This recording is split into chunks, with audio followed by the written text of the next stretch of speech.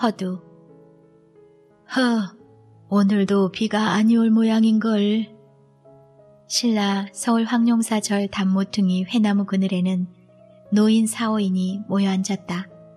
그 중에 한 노인이 까만 안개 속으로 보이는 빨간 해를 보며 이렇게 한탄한 것이다. 비가 무슨 비야? 하고 다른 노인 하나가 무릎에서 기어 내리려는 발가숭이 어린아이를 끌어올리면서 7월 칠석도 그대로 넘겼는데 비가 무슨 비야?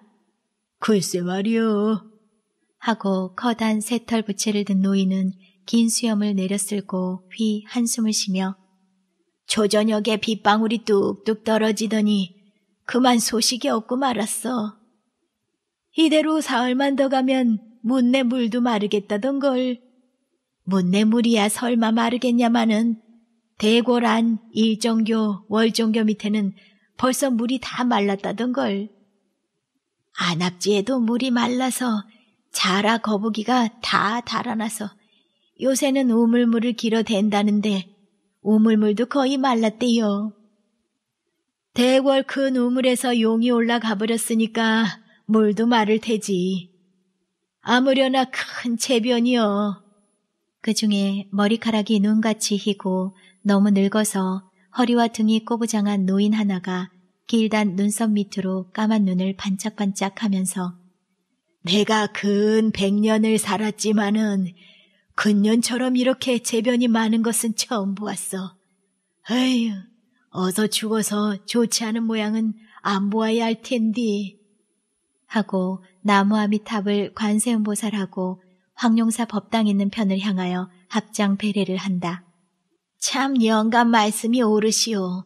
내가 알기에도 금상 때처럼 재변 많은 것은 처음 보았어. 글쎄 이렇게 가문 적이 있었나? 흐, 흉한 일이요. 하는 것은 새털 부채를 들고 파리를 날리는 점잖은 노인이다. 아이들 말이 북문 밖 대숲에서는 지금도 밤에 바람만 불고 귀길이 죽으리 귀길이 죽으리 하고 응용하는 소리가 난다던걸 하고 이번에는 어린애 아는 노인이 무서운 듯이 눈을 동그랗게 뜨고 하는 말이다.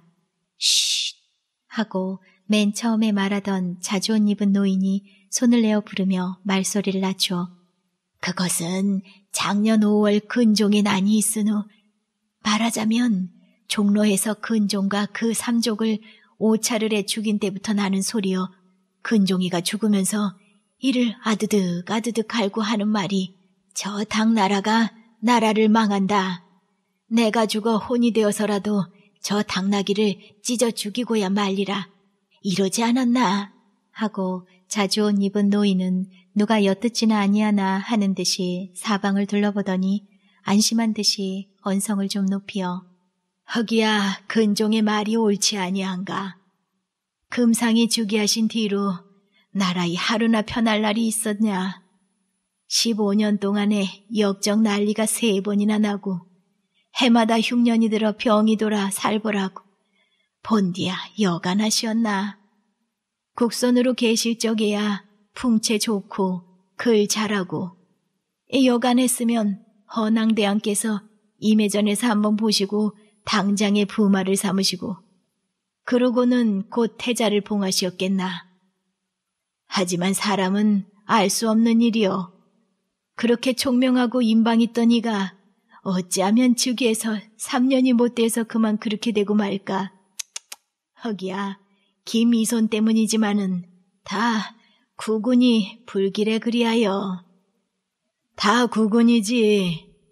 하고 새털 부채든 노인은 부채를 제우 흔들며 그게 다 둘째 마마 탓이여. 그 어른이 돌아가시자 뒷대골 아기를 죽여 또 금상께 독약을 드리고 예방을 하여서 이상한 병환이 나게 하여서 저렇게 귀가 길게 되시고 총명이 흐리시지 않았나. 내가 다 아는 일인걸. 하고 자랑 삼아 말을 한다. 이때에 어디서 급히 달려오는 말발굽 소리가 나더니 붉은 옷 입으니 푸른 옷 입으니가 말을 달려 황룡사로 들어간다. 두 사람의 그림자가 없어질 때를 기다려서 새털 부채든 노인은 대궐에서 나오는데 아마 상감마마께서 위중하신가 보군. 국사를 부르시는 모양이네. 하고 이 말에 꼬부라진 노인은 또 합장을 하고 나무아미타불을 부른다. 여러 노인의 눈앞에는 풍채는 좋으나 두 귀가 흉업게 길게 솟은 금상의 거동하시는 모양이 눈에 띈다. 이윽고 금빛이 번쩍번쩍하는 찬란한 가사를 등에 건 국사가 까만 칠하고 장식에 금으로 아로새긴 가마를 타고 대골에서 나온 두 벼슬아치의 옹이를 받아 황룡사 문을 나와 대골로 들어간다. 노인들과 길가에 있던 백성들은 모두 합장하고 허리를 굽히고 국사의 가마가 다 지나갈 때까지 눈을 치어들지 못한다. 대골 안에는 상대 등 시중, 이손이야 만조백관이 발열 찾아 모이어 말없이 대내에서 나오는 소식을 기다리고 금상마마 침전에는 큰마마, 버금마마 두 분과 왕자 세 분, 공주 한 분, 황룡사 중둘, 시위들이 상감마마의 알아놓으신 자리 가으로 둘러서서 용안에 점점 깊어가는 검은 기운을 보고 혹은 눈물을 씻고 혹은 고개를 돌린다. 아직도 스물아홉 밖에는 아니 되시었건만은 오랜 병과 근심으로 용안은 뼈만 남게 수척하시고 이상한 병으로 한 뼘이나 넘게 솟은 두 귀가 베개 위에 힘없이 놓여 있다. 상감마마는 어젯밤에 근종이 피 묻은 칼을 들고 들어와서 두 귀를 버이는 꿈을 꾸시고 놀라신 때부터 병세가 갑자기 위중하게 되었다. 새벽에는 대궐 뒷마당에서 고구려 군사와 백제 군사의 지저귀는 소리가 들렸다 하여 더욱 성상의 환우를 근심하게 되었다. 무열왕, 문무왕 때부터 대궐 뒷마당에서 백제 군사, 고구려 군사의 지저귀는 소리가 들리면 반드시 국상이 난다고 하기 때문이다. 헌한 대왕께서 승하하실 때에도 백제 충신 개배기가 칼을 들고 침전에 들어오는 꿈을 꾸셨다고 한다. 이렇게 백제와 고구려의 원통한 혼들은 100년, 200년이 되도록 쓰러질 줄을 모르고 기회만 있으면 신라를 괴롭게 한다. 이윽고 황룡사의 늙은 국사가 들어왔다. 두 분 마마는 국사 앞에 합장을 하고 14살, 13살, 10살의 새 왕자와 7살 된 망공주도 두 분 마마 모양으로 국사를 향하여 합장하였다. 눈물 머금은 여러 눈은 모두 국사에게로 몰렸다. 국사는 떠나가려는 상감마마의 목숨을 불러들이려면 들일 수 있는 힘을 가진 것 같이 사람들은 믿었다. 국사는 들어오는 길로 연애 합장하며 나무아미타불을 불렀다. 열 번이나 나무아미타불을 부르고 나서는 방 안에 있는 사특한 귀신을 다 몰아내는 모양으로 장삼 소매를 두르며 방 안으로 일곱 바퀴를 돌고 나서 옥체에 가까이 앉았다. 상감마마는 무엇에 놀라시는 듯이 잠깐 눈을 뜨시더니 다시 감으시고 몸을 한번 떨었다. 두 분 마마께서는 놀라서 상감의 곁으로 오셨다. 상감 마마께서는 다시 한번 눈을 뜨시어 버금 마마 하고 한마디를 부르셨다. 버금 마마를 큰 마마보다 더 사랑하시고 잊지 못하십니다. 큰 마마께서는 잠깐 얼굴을 찡기시었다. 태자 하고 14살 대신 왕자를 가리키셨다. 태자는 뛰어와 부왕 폐하 옆에 앉아 울었다. 상감께서는 국사를 돌아보시고 두 분 마마를 돌아보시고 세 분 왕자와 망공주를 이윽히 보시고 가만히 눈을 감으셨다. 그리하고는 다시 뜨지 못하셨다. 국상 7월 초 여드렛 날 옷이나 지나서 천하상 아래에 있는 소라 소리가 서울 장안에 울렸다. 하늘에는 구름 한 점 없고 무엇이 타는 듯한 누린 냄새를 머금은 까만 안개가 천지에 자욱하여 바로 반월성 대고리에 비친 해는 피에 찍어낸 듯이 빨갛다. 바람 한 점 없고 장안 20만 호의 지붕 기와장에서는 금시의 파란 불길이 팔팔 일어날 것 같다. 다 죽었네, 다 죽었어. 물 마른 웅덩이에 오글오글하고 올팽이 때 모양으로 다 익어 죽고 말라 죽네. 하고 백성들은 옷소매로 이마에 흐르는 땀을 씻으며 한탄들을 하였다. 황룡사 담 모퉁이의 회나무 그늘에는 노인들이 더 많이 모여서 수근수근한다. 할아버지 무릎에서 기어내리던 어린아이는 잠이 들고 꼬부라진 영감은 무슨 불길한 소리를 들을 때마다 합장하고 나무아미타불을 부른다. 흰 새털 부채를 든 노인은 여전히 옛날 일, 지금 일을 끌어내어 나라가 망할 날이 가까운 것을 예언한다. 이 노인들뿐 아니라 요새는 백성들이 모여만 앉으면 입만 뻥끗하면 모두 불길한 소리뿐이었다. 나라이 망한다. 세상이 뒤집혀. 끝날이 온다. 이제 사람이 파리 죽듯 죽는다. 모두 이런 불길한 소리뿐이다. 손자를 무릎 위에 안은 할아버지도 웬걸 이것들이 자라나서 낙을 보겠노. 세상이 몇 날 안 남은 것을 하였고 장가드는 신랑이나 시집가는 신부가 지나가는 것을 보고도 노인들은 휘 하고 한숨을 지었다.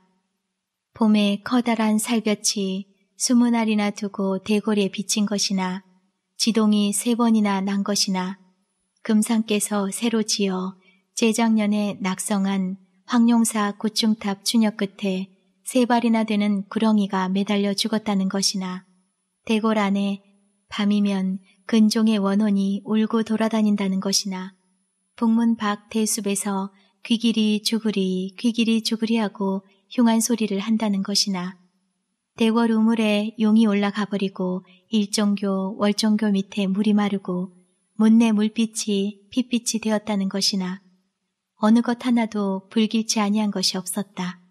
세상이 몇 날 없어.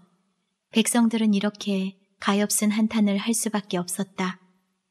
뚜뚜뚜 하고 천하상 소리가 길게 느리게 슬프게 장안에 우러날 때에는 더구나 금시에 세상 끝이 온 것 같았다. 이 소리가 들리자 사람들은 하던 일도 그치고 하던 말도 그치고 숨쉬기조차 그치고 길 가던 사람들은 우뚝 서고 방 안에 있던 사람들은 바깥으로 뛰어나왔다. 뚜뚜뚜 더욱 길게 더욱 가늘게 끌다가 소리가 사라질 때 백성들은 대고리에 덮인 까만 안개 낀 하늘을 바라보았다. 마치 슬픔에 찬 나라와 백성들을 뒤에 두고 하늘로 올라가는 젊은 임금의 홀령을 바라보기나 하려는 듯이.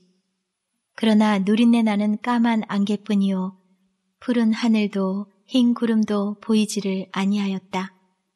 이윽고 장안 880절이라는 수많은 절에서 슬픈 쇠복 소리가 웅웅 우러나온다. 길게 느리게 길게 느리게 웅웅 우러난다. 천년 장안의 백만 백성의 가슴 속에서는 형언할 수 없는 설움이 북으로 끌어올랐다. 노인들은 눈물을 씻고 나무아미 타브를 수없이 불렀다. 깊고 깊은 대골 속에서도 울음소리가 우러난다. 공중에 나는 까마까치들도 소리를 그치고 슬퍼하는 듯 하였다. 젊은 임금님이 오래 아르시다가 돌아가셨다는 것만 해도 슬픈 일이다. 백성들은 국상 났다는 소문을 듣고는 소복을 입고 대궐 문 앞으로 몰려들어 눈물을 흘리고 소리를 높여서 만곡하는 이가 그치지 아니하였다. 그 어른이 잘못인가 모두 간신놈들일래 하는 이도 있고 버금마마 때문에 하는 이도 있고 나라 일을 그르친 것은 대행마마의 허물이 아니라고 대행마마는 어디까지든지 총명하시고 인자하시니라고 이렇게 백성들 간에는 말이 돌았다. 평소에 다소간 원망하던 일까지도 그런 말은 입적도 아니하고 오직 승하하신 상감님을 위하여 슬퍼하는 것이 옳은 줄로만 여기었다. 어른들은 기껏과 베옷을 입고 아이들도 쌍쌍투에 흰 댕기를 느렸다. 한 고을 또한 고을 국상난 기별이 퍼지는 대로 소복과 흰 댕기와 울음이 퍼지었다. 천년 동안 임금을 높이고 사모하던 정은 아직도 가시지를 아니하였다. 이때 서울서 동쪽으로 백리나 가다가 계목이라는 포구에서 한 삼리나 북으로 치우친 활터라는 동네 앞 모래판에서는 열 너덟 살로부터 팔구세 된 장난꾼이 아이들 수십 명이 모여 놀고 있다. 아이들은 허리에 나무 막대기 군도를 차고 어깨에는 장난감 활과 전통을 메고 그중 어떤 아이들은 수수깡 말을 타고 병대 조련을 하는 중이다. 구령을 부르고 칼을 두르는 대로 앞으로 나아가고 뒤로 물러오고 가끔 고함도 지르고 달려가기도 하고 매우 의가 엄숙하다.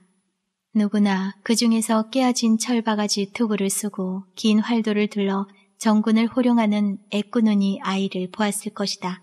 비록 애꾸눈일망정 두 귀 위에 달린 윤 흐르는 검은 머리에 쌍쌍투라든지 장대한 골격이며 위풍 있는 용모와 풍채라든지 그 어리지만은 웅장한 음성이라든지 나이는 13세밖에 안 되어 보여도 어딘지 모르게 점잖은 태도가 있는 것이라든지 누가 보아도 범상한 아이가 아닌 것은 짐작할 것이다.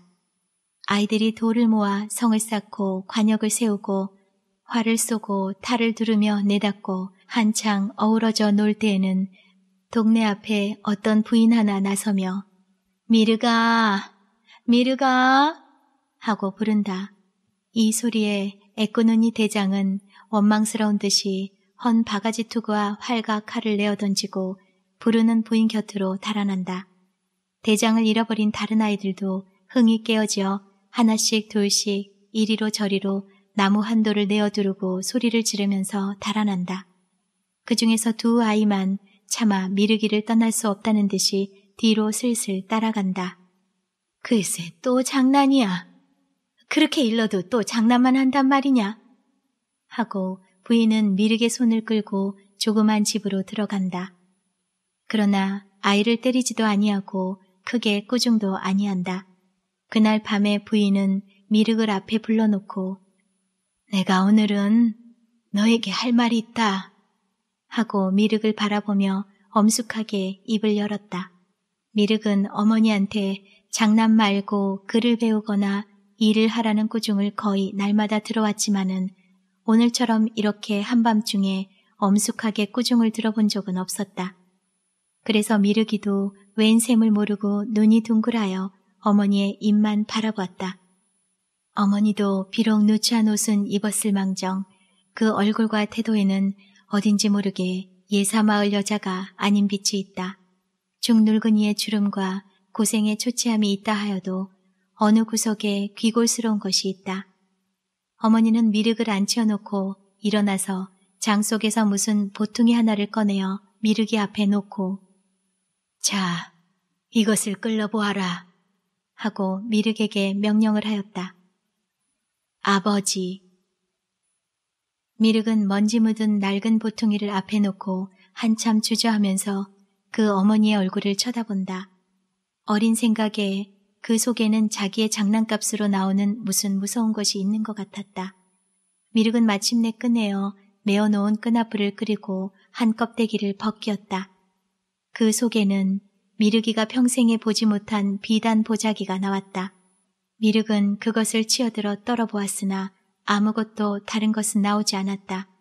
미륵은 실망한 듯이 어머니를 바라보며 이게 뭐예요? 하고 저고리를 내어 던지었다. 어머니는 깜짝 놀라서 두 손으로 미르기가 내어 던지는 저고리를 받아들면서 이 옷이 승하옵신 상감님 입으시던 옷이다. 이 등과 가슴에 해무늬와 달무늬가 있는 것을 봐라. 이것은 나라님 밖에는 못 입으시는 것이다. 나라님 입으시던 저고리라는 말에 미르기는 이상한 듯이 눈을 크게 떠서 그 저고리를 한 번 더 보았다. 과연 앞, 뒤와 팔에 둥그런 무늬가 있다. 나라님 저고리가 왜 우리 집에 있어요? 하고 미륵은 어머니의 눈물 그렁그렁한 얼굴을 보았다. 어머니는 그 저고리를 무릎 위에 놓고 이윽히 눈물을 흘리고 앉았더니 두 손으로 눈물을 거두고 미륵을 바라보며 너는 내 아들이 아니다. 내가 너를 기르기는 하였지만은 너를 낳으신 어머님은 벌써 돌아가신 지가 오래시다. 이 말은 미륵에게는 청천의 병력이다. 무슨 말인지 그 뜻을 알 수 없었다. 그러나 아이들이 자기를 보고 아버지가 없는 자식이라고 빈정거릴 것이며 어머니에게 아버지는 어디 갔느냐고 물을 때마다 분명히 죽었다고도 아니하고 또 어디 있다고도 아니한 것을 생각하였다. 그러나 장난에 취한 어린 미르기에게는 아버지가 있고 없는 것이 그리 큰 일은 아니었었다. 그러나 내 아버지와 나라님의 저고리와 무슨 상관이 있을까 하고 미륵은 호기심 많은 눈을 어머니에게로 향하면서 그럼 난 네 아들이야요? 하고 물었다. 너는 이번에 돌아가신 임금님의 아드님이다. 이번에 돌아가신 나라님께서 네 아버님이시다. 어머님은 돌아가시고. 뭐요? 나라님이 우리 아버지요? 하고 미륵은 놀랐다. 그렇단다. 이 저고리가 네 아버님의 저고리다. 그때 네 어머님 되시는 뒤태골 마마께서 너를 이 저고리에 싸서 하고는 차마 말을 다 하지 못하고 그만 목이 메어서 운다. 그 이야기는 이러하였다. 경문 대왕께서 아직 허난 대왕의 부마가 되시기 전에 응념이란 이름으로 풍채 좋은 국선으로 공부하러 다닐 때에 서령이라는 친구의 집에서 그의 누이와 서로 알게 되었다. 그 누이는 얼굴이 아름답고 재주가 있어 도리어 그 오라비보다 글도 잘하였다. 그래서 장차는 혼인까지도 하려고 하였다. 마침 그때에 임해전 잔치에서 허난대왕의 눈에 들어 곧 대왕의 맞따님이신 연하공주의 부마가 되시고 이내 허난대왕이 승하하신 뒤를 따라 임금이 되시었다. 즉위하신 지 3년, 즉 18살 되시던 해에 왕은 영화공주의 동생 되는 정화공주를 버금 왕으로 맞아들이고 또 다음 해에 예정을 잊지 못하여 아직도 시집을 아니 가고 있던 설부인을 맞아들여 뒷대골에 계시게 하였다. 처음에는 둘째 왕후 정화공주에게 왕의 사랑이 갔으나 설부인이 들어오신 뒤로는 왕의 사랑은 설부인 분 왕후에게 대하여서는 점점 서하시었다. 왕의 총애가 설부인에게만 모임을 보고 영화, 정화 두 분 왕후께서는 무서운 질투가 생기셨다. 정화 공주가 버금마마로 들어오신 때에는 영화 화후께서는 형제의 정도 잊어버리고 정화 마마를 시기하였으나 설부인이 들어오신 후에는 두 분은 하나가 되어 설부인을 미워하게 되었다. 더구나 뒤태골 마마가 잉태하신 뒤로는 두 분 왕후의 질투는 더욱 심하여졌다.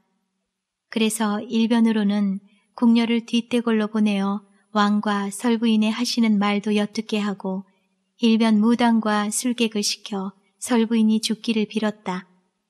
그러나 술객과 무당들의 예방과 기도도 아무 효용이 없어 왕의 총에는 더욱 깊어질 뿐이요. 뒷대골 마마의 얼굴은 더욱 아리따워지는 듯하였다. 그러할 즈음에 뒷대골 마마가 순산을 하시어 왕자를 낳으시었다. 왕께서는 왕자의 용모와 울음소리가 웅장하고 동해 임금 왕자 뼈가 뚜렷하다 하여 그 왕자를 심히 사랑하시며 용덕 왕자라고 이름을 지으셨다. 이때 큰 마마께서는 잉태 중에 계셨다. 디테골 마마가 왕자를 낳고 또 왕께서 그 왕자를 사랑하시는 눈치를 보고는 영화, 정화 두 분 마마께서는 심히 마음이 편안치 아니하여 여러 가지로 꾀를 생각하였다. 하루는 뒷대골 염탐으로 보냈던 궁녀가 영화 마마께 와서 이런 놀라운 말씀을 아뢰었다. 어젯밤에 가만히 엿들으니 뒷대골 마마께서 상감마마께 메어 달려오시며 아들이 나면 무엇합니까? 태자 되시리는 따로 계신걸 하시오니 상감마마께서는 염려 마라 이해로 태자를 삼으리라 그러나 아직 발 설지 말라 하셨습니다. 하는 것이다. 이 말을 들을 때에 영화마마께서는 얼굴이 흑빛이 되어서 흠, 그것을 내가 살려둘 줄 알고 하고 이를 가르셨다. 영화 왕후는 그날 종일 정화공주와 또 궁녀 중에 늙고 꽤 많은 일을 모아 여러 가지로 의논한 결과로 왕께서 가장 믿으시는 일관 데네마 간서이란 사람을 비밀이 내전으로 별입시를 시켰다. 간성 일관은 천문과 지리를 무불능하고 사람의 기륭 화복을 미리 판단하여 나라의 믿음이 두터운 사람이다. 왕후는 간성 대네마를 보고 뒷대골 마마와 용도 왕자의 말을 한 후에 조금도 왕자를 미워하는 빛을 보이지 아니하고 도리어 왕자의 전정을 근심하는 듯이 용독 왕자의 전정이 어떠한 것을 물었다. 일관은 이렇게 아뢰었다. 용독 왕조께서 탄강하옵시던 날에 왕자께서 탄생하시던 집에는 흰 서광이 비치고 또 전정성이 사흘을 두고 그 집 위에 빛이었을 뿐더러 왕자께서 탄생하신 날이 5월 5일이온즉 5의 5는 즉 다양이라 용독 왕자는 천정성 정기를 타서 당강하시었고 우리 신라의 크신 임금이 되시어 나라를 빛내실 성군이 되실 줄로 아뢰옵니다. 일관의 말에 왕후는 더욱 놀라고 슬펐다. 그날은 일관을 돌려보내고 다른 날 다시 사람을 보내어 패백을 후히 한 후에 용도 왕자를 없이 할 꾀를 물었다. 일관은 처음에는 주저하였으나 어느 명이라고 거역할 수도 없을 뿐더러 또 후히 상 준다는 말에 혹하여 왕후의 명대로 하기를 승낙하였다. 그런 뒤에 왕후는 왕께 배웠고 용독 왕자 탄강하신 기쁨을 아뢰었다. 왕은 왕후께서 용독 왕자 나신 것을 기뻐하심을 보고 마음에 흡족하여 왕후의 등을 어루만지셨다. 그때 왕후는 왕께 용독 왕자의 상을 보셨습니까? 하고 여쭈었다. 아직 안 보였소. 왜 간성일관께 일생 행운을 안 보십니까? 하고 왕후는 일관에게 용덕 왕자의 상을 보이기를 권하였다. 참 좋은 말이오. 하고 왕은 곧 일관을 부르시었다.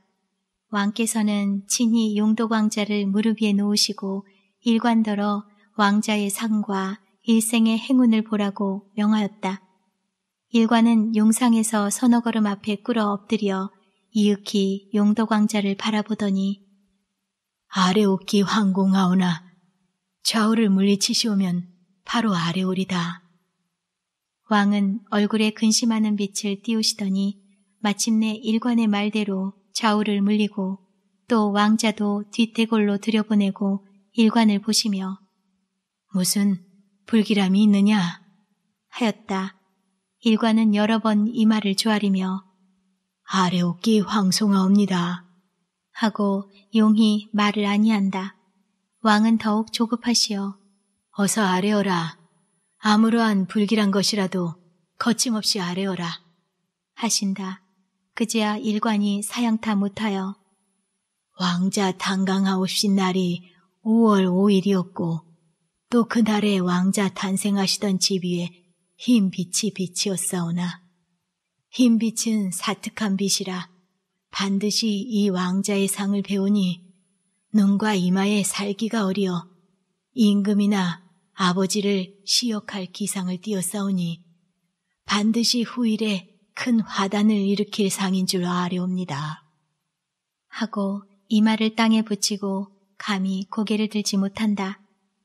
왕께서는 일관의 말을 들으시고 심히 슬퍼하셨으나 일관을 깊이 믿으시는 바이라 그의 말을 의심하려 하지 아니하였다. 그러나 측은한 애정을 생각할 때에는 차마 그 귀여운 왕자를 어찌할 수도 없었다. 설마 그러랴 하고 왕은 일관을 꾸짖으셨다.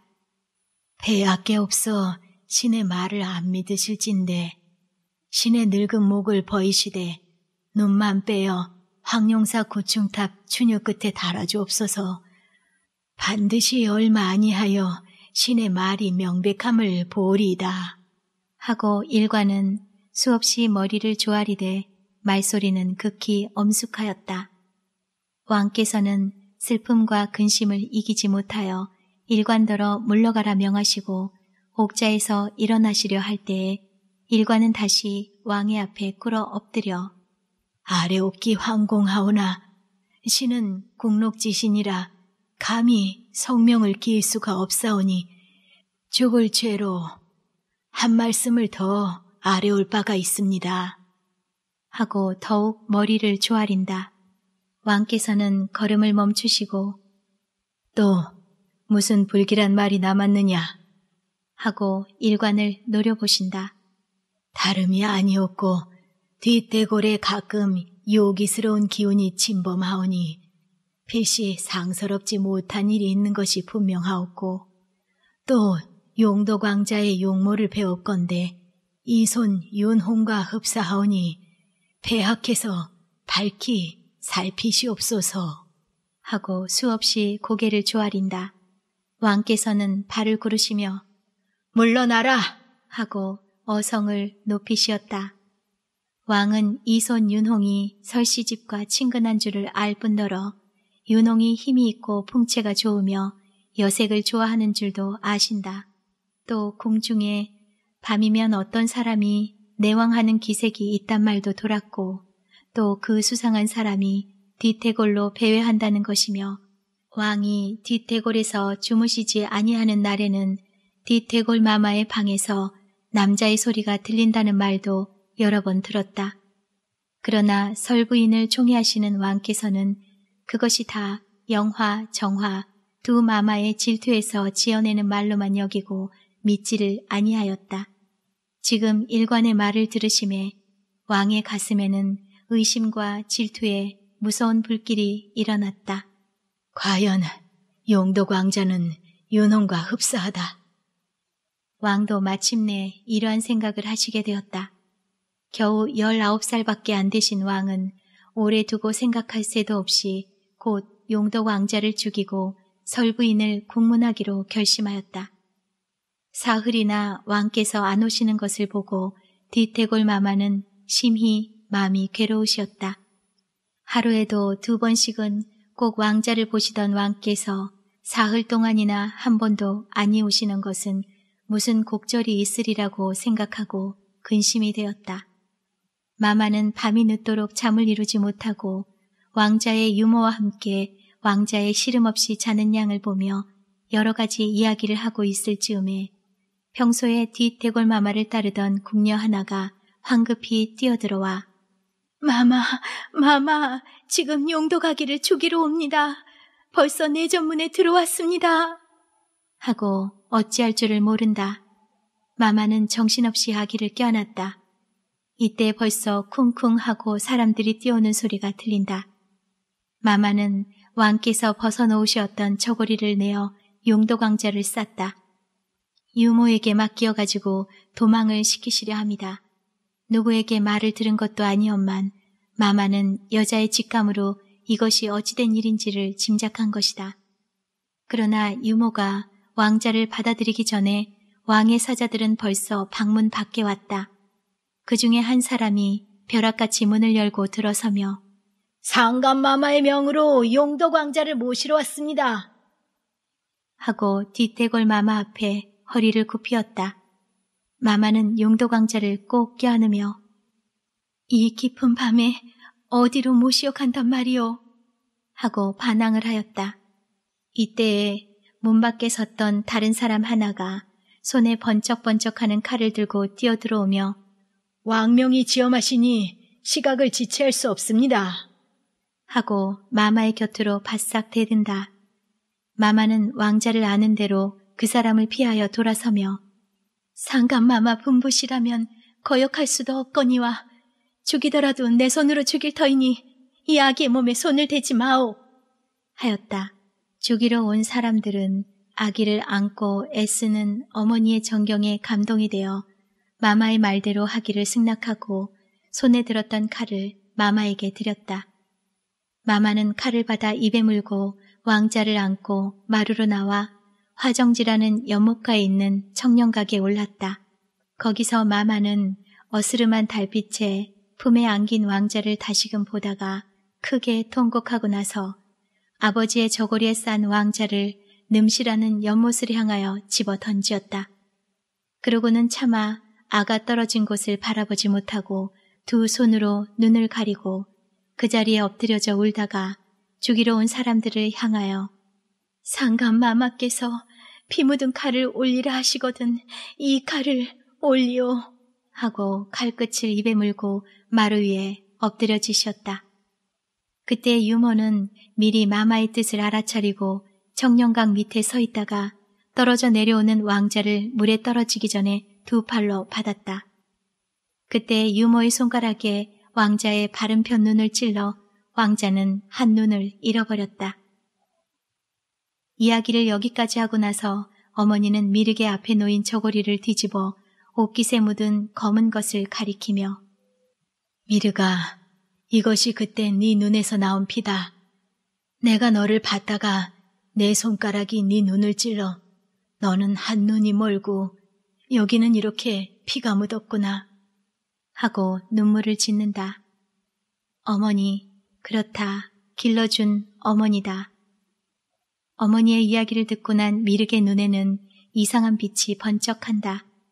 미륵은 어머니 손에 있는 피 묻은 저고리를 보고 손을 들어 보지 못하는 바른편 눈을 만지었다. 그러할 때에 전신에 피가 끓어올라 미륵은 마치 숨이 막힐 듯 하였다. 비록 13살이라 하여도 숙성한 미륵은 지금 들은 이야기를 가지고 당시의 광경을 그려볼 수가 있었다. 미륵은 연못에 집어던지는 자기를 받아다가 지금까지 친자식같이 길러준 어머니의 얼굴을 볼 때에는 분한 마음과 슬픈 마음이 부글부글 끓어서 고마운 마음으로 변하는 듯 하였다. 그러나 자기의 친어머니를 모함한 두 왕후와 그 게임을 듣고 어머니를 죽이게 한 아버지를 생각할 때에 미륵은 두 주먹을 불끈 쥐고 이를 부두득 갈았다. 어머니는 미르기가 주먹을 불끈 쥐고 이를 가는 양을 보고 놀랐다. 장난꾼이 어린 미르기의 속에 이런 무서운 분노가 들어있으리라고는 생각지 못하였던 까닭이다. 또 장난을 그치게 하자는 것과 이미 돌아가신 왕이 아버지인 것이나 알려주자는 뜻에 지나지 못하였다. 그리하였던 것이 미르기가 이처럼 무서운 분노의 상을 보이는 것을 볼 때에 어머니는 아니 놀랄 수 없고 그런 이야기를 한 것을 후회하지 아니할 수 없었다. 그래서 어머니는 부드러운 음성으로 넌들 얼마나 슬프고 분하겠느냐. 그러나 참아야 한다. 만일 네가 용도 광자라는 말이 나가기만 하면 나와 너와 두 목숨은 금시에 없어지고 말 것이다. 내가 너를 안고 도망한 뒤에도 연못에 시체가 없다고 하여 필경 내가 너를 안고 도망한 것이라고 사방으로 수탐을 하였던 것이다. 나도 몇 번을 잡힐 듯 하다가 천행으로 벗어나서 너도 이만큼 자랐으니 이제야 너만 잠자코 있으면 누가 할랴. 어서 아무런 생각 말고 공부나 잘해서 후일에 귀히 되어라. 그러면 돌아가신 뒷대골 마마께서도 혼이라도 넋이라도 기뻐하지 아니하겠느냐. 하고 애걸하듯이 타일렀다. 미륵은 이윽히 고개를 숙이고 앉았더니 벌떡 일어나 피 묻은 저고리를 발로 밟고 두 손으로 잡아당겨 뜩 찢었다. 어머니가 일어나 막으려 했으나 그럴 새가 없었다. 미륵은 찢어진 저고리 조각을 입에 물고 미친 사람 모양으로 수없이 물어뜯었다. 어머니, 나는 이 원수를 갚고야 말아요. 이 원수를 갚고야 말아요. 하고 부르르 떨었다. 미륵은 갑자기 어른이 된 듯 하였다. 장난꾼이 모양이 다 사라지고 말았다. 2, 3일 동안 미륵은 밖에 나가 놀지도 아니하고 이야기도 아니하고 가만히 집에만 있었다. 어머니의 마음은 심히 슬펐으나 벌써 미륵은 자기 품속에 들어올 장난꾼이 아들이 아닌 것을 깨달았다. 그럴 때 퍽 슬펐다. 하루는 미륵은 어머니 앞에 절을 하였다. 나는 가요. 하는 미륵의 눈에는 눈물이 있었다. 깜짝 놀란 어머니가 미륵의 팔을 붙들며 그게 무슨 소리냐? 나를 두고 가기를 어디로 간단 말이냐? 하고 떼쳐 버리고 가는 남편에게 메어 달리는 아내 모양으로 미륵에게 메어 달려 울었다. 미륵도 울었다. 그러나 나는 가요. 어머니의 은혜는 일생에 잊지 아니하리다. 그러나 나는 가요. 하고 미륵은 울어 쓰러진 늙은 어머니를 내어버리고 문 밖으로 나가버렸다. 어머니는 울며 불며 따라 나가 온 동네를 두루 찾았으나 미륵을 보지 못하고 허둥지둥 뒷고개에 뛰어올라가 저 멀리 끝없는 길가로 가물가물 가는 미륵의 그림자를 보았다. 어머니는 그 자리에 엎드려져 끝없이 울었다. 미륵은 13년 동안 길러낸 유모의 집을 떠나 서울로 향하였다. 친어머니로 알고 여태껏 길러난 정에 미륵은 가다가는 멈칫멈칫 서서 그리워하는 눈물을 흘렸다. 고개를 넘을 때마다 뒤를 돌아보고 개천을 건널 때마다 뒤를 돌아보고 동네에서 늙은 부인네가 나와도 어머니나 아닌가 하였다. 그리고는 눈물이 흘러서 두 주먹으로 씻어버리고는 코를 풀었다. 그러나 자기를 낳은 어머니가 칼을 물고 엎드러진 것이 눈에 번뜩 보일 때에는 전신의 피가 모두 얼굴로 거꾸로 흘러오르고 숨결이 시근거렸다. 원수를 갚고야 말 테다. 이 원수를 갚고야 말 테다. 하고 두 주먹을 불끈불끈 쥐었다. 저를 만날 때마다 미륵은 부처님께 빌고 고개턱에서 길 선왕을 만날 때마다 길 선왕께 빌었다. 이 원수를 갚게 해줍소사. 어머니 원수를 갚게 해줍소사. 하고 빌고 빌고 또 빌었다. 며칠을 걸어 미륵은 수리제에 다다랐다. 수리제에는 인산 구경 가는 사람들이 여기저기 나무 그늘을 찾아 쉬었다. 모두 기껏과 백것으로 소복을 하고 혹은 늙은이를 모시고 혹은 어린아이를 데리고 간다. 어떤 사람은 수레를 타고 어떤 사람은 가마를 타고 어떤 사람은 말과 나귀를 타고 그렇지 못한 이는 지팡이를 들었다. 미르기도 사람들 틈에 끼어 앉아서 찌는 볕에 흘러내리는 땀을 씻었다. 벌써 가을이 엄마는 여름과 같이 덥다. 여름 내 가뭄에 길가의 풀 잎사귀들은 맘대로 자라보지도 못하고 말라붙고 키 작은 흰 국화꽃이 겨우 어서 기운 없이 졸고 있을 뿐이다.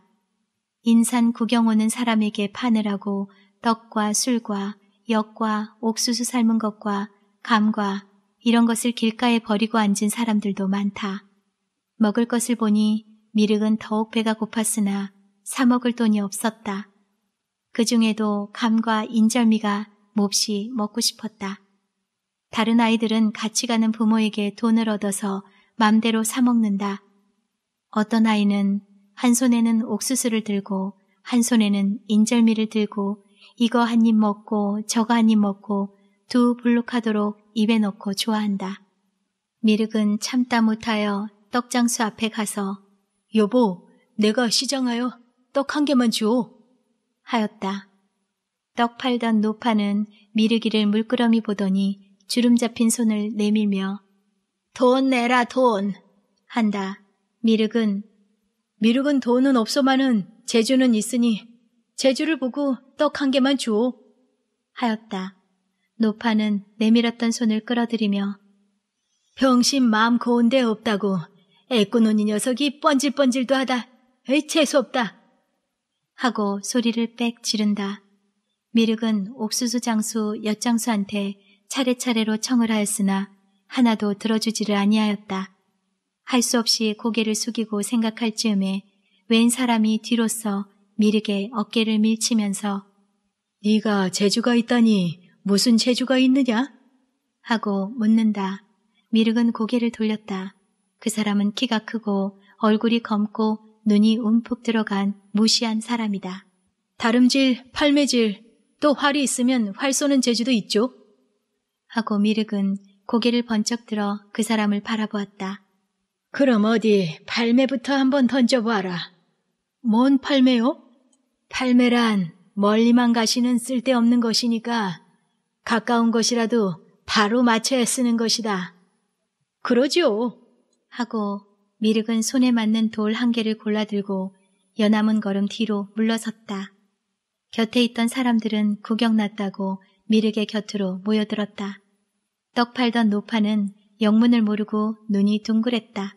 미륵은 오른손에 돌을 들고 두어 번 팔을 둘러보더니 자, 보시오.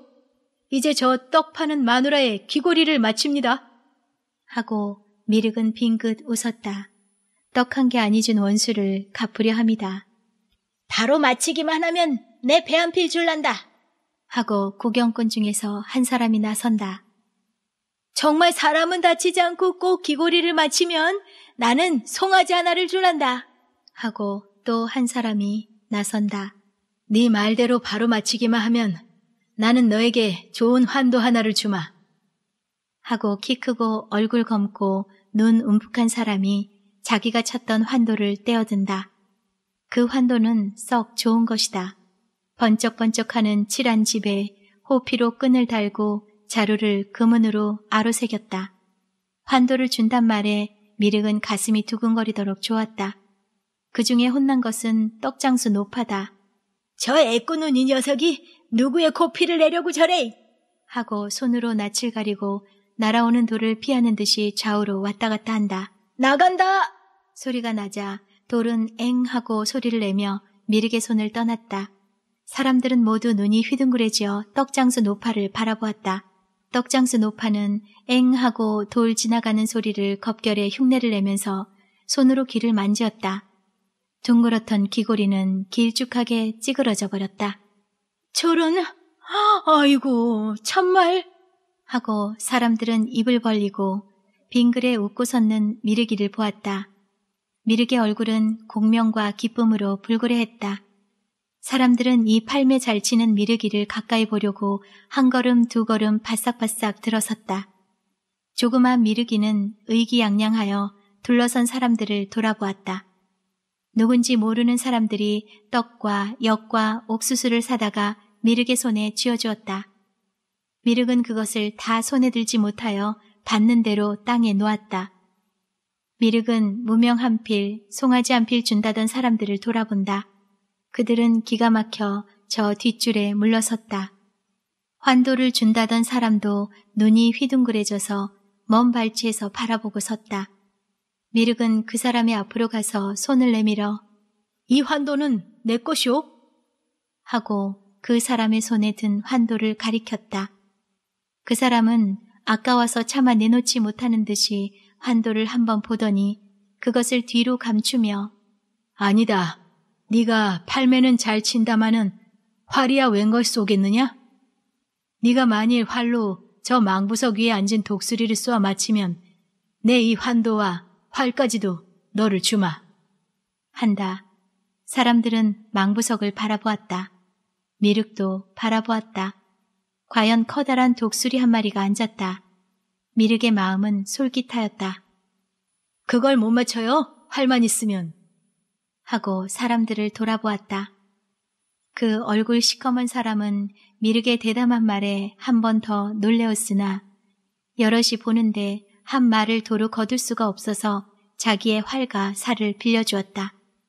미륵은 제 키만이나 한 활에다가 휘청휘청 살을 골라 한 대는 등에 꽂고 한 대는 줄에 메어들고 그 시커먼 사람을 향하여 저 독수리를 마치기만 하면 이 활과 환도는 내 것이죠?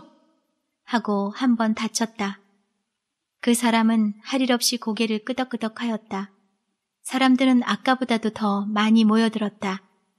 미륵은 사람들을 한번 돌아본 뒤에 가만히 활을 들어 삐그시 당기면서 첫 살은 독수리를 날리는 살이오! 하고 오른손을 튀겼다. 살은 휙 소리를 내고 바로 독수리의 등을 스칠 듯 날아올랐다. 미륵은 둘째 살을 메어들고 하늘을 향하였다. 수리제 미륵은 하늘을 향하여 둘째 화살을 튀겼다. 살은 놀라서 나는 독수리를 향하고 꼿꼿이 날아올라간다. 독수리는 살을 피하려고 날던 방향을 돌리려 하는 듯하였다. 그러나 미르게 쏜 살은 독수리를 따라 올라가 바로 그 해끄무레한 가슴패기를 뚫었다. 살에 맞은 독수리는 두어 길이나 더 솟더니 살에 달려 너울너울 땅으로 떨어져 내려왔다. 보던 사람들은 우아하고 소리를 지르고 발을 굴렀다. 장사다. 참 잘 쏜다. 하고 사람들은 미륵을 보고 혀를 찼다. 미륵은 활을 어깨에 메고 땅에 놓인 전통을 등에 지었다. 그리고는 시커먼 사람을 향하여 내 환도 하고 손을 내어 밀었다. 시커먼 사람이 머뭇머뭇하고 있는 것을 보고 다른 사람들은 속으로 밉게 생각하였으나 감히 무엇라고 할 말을 하지 못하고 대드는 사람이 없었다. 그러나 사람들 속에서 얼굴 희고 키가 작달만한 젊은 사람 하나가 뛰어나서면서 시커먼 사람더러 약조대로 그 환도를 이 아이에게 주시오. 하고 소리를 질렀다. 이 소리에 다른 사람들도 기운을 얻어 환도 주어라 하고 일제히 소리를 질렀다. 이 바람에 그 시커먼 사람은 할 일 없이 환도를 미륵에게 주었다. 미륵은 환도를 받는 길로 칼날을 쭉 뽑았다. 그것은 서리 모양으로 햇빛에 번쩍하며 푸른 무지개가 뻗치었다. 미륵은 막대기 칼 둘러보던 법대로 그 크고 무거운 칼을 한번 둘러보았다. 사람들은 에쿠에쿠 하고 물러섰다. 미륵은 아주 흡족하여 칼을 집에 도로 꽂아 한번 만져보고 허리에 둘러찼다. 시커먼 사람들어 환도를 주라고 호령하던 얼굴 희고 키 작은 젊은 사람은 미륵의 등을 만지면서 무수히 칭찬한 후에 내 성명은 무엇이고 집은 어디냐? 하고 물었다. 다른 사람들도 미륵의 성명과 사는 곳을 알고 싶어서 귀를 기울였다. 미륵은 성명이 없었다. 자기가 경문왕의 아들이라 하면 자기의 성은 김가다. 그러나 자기는 김가성을 말할 수가 없는 줄을 안다. 또 그때에는 성 있는 사람도 있고 없는 사람도 있기 때문에 구태여 성을 말할 필요도 없었다. 그래서 미륵은 나는 성명도 없고 집도 없어요. 하고 대답을 하였다. 사람들은 이 대답에 놀랐다. 신인이다, 신인. 하고 의심하고 탄식하는 이도 있었다. 그 얼굴 희고 젊은 사람이 이윽히 미륵의 얼굴을 보더니 귀가 대단히 크다. 하고 고개를 기웃기웃하고 나서 네가 활을 잘 쏘니 활이라고 이름을 짓자. 한다. 다른 사람들도 미륵의 귀가 큰 것을 보고 또 활이라는 이름이 좋은 줄로 생각하였다. 미륵도 속으로 활 공자를 생각하였다. 이리하여 미륵은 후일에 궁예라는 이름을 가지게 된 것이다. 조그마한 미륵이가 활을 메고 전통을 지고 활도를 찬 모양은 기특하기도 하고 우습기도 하였다. 그러나 사람들은 웃을 생각은 아니하고 칭찬하기를 맞이 아니하였다. 서울에는 각처에서 인산 구경하러 올라온 사람들이 가득 차서 20만호, 100만 인구가 산다는 서울은 이때에는 온 나라 사람이 다 모여든 것 같이 북적북적하였다. 한 입 건너 두 입 건너 미륵의 말이 온 장안에 퍼지었다. 애꾸눈이 아이만 보면 화리화리 하고 사람들이 모여들었다. 이 때문에 미르기는 서울에 들어오는 길로 서산촌 백면 국선의 집에 숨어 있었다. 백면 국선은 곧 수리제에서 시커먼 사람들어 미륵에게 환도를 주라고 호령을 하던 사람이다. 그는 어떠한 사람인지 알 수 없으나 동네 사람들이 백면 국선이라고 부르고서 김유신 대각산 무덤 및 조그만 집에 살았다. 원수 미륵은 밤이 깊도록 수리제에서 얼굴이 검고 키가 큰 사람에게 얻은 활과 칼을 보고 만지고 좋아하다가 잠이 들었다. 칼과 활 얻은 기쁨에 원수 갚을 생각도 잊어버리고 있었다. 더구나 수리제에서 수많은 사람들에게 칭찬받던 것을 생각하니 억제할 수 없이 마음이 기뻤다. 미륵은 자면서도 벙긋벙긋 웃었다. 서울이라 하여도 한편 구석인 서산마을은 밤이 깊음에 극히 고요하여 벽틈에서 씹시라는 귀뚜라미 소리나 뒷산에서 이타금 울려오는 쓱덕제 소리도 미르게 고난 잠을 깨우지는 못하였다. 문 밖에서 자박자박 사람 걸어오는 소리가 나더니 미르가 하고 문을 방긋이 연다. 미륵은 어슴풀에 들었던 잠을 깨어 일어나 바라보았다. 문을 열고 들어온 이는 입에 칼을 문 젊은 여인이다. 칼날이 반이나 입속으로 들어가고 칼자루에서 시뻘건 피가 뚝뚝 흐른다. 미륵은 무서워서 몸을 피하여 그 칼 빼놓아요. 하고 그 여인을 향하여 소리를 질렀다. 그 여인은 눈물을 흘리고 고개를 흔들며 이 칼은 너밖에 뽑을 사람이 없다, 내 아들아. 하고 손을 내밀어 미륵의 머리를 만지려 한다. 미륵은 그 손을 피하였다. 미륵은 눈으로는 칼문 여인을 보면서도 몸으로는 한편 구석으로 피하면서 그 칼 뽑아요! 뽑아요! 하고 소리를 질렀다. 그러다가 제 소리에 놀라서 꿈을 깨었다. 꿈을 깨는 대로 벌떡 일어나서 환한 문을 바라보았다. 문 밖에는 짤짤 신 끄는 소리가 들리는 듯하였다. 전신에 소름이 끼치고 찬땀이 흘렀다. 미륵은 한참 동안 정신없이 꿈 생각을 하고 앉았다가 어머니 하고 불렀다. 피 흐르는 칼을 입에 문 어머니의 모양이 눈앞에 보이는 듯 하였다. 미륵은 그 모양을 붙잡으려는 듯이 두 손으로 허공에 내어두르며 어머니를 불렀다. 그리고는 어머니, 내 원수를 갚을게요. 이 칼로, 이 활로 어머니 원수를 갚을게요. 하고 벽에 걸었던 환도와 활을 만지어 보았다. 어머니의 눈물 흘리는 아름다운 얼굴이 미륵의 눈에서 떠나지를 아니하였다. 닭이 온다. 귀뚜라미도 온다. 미륵은 날이 새기만 기다렸다. 아침을 먹고 나서 미륵은 활을 메고 환도를 차고 백면 국선의 집에서 나왔다.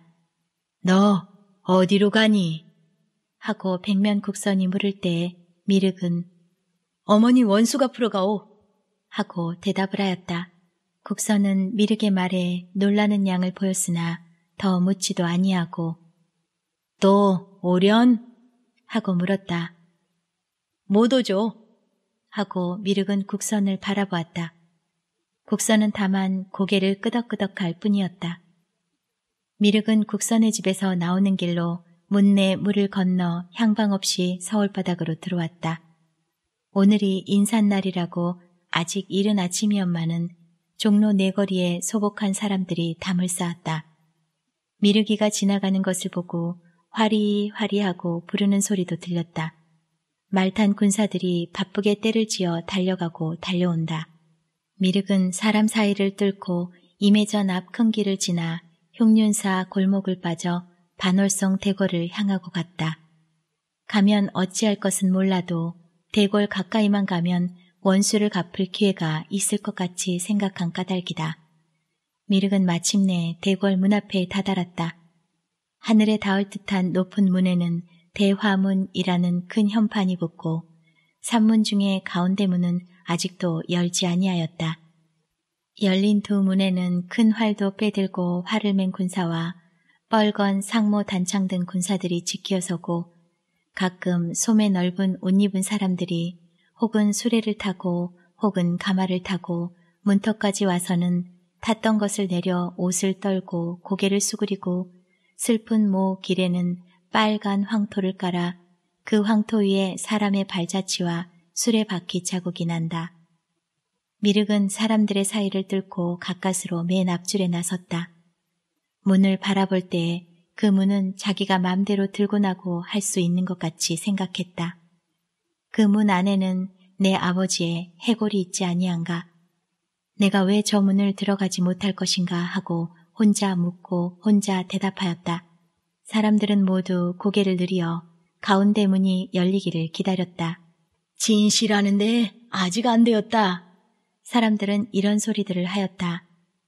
뒤태골 마마께서 불쌍하시지. 하는 소리가 미륵의 귀에 들렸다. 미륵은 깜짝 놀라서 뒤를 돌아보았다.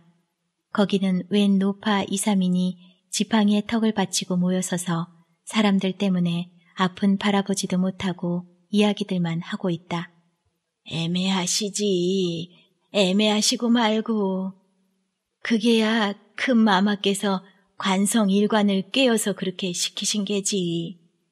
하고 한 노파가 지팡이로 땅바닥을 두드리면 다른 한 노파는 그래서 상감 마마께서도 나중에는 그런 줄을 아시었더래. 그래서 가끔 청년각 연못가를 거니시며 마마 마마 하시고 한숨 지시는 것을 궁녀들이 여러 번 보았다던데. 하고 그러면 또 한 노파는 용도가기는 살았다지. 하고 둘째 노파가 그럼 왜 처 용도가기 젖들이던 모량 아씨가 안고 도망하지 않았어? 그 후에 사람을 놓아서 찾아도 못 찾았지. 에구, 그 아기도 사셨으면 벌써 13살이지? 그 아기 낳으실 때 집에 서광이 비치고 나시면서 이가 났더라우. 그 이가 살아계시면 가만히는 안 계실걸. 에휴, 얼마나 가슴이 아프시겠어. 들락말락 나미아미타불을 몇번 부른다. 그 아기가 살았으면 이번에는 나설 테지. 아바마마 승하하신데 가만히 있을라고. 하고 노파가 곁에서 듣고 섰던 미륵을 흘끗 본다. 그러나 미륵의 우스운 꼴을 잠깐 볼 뿐이요. 다시 이야기를 계속한다. 조그마한 아이가 남노한 의복에 제 키만한 활을 메고 전통을 지고 긴 환도를 찬 모양은 참 우스웠다. 용덕 아기가 살아계시더라도 연결에 참례를 못하면 못하오. 자식이라도 연결에 참례를 못하면 제사에도 참례를 못한다던데. 하고 한 노파가 또 미륵을 본다. 미륵은 연결이 무엇인지를 몰랐다. 그러나 그 말뜻을 알아야 할 것 같이 생각하였다. 연결이 무엇이오? 하고 마침내 미르기가 물었다. 이 애가 연결도 모르나? 네 어디서 왔니? 하고 한 노파가 묻는다. 나 시골서 왔소. 연결이 뭐예요? 어느 시골서? 아주 한량인데. 하고 새 노파는 미륵을 보고 웃는다. 나중에 한 노파가 연결이란 무엇인고 허니 사람이 죽어서 장례날이 되어서 관이 집에서 떠날 때 마지막으로 보는 것이다. 하고 다른 노파들을 돌아보며 아마 대골에서는 지금 연결을 하시겠지. 한다. 연결의 얼굴도 보고? 하고 미륵이 다시 묻는 말에 그 노파는 고개를 끄덕끄덕 한다. 미륵은 연결 말을 듣고 아바마마의 얼굴을 한 번만 보고 싶은 마음이 간절하였다. 더구나 왕께서 뒷대골 마마를 생각하셨다는 아까 그 노파의 말에 미륵은 아바마마를 원망하던 생각이 없어지고 도리어 이 세상에서 다시 보지 못할 아버지의 낯을 한 번이라도 보고 싶었다. 미륵은 사람 사이를 뚫고 대화문을 향하고 뛰어들어갔다. 처음에는 어떤 장난꾼의 아인고 하고 모두 심상이 여기었으나 대골문에 다다랐을 때는 문 지키던 군사가 붉은 상모단 창으로 미르게 가슴을 겨누고 이놈 어딜 하고 소리를 질렀다. 미륵은 굴하지 아니하고 고개를 뒤로 젖히고 눈을 부릅뜨고 무엄한 버릇을 말아 하고 소리를 질렀다. 다른 군사들도 우 달려와서 이놈 어떤 놈이냐? 이놈, 이 애꾸눈의 놈이? 하고 미륵을 애워쌌다. 미륵은 허리에 찼던 환도를 쭉 빼어들고 나는 용덕왕자. 아바마마 연결에 참배하러 바삐 가는 길인데 내 길을 막는 놈은 이 칼로 베일이라. 비켜라! 하고 칼을 내어 들었다. 문 지키는 군사들은 왕자라는 말에 또 미륵의 위험과 내두르는 칼에 기운이 줄어서 모두 뒤로 물러섰다. 그 틈을 타서 미륵은 대화문에 뛰어들었다. 그러나 문 안에서 지키는 군사는 칼과 창으로 미륵의 앞을 막았다. 미륵도 칼을 두르며 나는 용도 왕자 아바마마 연결에 가던 길 막는 놈은 이 칼로 하고 호령을 하였다. 이 말에 늙은 군사 하나가 나서며 용도 왕자시면 표를 하고 손을 내어 밀었다. 미륵은 그 저고리를 안이 가져온 것을 후회하고 잠시 주저하였으나 얼른 손으로 자기의 길을 가리켰다. 군사들은 미르게 가리키는 길을 보았다. 과연 승하하신 상감마마의 귀와 같이 크다. 그래서 젊은 군사들은 길을 막았던 창과 칼을 거두었으나 늙은 군사는 여전히 길을 막고 표를 보이시기까지 한 걸음도 못 들어가시리다. 하고 두 팔을 벌리고 일면 사람을 내전으로 보내어 용덕 왕자라고 자칭하는 애꾸눈이가 칼을 두르며 연결 참내로 들어온다는 말을 전하였다. 이때 내전에서는 종정과 대신들이 모여 연결과 인산의 절차를 서로 다투고 있었다. 상대 등 위지는 모든 것을 옛날 우리나라 법대로 하는 것이 좋다고 주장하고 시중 인홍은 모든 것을 당나라 법대로 하자고 주장하여 서로 지지 아니하였다. 이것은 이날에 시작된 것이 아니오 대행마마 승하하실 때 초혼 절차에서부터 다툼이 생겨 석 달이나 끌어온 것이다. 상대 등 위진이 주장하는 바는 비록 상감마마께서 당나라의 벼슬을 가지시었다 하더라도 그것은 한 형식적 예절에 지나지 못하는 것이니 우리는 우리 주상의 장례를 옛날부터 우리나라에서 하던 전례대로 즉 임금의 예로 할 것이라 하며 시종 인홍의 주장은 그것이 옳지 않다. 상감마마께서는 당나라 벼슬로 되도록 계림주 제군사요 상주국 신라 왕이란 것을 봉작한 직함에 불과한 것이니 옛날 모양으로 무식한 오랑캐의 일로 황제와 같이 모든 예전을 할 수가 없다는 것이다. 새로 당나라에서 과거하고 돌아온 최치원도 물론 인홍의 편이었다. 위지는 비록 일국의 제일 높은 상대 등의 자리에 있으나 새로 당나라에 다녀와 당인 모양으로 외자성과 두자 이름을 갖는 무리의 세력을 당할 길이 없었다. 그러나 위지는 굴하지 아니하고 당나라 법을 주장하는 젊은 벼슬아치를 보면 너희들은 당나라에 가서 살아라! 하고 소리를 지르는 일이 있었다. 위진파와 인홍파의 싸움이 가장 격렬하기는 대행대왕의 명정을 모실 때다.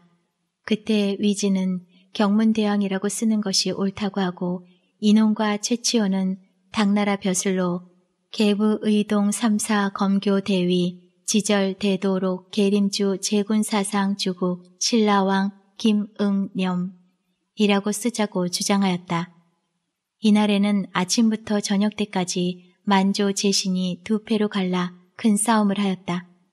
더구나 새로 당나라에서 돌아온 최치원의 말은 누가 감히 꺾는 이가 없었다. 그때 상대 등 위지는 너희들은 오늘도 배를 타고 당나라로 가 살아라.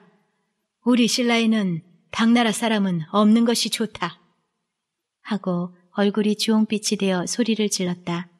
그때 태자께서도 아바마마는 신라 임금이시다.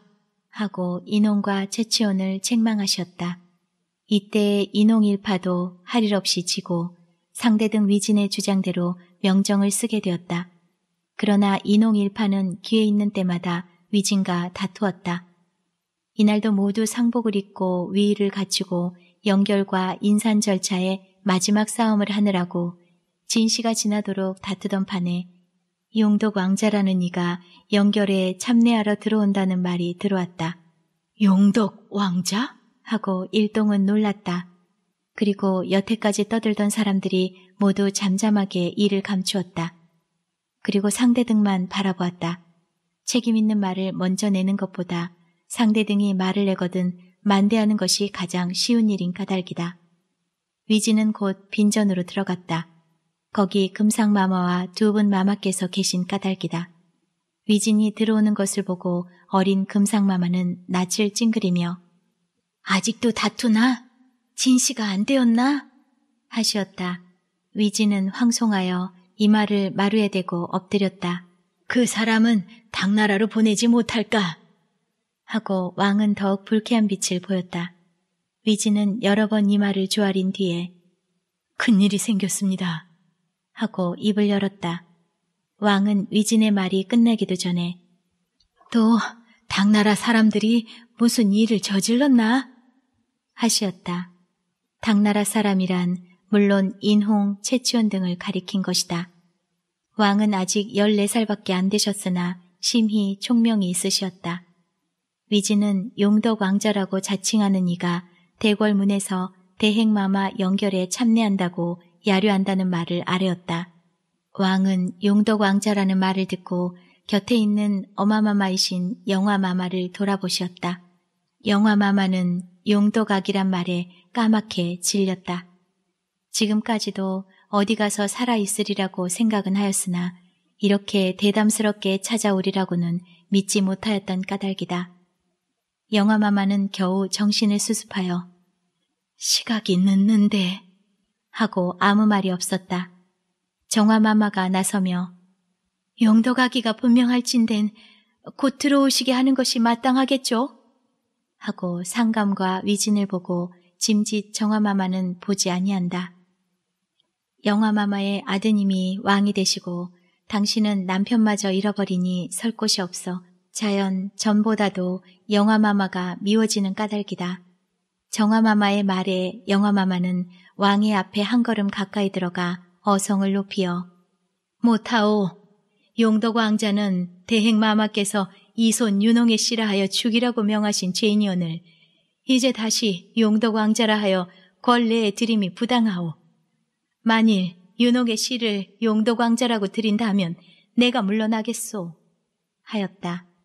왕도 용덕 왕자 말을 몇 번 들었다.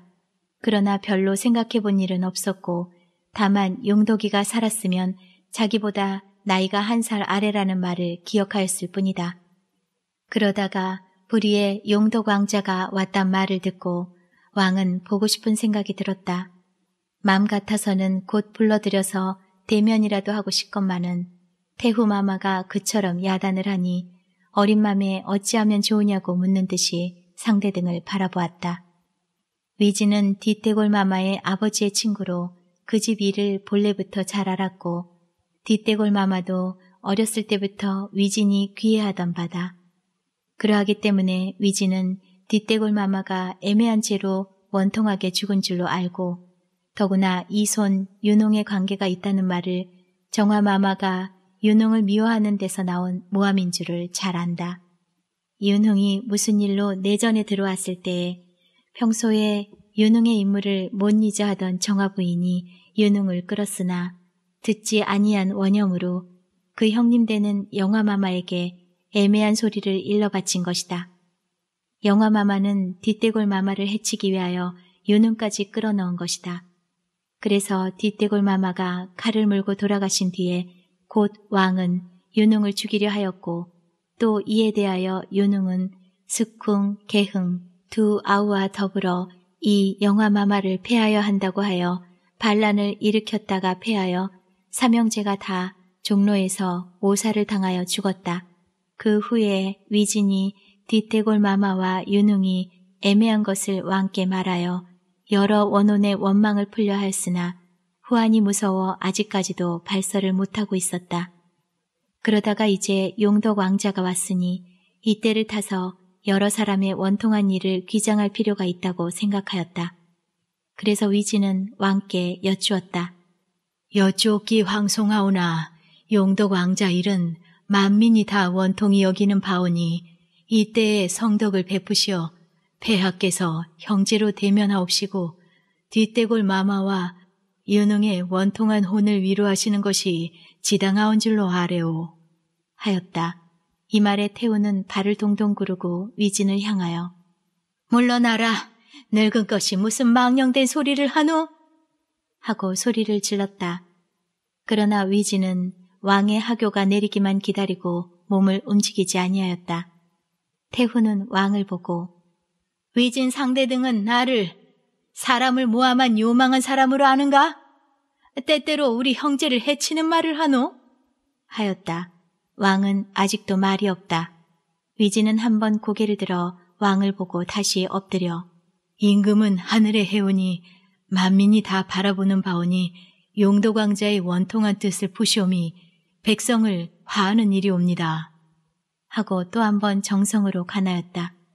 왕이 무슨 말씀을 하시려 할 때 태우는 다시 팔을 구르며 상감마마는 간신 위진을 내려 내 앞에서 목을 베지 못하오? 하고 소리를 질렀다. 정화마마 다시 입을 열려 할 때 영화마마는 너는 물러가 있으라 하고 악을 쓴다.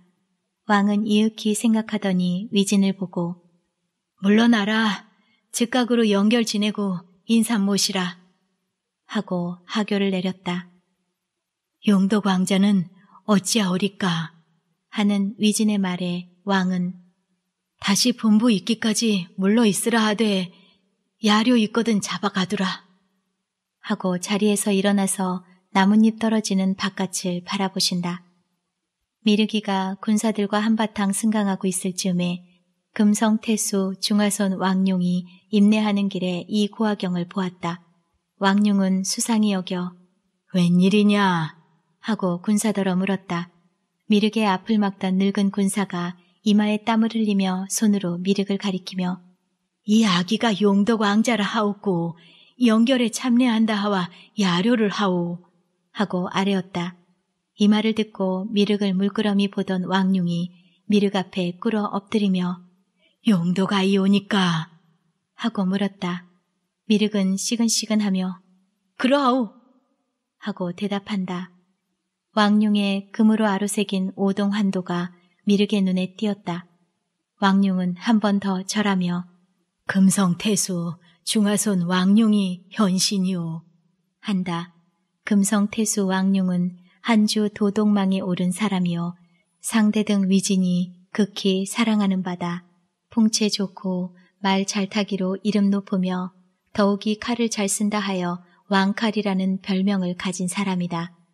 왕룡도 위진과 같이 나라의 날로 어지러워지는 것을 개탄하고 어찌하던 두 분 마마와 인홍의 무리를 물리치고 나라의 운명을 한번 새롭게 해볼까 하는 야심을 가진 사람이다. 왕룡은 금성대수로 간 지 3년에 정병 1만을 기르고 군량과 마초도 3년 쓸 것은 장만하였고 그 때문에 조정에서는 왕룡이가 역심을 품었다는 말까지 수근수근하게 된 사람이다. 이러한 왕룡이 미르게 앞에 엎드려 절을 하니 지금까지 길을 막던 군사들도 하나씩 둘씩 왕룡 모양으로 땅에 엎드렸다. 왕룡은 일어나 미르게 오른편 팔을 두 손으로 붙들어 부액을 하고 내전을 향하여 들어갔다. 묵묵히 지키던 군사도 감히 말하는 이가 없었다. 그러나 이때의 빈전에서는 큰일이 생겼다. 태후는 왕께 메어 달리어 즉각으로 위진의 상대 등을 면하고 인홍으로 상대 등을 삼지 아니하면 목숨을 끊는다고 몸부림을 하였다. 왕이 여러 가지로 말하나 듣지 아니하고 위진의 목을 베기 전에는 살지 아니한다고 악을 썼다. 정화 마마는 자기를 빈으로 대접하려던 인웅이다. 상대 등이 되면 자기도 죽어버린다고 야단을 하였다. 황악이며 만공주는 곁에서 울었고 근심하는 신하들은 먼 발치에서 어찌할 줄을 몰랐다. 왕도 할 일 없이 상대 등 위진과 시중 인응을 파직하고 태우의 뜻을 받아 즉각으로 이손 위홍을 상대 등으로 하시고 대하손 예검으로 시중을 하셨다. 대내에 모였던 만조 백관은 인산날 갑자기 정변에 눈이 휘둥그레지었다. 파직되는 길로 전 상대 등 위지는 태우께 불경하였다는 죄로 옥에 내리우고 전시중 인응은 집에 안치하라 하시는 정교가 내렸다. 인응은 왕께서 마땅치 않게 생각하신 까닭이다. 새로 상대 등이 된 위홍은 본래 태후와 좋지 못한 말이 있던 사람이다. 태후의 내명을 받아 위홍은 용덕 왕자를 잡되 만일 그를 두어하거나 도망케 하는 자는 용덕 왕자와 같이 벌하리라는 엄명을 내리었다. 위홍은 나라의 정권이 태후의 손에 있음을 알기 때문에 더욱 태후의 마음에 들기 위하여 이러한 것이다. 예겸은 어진 사람이었으나 위홍의 매부였다. 미륵이 왕룡의 부액을 받아 거의 내전문에 다다랐을 때 한때 군사가 문 뒤에서 달려나와 이놈 섞어라 소리를 치며 미륵과 왕룡을 애워쌌다. 왕룡은 군사들을 향하여 누구신 줄 아느냐 용덕 아기시다 하고 호령을 하였다. 그러나 군사들은 벌써 위진이 파직을 당하고 위홍이 상대 등이 된 줄을 알기 때문에 왕룡을 두려워하지 아니하고 무례하게 왕룡에게 육박하였다.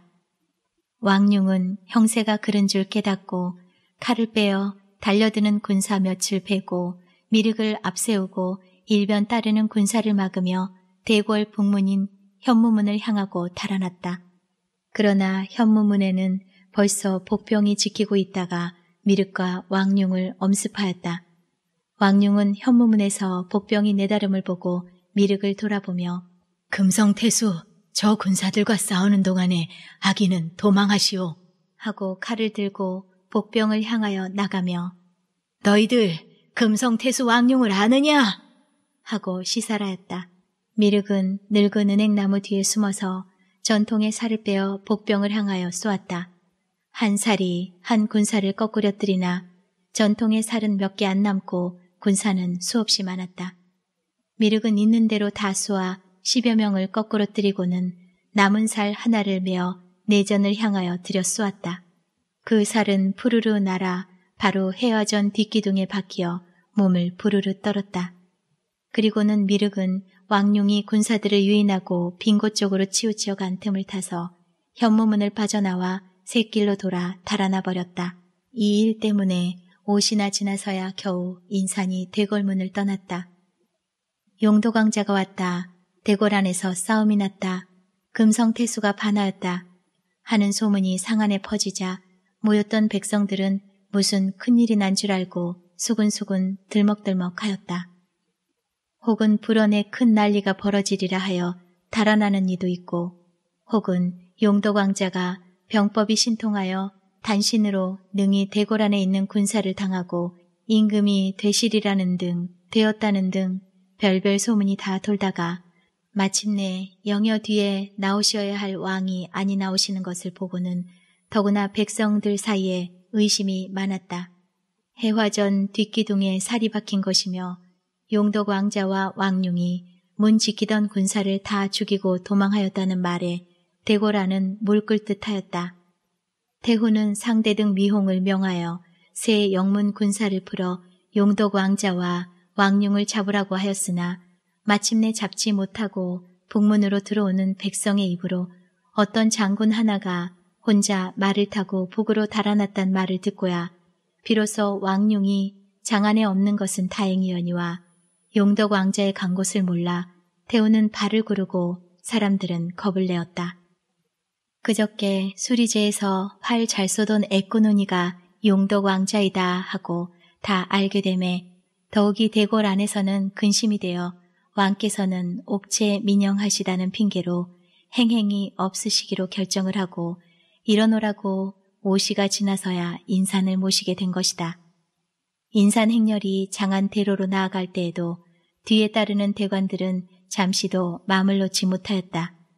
참새 한 마리가 휘날아 지나가도 이것이 용도 왕자의 살이나 아닌가 하여 고개를 흠칫하고 공작터 능에 다다른 뒤에도 어디서 용도 왕자의 살이 나오지 아니하는가 하여 사람들은 힐끗힐끗 하늘만 바라보았다. 그러나 마침내 용덕 왕자의 살은 날아오지 아니하고 말았다. 인산에 참내했던 사람들은 저녁 때 집에 돌아와서야 비로소 휴하고 마음을 놓았다. 그러나 잠깐 마음을 놓은 뒤에는 다시 새 무서움이 생겼다. 왕룡이가 금성 정병을 거느리고 서울로 치러 들어오면 어찌하나. 용덕 왕자가 수없는 살을 가지고 와서 장안으로 쏘아 들여보내면 어찌하나. 그 중에도 대궐 안에서는 더욱 무서움이 많았다. 용덕 왕자의 무서운 살. 대궐 기둥에 박혀 부르르 떨던 살이 눈에 보이어 궁녀들은 밖에 나가기도 무서워하였다. 태백산 미륵은 천신만고로 서울을 빠져나왔다. 그러나 애꾸눈이를 잡으라는 영이 내려 애꾸눈이면 늙은이나 젊은이나 모두 붙들려가는 판에 미륵은 며칠 동안을 낮이면 산에 숨고 밤이면 정처 없이 북으로 달아났다. 그러나 이러다가는 마침내 붙들린 근심이 있으므로 미륵은 한 꾀를 생각하였다. 미륵은 활과 활도를 거적에 싸고 짊어지고 지팡이 하나를 짓고 아주 장림 행세를 하기로 하였다. 사람 없는 것에서는 한눈을 뜨고 가다가 사람이 오는 기척이 있으면 곧 한눈을 마저 감아버리고 지팡이로 길을 찾았다. 이 모양으로 동네마다 밥을 빌어 먹으며 며칠을 가서 태백산 동구에 다다랐다. 미륵은 다리도 아프고 배도 고파 늙은 소나무 뿌리를 베개 삼아 한잠을 자다가 솔솔 부는 깊은 가을바람에 나뭇잎이 떨어져 굴러다니는 소리에 잠이 깨니 벌써 석양이다. 몸뚱이에 검은 점 박힌 다람쥐가 도토리를 입에 물고 뛰어오다가 미륵을 보고는 우뚝 서서 길단 꼬리를 흔들었다. 미륵은 다람쥐 모양으로 마른 보습나무 밑을 헤치고 쓰디 쓴 도토리를 한바탕 주워먹고 나서는 쫄쫄쫄 물소리 나는 데를 찾아 넙적 엎드린 줄인 배를 찬물로 채웠다. 물을 먹고 나서는 또 이리 기웃 저리 기웃 도토리를 주워 먹으며 돌아다닐 때 어디서 이놈아, 웬 놈이냐? 하는 소리가 들린다. 미륵은 깜짝 놀라 둘러보니 웬 중늙은이 하나가 연암은 살 된 상제를 데리고 오다가 지팡이로 턱을 받치고 서서 쉰다. 미륵은 얼른 소경 모양으로 지팡이를 내어 두르며 길 가더네요 하였다. 길 가던 놈이 길은 안 가고 거기서 무엇을 해? 배가 고파서 도토리를 주워 먹어요. 이놈아, 도토리를 주워 먹으면 다람쥐는 무엇을 먹고 겨울을 나? 다람쥐 먹을 건 내놓고 먹어요. 미륵의 말에 중은 껄껄 웃었다. 미륵은 여전히 소경 모양으로 두리번 두리번 하며 지팡이를 내어 둘렀다. 그것을 보고 어린 상제가 깔깔 웃으며 제가 장님이야요? 한다. 미륵은 옳다 되었다 하고 속으로 기뻤다. 그러나 미륵이가 거의 다 길에 나왔을 때 종이 지팡이를 들어 미륵의 머리를 딱 붙이며 하 이놈 어른을 속이고 미륵은 한 손으로 얻어맞은 데를 만지며 아니요 정말 소경이요 하였다.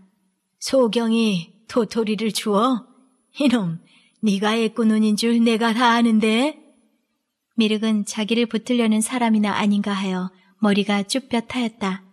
그러나 중은 말을 이어 요사이 용도광자 잡노라고 애꾸눈이 잡는다니까 너도 용도 광자를 알아볼까 봐서 그놈 니까지 놈을 누가 용도 광자로 알아 하고 중은 지팡이 끝으로 미륵의 눈가를 찌르려 한다. 미륵은 안심하고 선한 눈을 번쩍 떴다. 그 눈은 석양빛을 받아 반짝하였다. 참말 애꾸눈일세 하고 어린 상제가 주아라고 웃는다. 눈뜬 미륵을 보고 중은 뚱뚱한 배를 흔들고 가느탄 눈을 감고 한참이나 유쾌한 듯이 웃더니 어찌할 줄을 몰라서 멀뚱멀뚱하고 섰는 미륵을 보고 너 어디 사는 아이냐? 하고 귀여운 듯이 묻는다. 나, 저 수리제 살아요. 이름은 무엇인고? 애꾸눈이고. 이름 좋다. 하고 중과 상제는 또 한바탕 웃는다.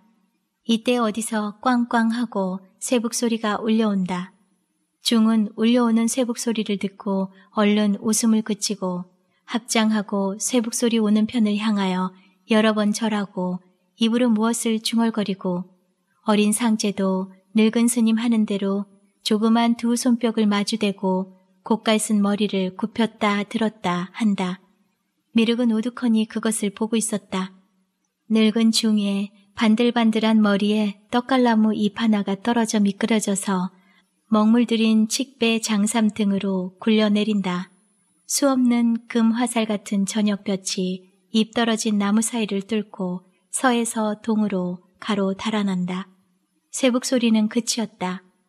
웅웅 하는 나무 누름이 고요한 숲을 속에 갈 길을 잃고 헤맨다.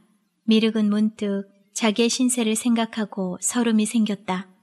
며칠 동안 도망에 다니기에 정신을 못 차려 미처 생각할 새 없던 기억이 한꺼번에 솟아올랐다.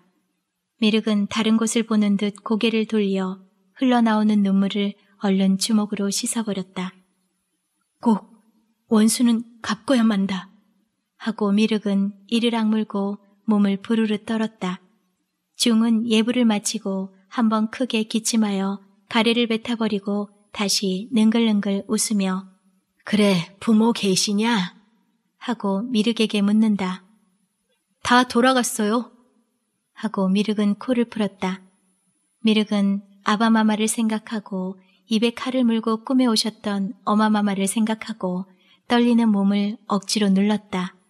그러면 어디로 가? 하고 중이 또 묻는다. 밥 얻어 먹으러 가요. 어디로? 아무데나. 중은 물끄러미 미르게 괴로워하는 얼굴을 보면서도 여전히 능글능글하게 너 우리 집 가련? 우리 집에 가서 불 떼어주면 밥은 먹여주마. 하고 웃는다.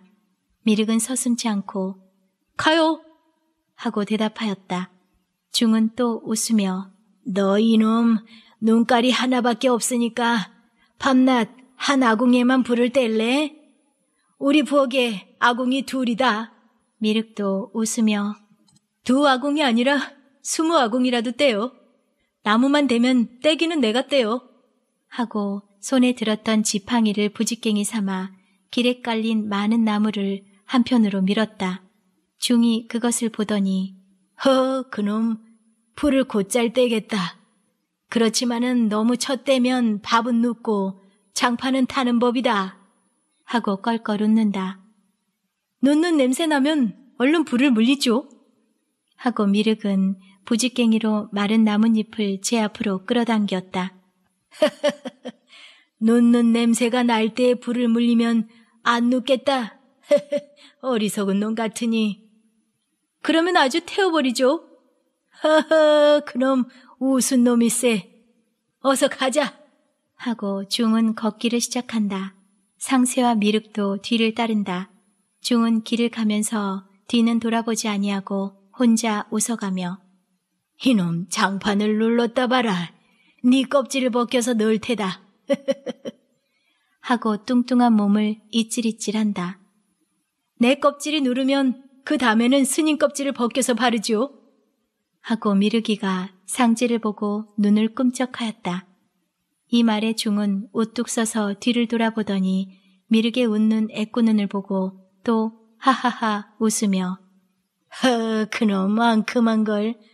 아무려나 내 껍질이 누거든 얼른 냉수나 떠다 쳐라. 이 엉큼한 놈 다 보겠거든. 이런 이야기를 하며 낙엽이 부걱부걱하는 길로 고개를 얹고 시내를 건너고 산 모퉁이를 돌고 침침한 수풀 속을 들락들락하여 마침내 병목같이 된 좁은 모퉁이를 돌아서니 큰 절의 지붕들이 질펀이 보인다. 이것이 태백산 세달사라는 절이다. 미륵은 중과 상제를 따라 절 법당 앞을 지나 만나는 중들에게 애꾸눈이라는 말을 들으면서 시방전 모퉁이에 있는 초막으로 들어갔다. 초막 일강문에는 보강암이라는 흰 바탕에 파란 칠한 현판이 걸렸다. 미륵은 그 중에 한 초막에서 불을 떼어주고 있게 되었다. 그 중에 이름은 허담이라고 하는 젊은 중들은 그를 익은 스님이라고 불렀다. 허담의 얼굴이 붉고 눈썹도 없고 머리도 홀떡 벗어진 것이 마치 삶아낸 중 같다고 해서 그렇게 별명을 지은 것이다. 이근 스님 하고 장난꾼의 젊은 중들이 부르면 곧잘 왜야 하고 대답을 하면서도 어떤 때는 이놈들 하고 성도 냈었다.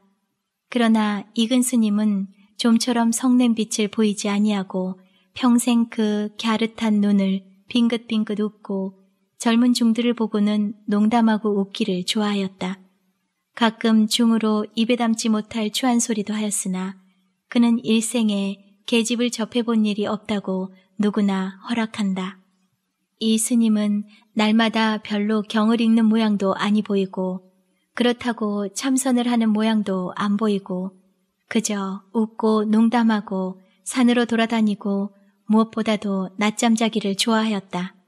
아침 먹고 나서 한바탕 떠들다가 목침 하나 베고 누우면 낮이 되거나 저녁 때가 되거나 코를 드렁드렁 골았다. 세 달 사는 큰 절이라 중이 5, 60명은 되었고 날마다 들고 나는 객승도 1, 20명은 되었다. 그러나 이근 스님은 누가 오거나 말거나 도무지 아랑곳 아니하고 젊은 중들과 장난하기로 세월을 보내는 듯하였다. 그래서 그렇게 공경이나 대접은 못 받아도 그를 미워하는 이는 없었다. 다른 중들 같으면 이만한 나이면 권속도 여러 사람 대련만은 지렁이라는 별명 듣는 어린 상제와 미륵과 둘밖에 없었다. 그동안의 상제도 여러 사람 정하였으나 어린 것을 길러서 낯살이나 먹게 되면 대개는 달아나 버리고 어떤 놈은 돈풍 가는 세간을 훔쳐가지고 달아나 버리고 좀 똑똑하고 글자나 말마디나 하는 놈은 다른 중에게 빼앗겨 버렸다고 한다. 달아나거나 빼앗긴 데야 별로 슬퍼하거나 괴로워하는 빛도 없고 만일 누가 동정하는 말을 하면 나무아미 탑을 다 인연이여 인연 하고 웃어버린다. 이번에도 밥 지어주던 놈이 달아나서 며칠 동안 익은 스님이 손수 밥을 짓고 불을 때던 판에 마침 미륵을 보고 붙들어 온 것이다. 미륵은 지렁이와 함께 물을 긷고 불을 때고 방과 마당을 쓸고 밤이면 막대기 스님이라는 80이나 넘은 귀머거리 노 스님께 경도 좀 배우고 또 이따금 범패도 배웠으나 대개는 둘이서 장난으로 세월을 보냈다. 익은 스님이 낮잠 들기를 기다려 미륵은 활을 들고 지렁이는 환도를 들리고 산으로 올라가 새도 잡고 토끼도 잡았다. 지렁이는 나이 어리나 심히 날래고 기운이 있어서 칼을 뺏어 들고는 토끼나 너구리를 따라가서는 기어이 잡고 말았다. 더구나 겨울이 되어 눈이 오면 두 아이는 익은 스님 잠들기를 기다려 나게 산으로 올라갔다.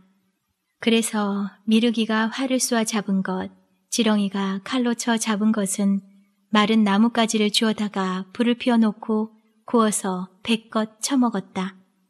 물론 절로 가지고 오면 살생이라고 야단이 날 것이다. 가끔 이놈들 어디 갔었어? 하고 스님께 꾸중을 들을 때도 있었으나 별일은 없었고 한 번은 스님이 이놈들아 웬 누린내가 이리 나니? 하고 코를 킁킁하였으나 그만하고 말았다. 허담집에 간 지 한 달 만에 미륵도 머리를 까고 중이 되었다. 막대기 스님이 웃으며 미륵더러 내 스님은 익은 중이니 너는 선중이라고 하려무나 하는 것이 재미있어서 미륵은 자칭 선종이라고 하였다. 지렁이라던 상제도 소호라고 이름을 지었건만은 그 이름을 지어준 허담 스님조차 그 이름을 잊어버리고 지렁아 하고 불렀다. 미르기도 처음에는 사람들이 애꾸야 하고만 부르고 선종이라고 점잖은 이름을 부르지 아니하였으나 선종이란 것은 선 중이라는 뜻인 줄 알게 된 뒤에는 모두 재미있다고 해서 선종아 하고 불렀다. 그러나 이근 스님은 자기가 지어준 태허라는 이름으로 불렀다. 한 해 이태 지나갈수록 선종의 장난은 더욱 심하게 되었다. 비록 나이 많은 중이라도 자기 맘에 틀리면 곧 들이대고 그리고도 마음에 차지 아니하면 두들기기도 하였다.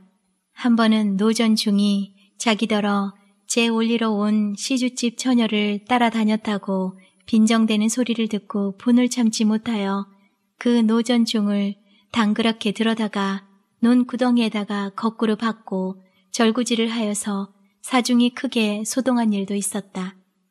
그러나 선종은 그렇게 발끈발끈 성을 잘 내는 삶은 아니었다. 그는 평소에는 장난을 하고 사람에게 친절하였다. 다만 선종이 참을 수 없는 것은 빈정대는 것과 교만한 것과 속이는 것이다. 이런 일을 당할 때에는 선종은 얼굴이 주홍빛이 되고 숨이 시근거리고 팔을 부르걷고 이놈! 내가 너를 죽일란다! 하고 대들었다. 이런 때는 잘못한 편이 얼른 비는 것이 상책이었다.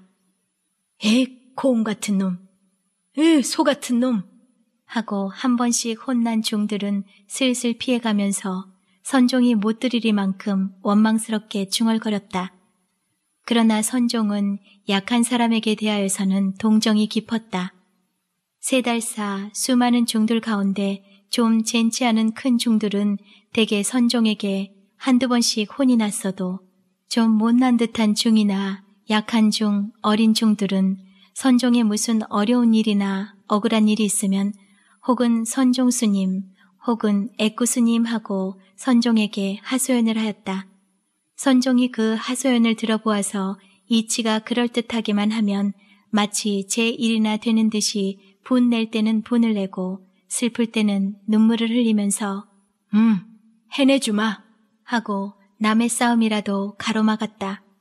이 모양으로 선종은 거의 하루도 편할 날이 없었다. 그는 상제도 없고 돈도 없는 중이 병이 나면 밤을 새워가며 병구원을 하노라고 약한 중이 강한 중에게 억울한 일을 당하면 대신 원수를 갚아주노라고 늘 바빴다. 이러하기 때문에 세 달사 중들이 선종을 미워하기도 하면서도 일변으로는 무서워하고 또 존경도 하였다. 그래서 누가 감히 선종을 건드리지 못하고 선종을 보면 힐끗힐끗 곁눈질만 하고는 슬슬 피하였다. 선종에게 혼이 난 중들은 억울한 김에 선종의 스님 되는 허담 스님께 하소연을 하였다. 그러면 허담 스님은 껄껄 웃으면서 선종은 미륵불이라네. 모든 백성의 원통한 것을 풀어주려고 오신 미륵불이여. 하고 웃어버렸다. 스님이 자기를 미륵불이라고 하는 말을 들을 때마다 선종은 마음이 솔깃하였다. 자기의 아명이 미륵인 것도 무슨 깊은 인연이 있는 것 같고 또 유모의 말에 뒷대골 마마가 미륵불을 꿈에 보고 자기를 낳았다고 하던 말도 무슨 깊은 인연이 있는 듯 하였다. 오냐, 내 어머니의 억울한 것을 풀기 위하여는 천하 사람의 억울을 풀자. 선종은 이렇게 생각하였다.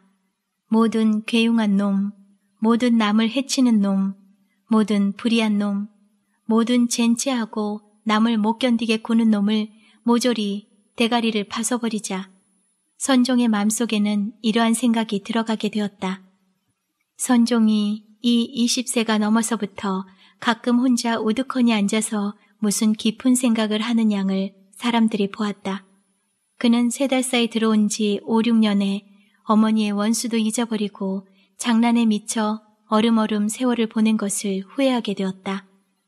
또 남아가 20이 넘도록 아무것도 하는 일이 없어 이 사람 저 사람 싸움이나 하고 지나는 것이 스스로 부끄럽기도 하였다. 더구나 자기보다도 세 살이나 나이 어린 소호가 힘써 글 공부를 하고 밤이면 몰래 모양을 볼 때에 더욱 부끄러웠다. 대체 지렁이는 밤마다 어디를 가는고 선종은 이것이 알고 싶었다. 백의 국선 하룻밤은 선종이 잠을 이루지 아니하고 서호의 거동을 지키었다. 이근 스님이 잠이 들어 코를 골기 시작할 때에 소호는 가만히 일어나서 밖으로 나갔다. 선종도 가만히 일어나서 소호의 뒤를 따랐다. 소호는 사방을 휘휘 둘러보더니 사람이 없는 것을 본 후에 상봉으로 가는 길로 올라갔다. 별들이 깜빡깜빡하고 부엉이가 울고 이따금 혹은 왼편에서 혹은 오른편에서 산 짐승들이 놀라서 뛰는 소리가 들리고 어떤 때에는 호랑이 눈인 듯한 불이 번쩍번쩍 하는 양도 보인다. 이 모양으로 얼마를 올라가서 한 모퉁이를 돌아서니 쾅쾅쾅 내려찢는 폭포수 소리가 들린다. 이것은 대왕 폭포라고 일컫는 폭포다.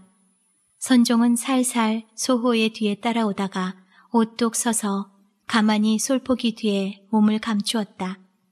소호는 폭포 앞에서 옷을 활활 벗고 폭포물에 몸을 씻는다. 그리고 나서는 또 옷을 주섬주섬 주워 입고 나서 담벼락같이 깎아세운 벼랫길을 올라간다. 선종도 따라 올라갔다. 나무 속 산꼭대기를 다 올라가서 소호는 잠시 바위에 앉아 쉰다. 선종은 한 연암은 걸음 대리만큼 가까이 기어가서 또 한 바위돌 뒤에 숨었다. 소호는 이윽고 일어나서 주머니에서 부시와 부시돌을 내어서 치기를 시작한다. 딱딱 소리가 날 때마다 빨간 불똥이 이리로 저리로 휘있게 흩어져 떨어진다. 얼마 만에 부식깃에 불이 빨갛게 댕기고 거기서는 연기가 물씬물씬 올라간다. 소호는 바위 밑에 쌓았던 마른 칡 백향가지와 마른 풀을 베어 부식깃에 붙은 빨간 불을 대고 후후 불었다. 무엇에나 얕고 규모 있는 소호의 행동을 선종은 무척 부러워하였다. 이윽고 불이 향나무가지에 붙어서 첫 불길이 펄떡하고 구부러진 붉은 혀끝을 내어 둘렀다. 알맞추어 부는 첫 가을바람에 불이 일어 순식간에 불길이 활활 피어오른다. 어둠 속에 붉은 불기둥이 하늘에 오르려고 애쓰는 듯 하였다. 선종은 일찍 지렁이라는 별명을 듣던 소호가 그처럼 엄숙하고 위품 있고 웅장한 양을 본 적이 없었다. 더구나 그가 얼굴과 가슴에 불빛을 담뿍 받아가지고 북녘을 향하여 합장 배려할 때에 소호는 마치 거룩한 중도 같고 도사도 같았다. 선종은 너무도 놀라워서 숨이 막힐 듯 하였다. 평소에는 자기에게 놀려 이래라 하면 이리 하고 저래라 하면 저리 하여 못나디 못나던 지렁이가 저렇게 위풍이 늠름한 대장분주를 선종은 몰랐다. 소호가 매양 공부에 힘을 쓰고 말이 적고 꾀가 많고 한 것은 보았다. 그저 한 못난이로 알아왔던 것이다. 선종만 그런 것이 아니라 세 달사 중들은 다 소호를 지렁이 지렁이 하고 못난이로만 여겨왔던 것이다. 과연 그 얼굴이 까무잡잡한 것이라든지 나이를 먹어갈수록 더욱 몸이 가늘고 키가 늘씬한 것이라든지 말이 분명치 못한 것이라든지 남이 아무리 못 견디게 굴어도 모르는 채 못 들은 채 하는 것이라든지 누가 보아도 못난이라고 아니할 수가 없었다.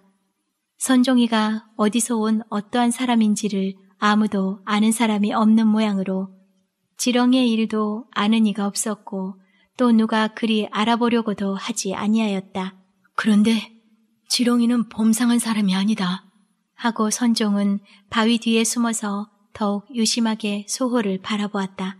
소호가 북녘을 향하여 수없이 합장 배례할 때 난데없는 흰 도포 입고 오각건을 쓴 노인이 붉은 얼굴에 흰 수염을 날리고 나타난다.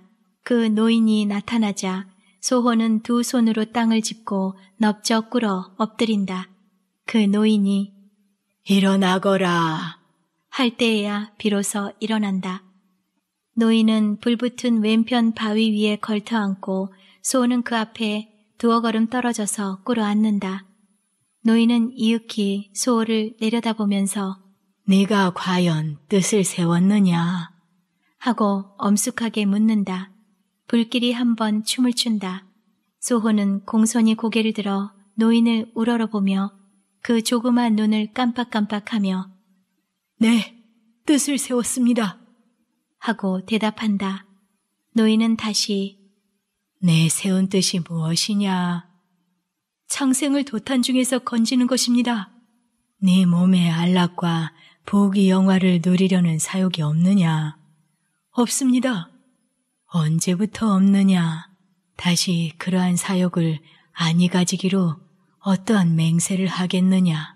이 말에 소호는 좀 주저한다. 노인은 소호가 주저하는 양을 이윽히 보더니 장생을 건지려 할 때에 하늘이 너를 도와 네 칼이 불의를 배려니와 사욕을 채우려 할 때에 하늘이 너를 버려 네 칼이 네 살을 베리라. 이제 나라에 어지러워지어 장생이 건지어줄 일을 찾으되 하나도 나서는 이가 없구나. 하늘을 바라보매 살기와 요기가 하늘에 찼으니 반드시 오래지 아니하여 전하가 물끌 듯하고 사람이 삶일 듯하려니와 이때 장생을 도탄에서 건지리가 누구냐? 이제 네 얼굴을 보니 비록 지혜와 용맹이 있으나 의와 어짐이 부족하구나. 의 없으면 네 지혜와 용맹이 불의를 크게 할 것이요. 어짐이 없으면 백성이 네게 오래 붙지 아니하리라. 내 이 장생을 도탄에서 건질 사람을 찾아 삼국을 두루 돌았거니와 만나지 못하고 이제 너를 만났으되 너 또한 의와 어짐이 넉넉지 못하니 슬프다. 이 나라를 어이하여 이 창생을 어이하랴. 아, 하늘이 무심함이냐. 이 백성이 죄 많고 복이 없음이냐. 하고 하늘을 우러러 길게 한숨을 쉰다. 소호가 한 번 더 일어나 절하며 스승이시여 소자를 버리지 마시고 소자에게 장생을 건질 도략과 재주를 주옵소서. 하고 무수히 이 말을 조아렸다. 도략과 재주? 하고 노인은 불쾌한 듯이 낯을 찡그리더니 네 구하는 것이 도략과 재주냐? 장생을 건질 길이 도략과 재주에 있는 줄 아느냐? 빨리 나는 제주는 새만한 이 없고 빨리 뛰는 제주는 이리와 번만한 이 없고 변화 난직하기는 구름만한 이 없고 눈에 안이 보이고 자치 있기는 바람만한 이 없고 청길 물속으로 만리의 바다를 가기는 고기만한 이 없거늘 사람이 무슨 재주를 배우려는고 재주로 장생이 건지어지고 도략으로 나라이 편안할진데 무슨 근심이 있으랴. 나라와 장생을 건지는 것은 도략도 재주도 아니오 네 마음이니라. 의와 어짐이니라. 나라의 어이하여 어지럽고 백성이 어이하여 도탄에 드는고 의 없고 재주 있는 이 많음으로 됨이니라. 하고 일어나 도포 소매를 한번 후리치니 문득 붉은 구름이 산을 싸고 또 한 번 후리치니 일진 광풍이 불어와 그 구름을 다 걷어버린다. 그동안이 실로 순식간이었건만은 전번 만화가 일어난 듯하다.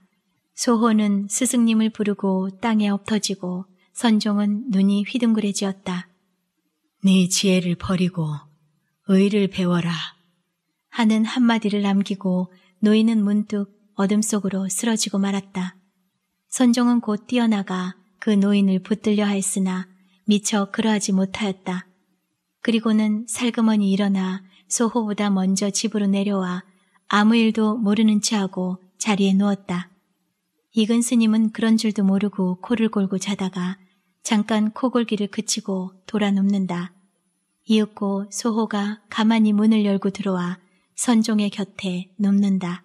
선종은 밤새도록 잠을 이루지 못하였다. 그 노인의 말에 깊은 뜻이 있는 것 같고 그 말은 다 자기를 위하여 하여준 말과 같이 생각하였다. 나라는 어지럽고 백성은 도탄 중에 들어 건지어 줄 일을 기다린다. 의로서 백성의 마음을 끌고 어짐으로써 백성의 마음을 잡아맨다. 그것은 과연 옳은 말이다. 그것은 내가 꼭 해야만 할 일이다. 하고 속으로 으쓱하였다. 이튿날 선종은 아무것도 아는 체 아니하고 소호의 하는 모양만 주목하였다. 소호는 그날 종일 매우 괴로운 모양이다. 밤에 익은 스님이 잠이 들고 소호가 가만히 일어나가는 것을 보고 선종도 따라 일어나 나갔다. 선종은 소호의 눈에 안 띄우리만큼 뒤를 따라서 어젯밤에 가던 길로 가다가 폭포로 넘어가는 등성이에서 소호야 하고 불렀다. 소호는 깜짝 놀라 우뚝 선다. 선종은 얼른 뛰어가 소호의 손을 잡았다. 예전 같으면 이 녀석 어딜 가? 하고 뺨이나 한 개 붙일 것인데 그리 아니하고 소호야 너 어디 가니? 하고 정답게 물었다. 소호도 선종의 행동이 전과 다름을 보고 적이 안심도 되었으나 자기의 비밀을 말할 수 없으므로 잠깐 머뭇머뭇하다가 언니 내가 여기 오는 줄 어떻게 알았소? 하고 되물었다. 선종은 소호의 어깨에 팔을 얹으며 내 밤마다 어디로 가는 것을 내가 다 안다. 알기는 알지만은 네 입으로 하는 말을 듣고 싶다. 너와 나 사형사제로 10여 년이나 같이 자랐으니 사생이라도 같이 해야 할 터인데 서로 속여 쓰겠느냐? 어디를 밤마다 가서 무엇을 하느냐? 바로 말을 해라. 하고 어둠 속으로 선종의 애꾸 눈이 반짝거리는 것이 보인다. 소호는 처음에는 선종을 속이려 했으나 선종이 말하는 눈치가 자기를 몇 번 따라와서 모든 일을 다 아는 듯하므로 속일 수가 없었다. 이 좋은 스승을 자기 혼자 가지고 혼자만 배우고 싶었고 다른 사람에게 알리기 싫을 뿐더러 장차 천하를 얻으려 하여도 거추장거리는 다른 인물이 있기를 원치 아니하는 까닭이다. 더구나 선종과 같이 뛰어나는 힘과 재주가 있는 사람을 이러한 스승에게 끌고 가는 것은 참으로 괴로운 일이었다. 할 수 없이 소호는 선종에게 대강 말을 하였다. 그러나 아무쪼록 그 스승이라는 이가 그리 신통하지 않는다는 것을 증언 부언하여 아무쪼록 선종의 마음을 끌지 아니하려고 애를 썼다. 선종은 물론 수호의 야근 속을 다 아니 별로이 눈치도 아니하고 둘이 같이 목욕한 뒤에 둘이 같이 산을 올라갔다. 이로부터 선종과 소호는 백의 국선에게 대하여서도 사형 사제가 되었다. 백의 국선은 항상 소호더러는 사욕을 버리기를 말하고 선종더러는 계집과 허욕을 삼가기를 말하였다. 그리고 더욱 힘있게 너희 둘은 다투지 말고 합심하여 장생을 건지라. 높은 자리를 바라지 말고 장생을 건지기를 바란다. 너희 둘은 다투지 말고 하나이 되라. 다투어 갈리면 둘이 다 다른 하나에게 망하리라. 하고 선종과 소호가 합심하여 하나가 되기를 훈계하였다. 이로부터 3년 동안 선종과 소호는 날마다 백의 도인에게 병법과 기타 여러 가지를 배웠다. 그동안에 선종이나 소호나 백의 도인의 정성된 훈계에 감동되어 서로 속이고 서로 시기하기를 그치고 사랑하는 형제 모양으로 의족해 지냈었다. 봄철, 날 따뜻한 때나 가을바람 살랑살랑 할 때 또는 마을에 죄 올리려 가서 밤새우는 동안에 선종과 소호는 단 둘만 있을 기회만 있으면 어찌하면 나라를 바로잡을까? 어찌하면 창생을 건지어 태평 세계를 만들까? 이러한 의논을 하고 또 무슨 일이 있든지 서로 돕고 어려운 일이나 죽을 일에는 둘이 같이 하기를 굳게 굳게 맹세하였다. 헌강대왕이 승하하시고 망공주께서 즉위하였다는 소문이 들자 천하는 다시 부글부글 끓기 시작하였다. 어느 이손이가 모반을 하다가 발각이 났다는 둥 망공주가 날마다 얼굴 잘난 젊은 사람을 밤이면 둘씩 걸레로 불러들인다는 등 이번에야말로 용덕 왕자가 나설이라는 등 여러 가지 뜬 소문이 돌고 또 이러한 산중인 세달 사이에도 수상한 사람들이 둘씩 셋씩 왔다 갔다 하게 되었다. 징조 미르기가 대궐에서 야료를 하는 때에 즉위하신 헌강대왕도 즉위하신 이듬해에 역시 스물다섯 살에 돌아가셨다. 해마다 국상을 당함에 민심은 가라앉을 바를 모르고 물끓 듯 하였다. 헌강대왕은 즉위하신 지 11년 동안을 그 어머니 되시는 영화 황후, 모니테우와 상대 등 위홍의 손에 쥐어 만승의 임금으로도 무슨 일 한 가지를 마음대로 해보지 못하였다. 왕은 본래 총평한 천품을 타고 나서 또 학문을 숭상하여 혹은 황룡사의 백고자를 베풀고 친히 불도의 설법도 듣고 혹은 국학에 가시어 여러 박사들의 광론도 들으시고 또 당나라나 일본서 오는 사신이 있으면 여러 날을 두고 권례에서 불러들여 친히 그 나라의 여러 가지 문물과 사경을 들으셨으며 또 가끔 국내로 순행하여 혹은 민가에서 숙식하고 혹은 광야에 장막을 치고 숙식하면서 자세히 민정을 살피셨다. 그래서 당나라나 일본 사신의 말에 좋은 것이 있으면 그것을 이 나라에 행하려 하였고 또 민가에 옳지 못한 일이 있으면 곧 그것을 고치라고 상대 등과 시중에게 명하기도 하였다. 그래서 왕은 옛날 어진 임금과 같이 어진 임금이 되어 기울어져 가는 나라를 바로잡아 보려고 무척 애를 쓰셨다. 그러나 왕의 힘쓰심도 아무 효력이 없었다. 어머니 무니테우와 상대 등 위홍이 하나이 되어 벼슬에 사람 쓰기를 사정으로서 하고 매사에 왕을 속이고 눌렀다. 왕의 뜻을 알아주고 왕과 같이 나라를 근심하는 사람은 시중 예겸과 이손 민공이었다. 그러나 예겸도 태우에게 등을 댄 위홍을 대항할 힘이 없고 민공은 더구나 벼슬 자리에 있지 아니하니 힘이 없었다. 예겸은 여러 번 왕께 가나여 상대 등 위홍을 내치고 무니테우가 국정에 간섭 못하시도록 하라고 하였다.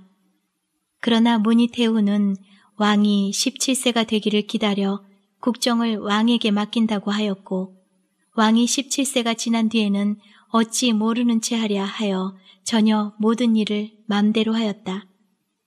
문희 왕후가 위홍과 불의의 관계가 있기는 경문왕이 알아놓은 때부터다. 그러다가 경문왕이 승하하시고 상대 등 위진을 내어 쫓은 뒤로는 아무도 꺼리는 바 없이 위홍은 쥐하를 불철하고 태후의 침전에 모시었다.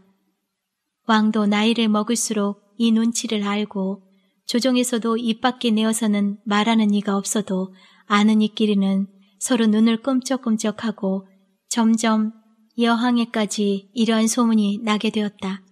한 번은 예겸이 참다 못하여 위홍을 보고 경문대왕을 생각하오 하고 소리를 질렀다. 그러나 위홍은 얼른 시중이야말로 전왕을 생각하오 하고 도리어 호령을 하였다. 이것은 위홍이 자기가 문희태우와 불의의 관계 있는 것을 감추기 위하여 예겸과 정화마님 사이에 관계가 있는 것처럼 만들려는 꾀였다. 예겸은 얼른 그 꾀를 알아차렸다. 그러나 위홍이가 한번 만들어내려고 생각한 일은 아니하는 없는 줄을 알기 때문에 이때부터 예겸은 어느 날 어느 시에 자기의 머리에 벼락불이 내려오려는가 하였다. 그러나 예겸은 위홍의 음흉한 보복의 불이 떨어지기 전에 먼저 손을 쓰기로 결심하였다. 이왕 위홍의 흉계와 세도의 몸이 위태할 것이면 한번 왕께 말하여 나라를 바로 잡는 일을 하자고 결심을 하였다.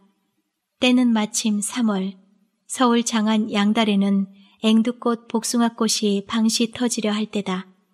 예겸은 왕께 여쭈어서 경치 좋은 동해 바닷가 여러 고을을 순행하시기를 청하였다. 왕을 모시고 서울을 떠나서 순행하는 동안에 여러 가지 일을 꾀하자는 뜻이다. 젊은 왕은 예겸의 말을 기뻐하였다.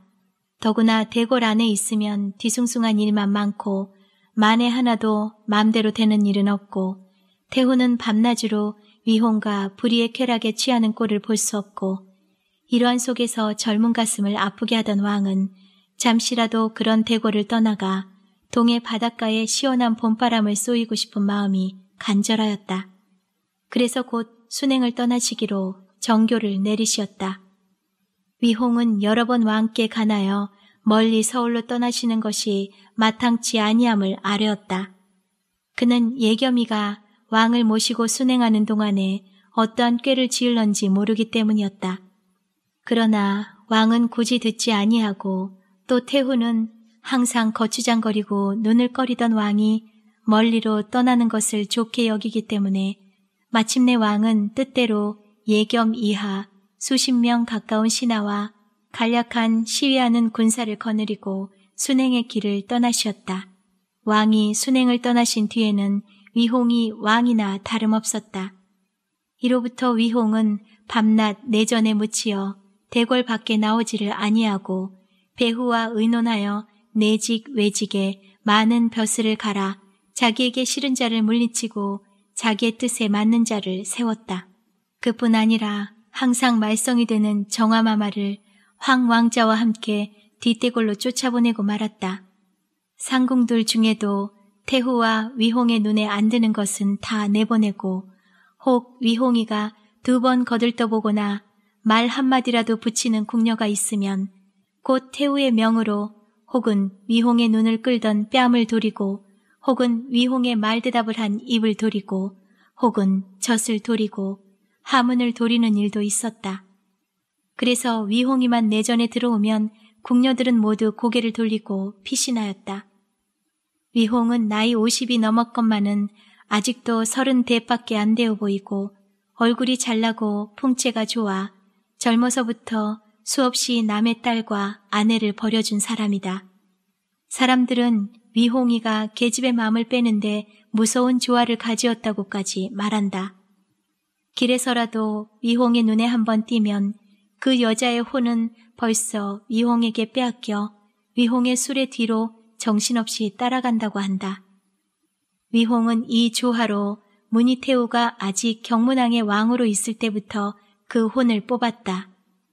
마음으로는 나이 더 젊고 자색이 더 아름다운 버금마마를 취하였으나 세력을 위하여 무니테우에게 혹한 양을 보인 것이다.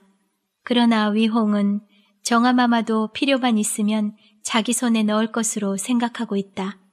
벌써부터도 태후는 망공주의 어리고 예쁜 자태에 대하여 일종의 질투를 가지어서 위홍이 들어올 때면 공주를 가까이 못하도록 힘을 썼다. 대궐 안에서 태후와 위홍이 맘 놓고 행락을 하고 맘 놓고 벼슬을 들이고 내고 하는 동안에 왕은 예경과 함께 동해가 모든 고을의 아름다운 봄 경치를 보고 돌았다.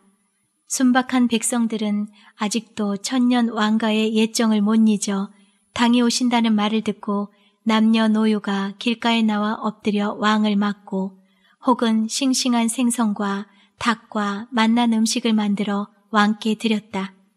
그리고는 젊은 잘나고 인자한 왕의 얼굴을 보고 말을 듣고는 눈물을 흘리며 기뻐하였다. 하루는 어느 마을 앞을 지날 때 길가에서 나무를 캐다가 호미와 바구니를 곁에 놓고 허리를 굽히고 왕이 타신 연이 지나가기를 기다리는 처녀를 보았다. 비록 의복이 수수할 망정 그 얼굴과 태도는 마치 돌틈에 떨어진 야광주 모양으로 빛이 났다. 왕은 타신 수레를 세우라고 명하고 그 처녀를 가까이 불렀다. 왕을 따라가던 신하들도 모두 머물러 고개를 돌려 왕과 그 처녀를 바라보았다.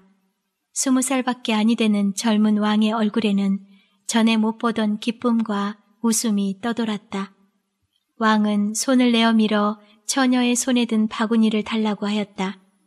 처녀는 황송하여 어찌할 줄 모르다가 바구니에 홀을 받아 그 속에 담긴 향기 있는 나무를 뒤적뒤적 만지다가 그 중에서 난초 잎사귀와 같이 생긴 풀 하나를 쥐어들고 처녀더러 이것이 무엇이냐? 하고 물었다. 처녀는 잠깐 눈을 들어 왕을 우러러보며 제비꼬리요 하였다. 제비꼬리? 하고 왕은 처녀를 바라보았다. 처녀는 얼굴이 빨개지며 고개를 숙였다. 왕은 이름이 무엇이며 나이 몇 살이며 부모가 있고 없는 것을 자세히 물었다. 처녀는 들릴락 말락한 가는 목소리로 아비는 사냥꾼이요 나이는 열여섯 살 이름은 큰아기라고 대답하였다. 왕은 모시는 신하를 돌아보고 그 처녀를 뒷수레에 태우고 가기를 명하였다. 처녀는 어미가 기다리오니 보내달라고 울며 애걸하였으나 왕은 듣지 아니하였다. 그날 밤에 왕은 우레벌이라는 고을에 행제를 정하였다. 우레벌 백성들은 임금이 오셨다 하여 행궁 앞에 마른 행나무로 크게 횃불을 지피고 소리 잘하는 늙은이들을 불러 밤이 늦도록 두드리고 부르고 춤을 추었다. 왕은 백성들의 뜻을 가상히 여겨 남자들에게는 술, 여자들에게는 피륙을 주라고 명하시었다. 밤이 깊어갈수록 술이 취한 백성들이 흥이 더욱 깊어져서 백성들의 노랫소리는 더욱 크고 횃불은 더욱 밝아졌다. 맨 나중에 동료 열 사람이 소매 넓은 자주옷을 입고 머리에 꽃을 꽂고 왕께서 앉으신 방 앞 마당에 나섰다. 그들의 얼굴은 횃불빛에 비추어 갓 핀 모란꽃같이 빛나고 그 중에 한 처녀가 손에 든 조그만 북을 땅땅 울리며 네 은혜로 우리 사나 하고 선 소리를 주면 다른 처녀들도 각기 손에 든 방울을 흔들며 우리 임금 은혜로다 하고 회답하고 또 북둔 처녀가 동해 바다 마르도록 하고 선소리를 주면 방울 든 처녀들은 우리 임금 사라지라 하고 춤추고 돌아간다. 그 소리를 따라 둘러섰던 백성들도 동해 바다 마르도록 우리 임금 사라지라를 외친다. 이 모양으로 열 차례 스무 차례 주고받고 춤추고 돌아가는 동안에 사람들은 모두 태평의 기쁨에 취한 듯하고 임금도 취한 눈을 들어서 시중 예겸을 돌아보시며 백성이 기뻐하니 나의 기쁨이 크다. 하시었다. 횃불이 네 번이나 새로 피인 뒤에 백성들은 흩어졌다. 그러나 오래벌의 태수는 노래하던 처녀 열명을 황희 앞에 불러 세우고 그날 밤 왕을 모실 처녀를 왕이 스스로 택하시라는 뜻을 보였다.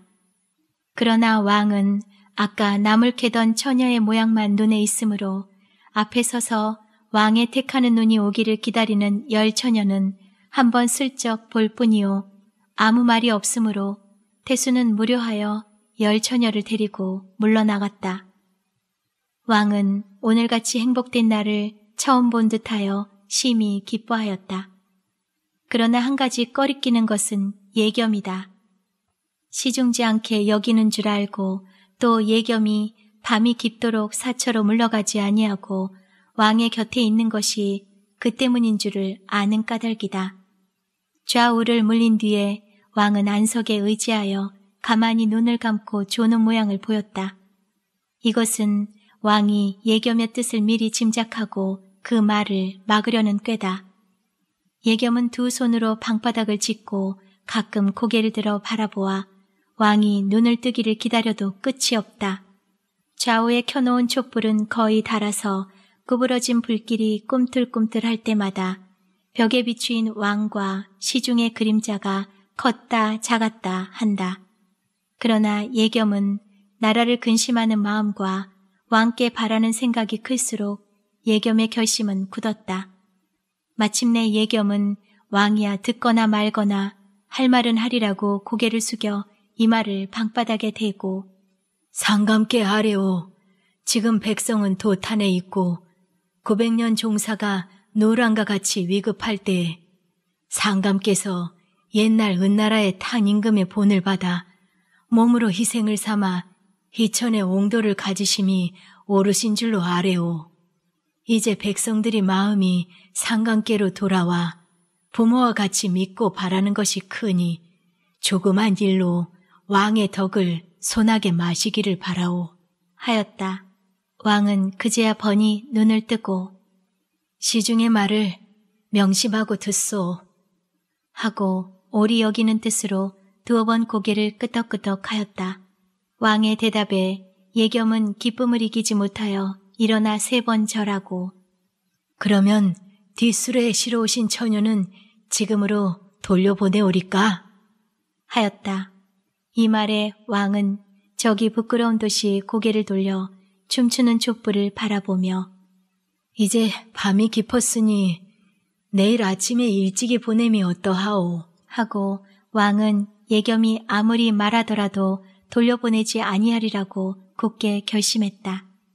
예겸은 더욱 극진한 말로 어진 임금이니 큰 영웅이 정사를 어지럽게 하고 인망을 잃는 것이 열의 아홉은 여자에 관한 일인 것을 중원 부원으로 간한 끝에 상관께 그 여자를 지금으로 돌려보내시라는 분부 계시기 전에 신은 이 자리에서 물러나지 아니하오리다. 하였다. 왕의 얼굴에는 괴로운 빛과 부끄러운 빛과 성난 빛이 오락가락하였다. 그러나 예겸의 말이 옳은 줄을 알고 또 지금 자기가 하려는 일이 반드시 후일에 무슨 불길한 결말이 있을 것 같이 생각하였다.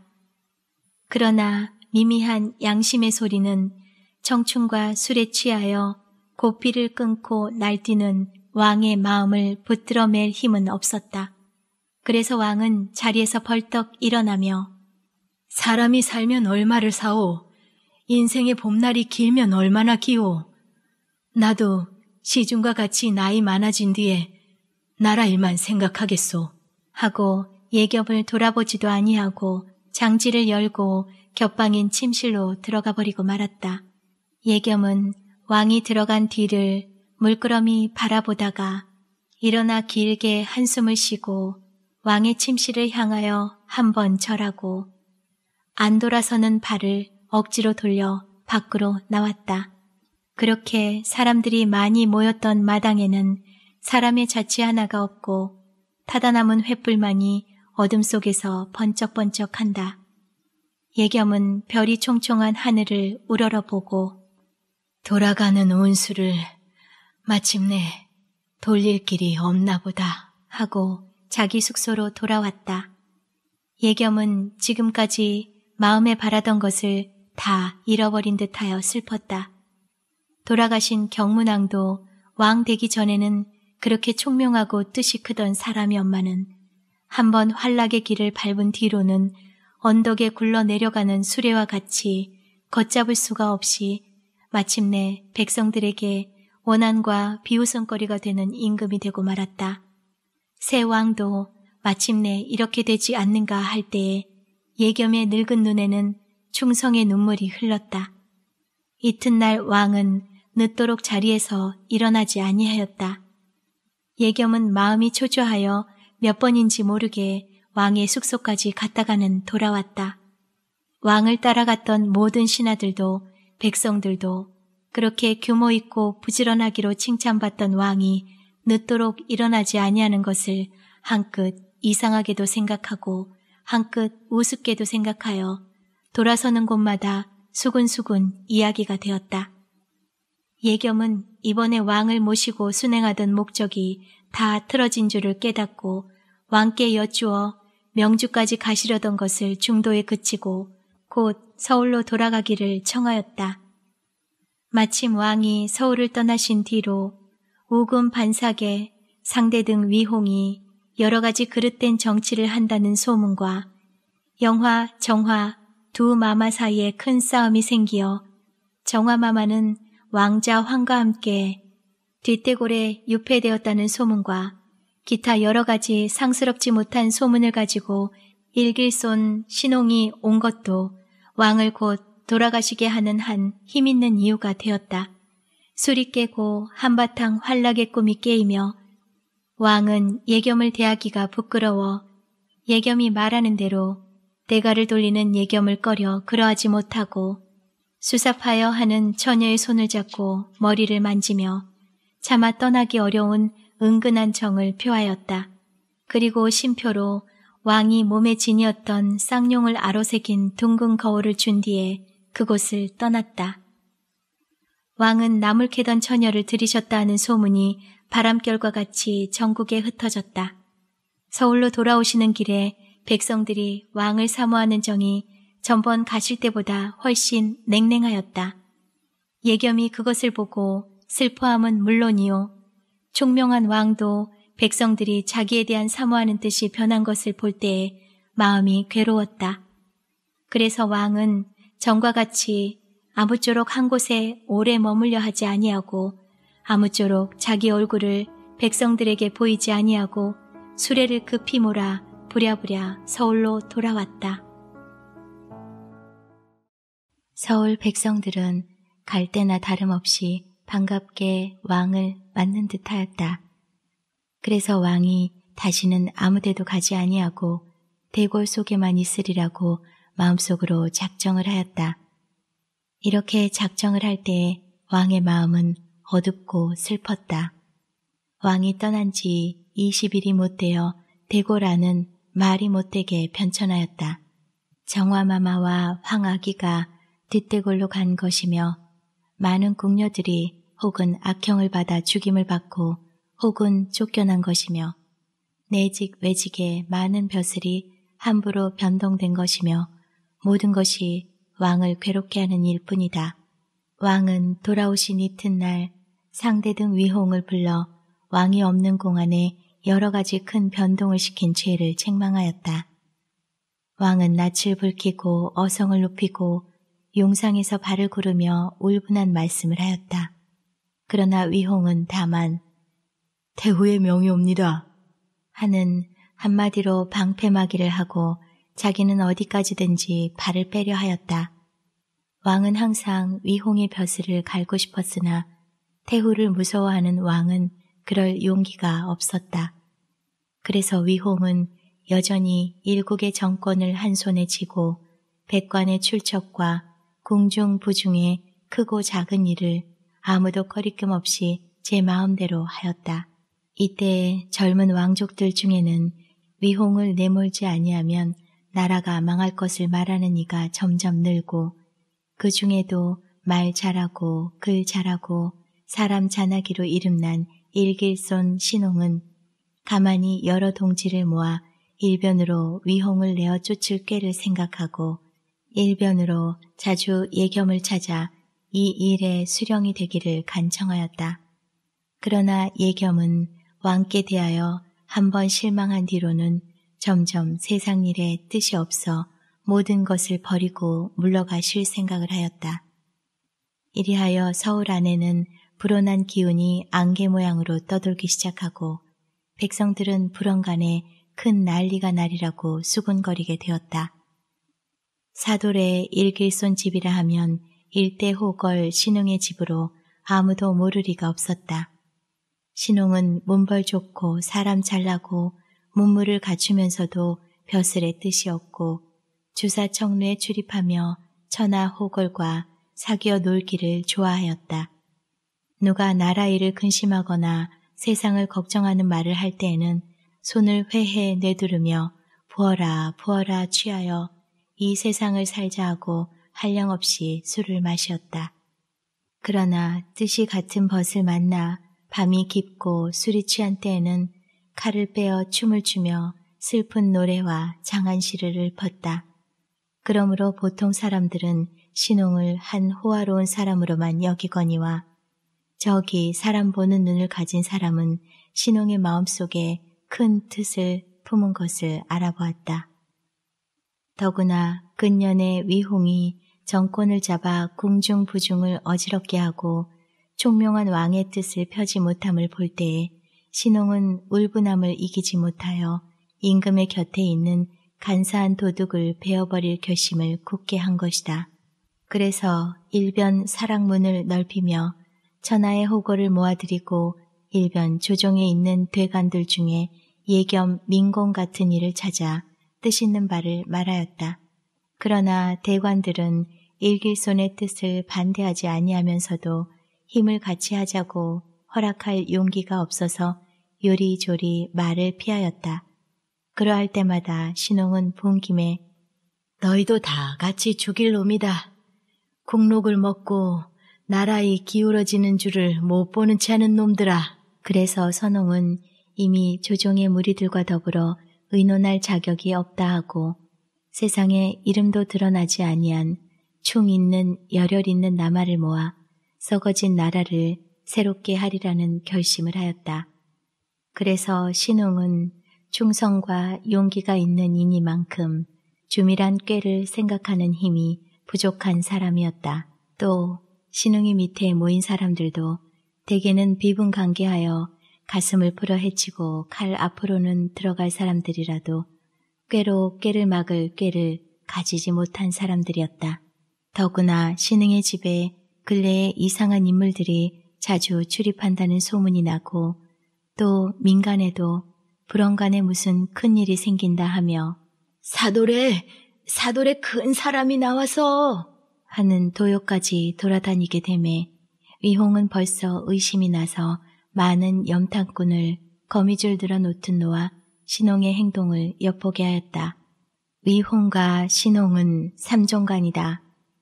위홍은 신홍보다 10여 년이나 나이 많으나 젊어서 서로 희롱할 때에도 항상 신홍은 위홍을 누르고 위홍은 신홍을 골리러 들었다. 그래서 이 두 사람은 자란 뒤에도 서로 상종이 드물었다.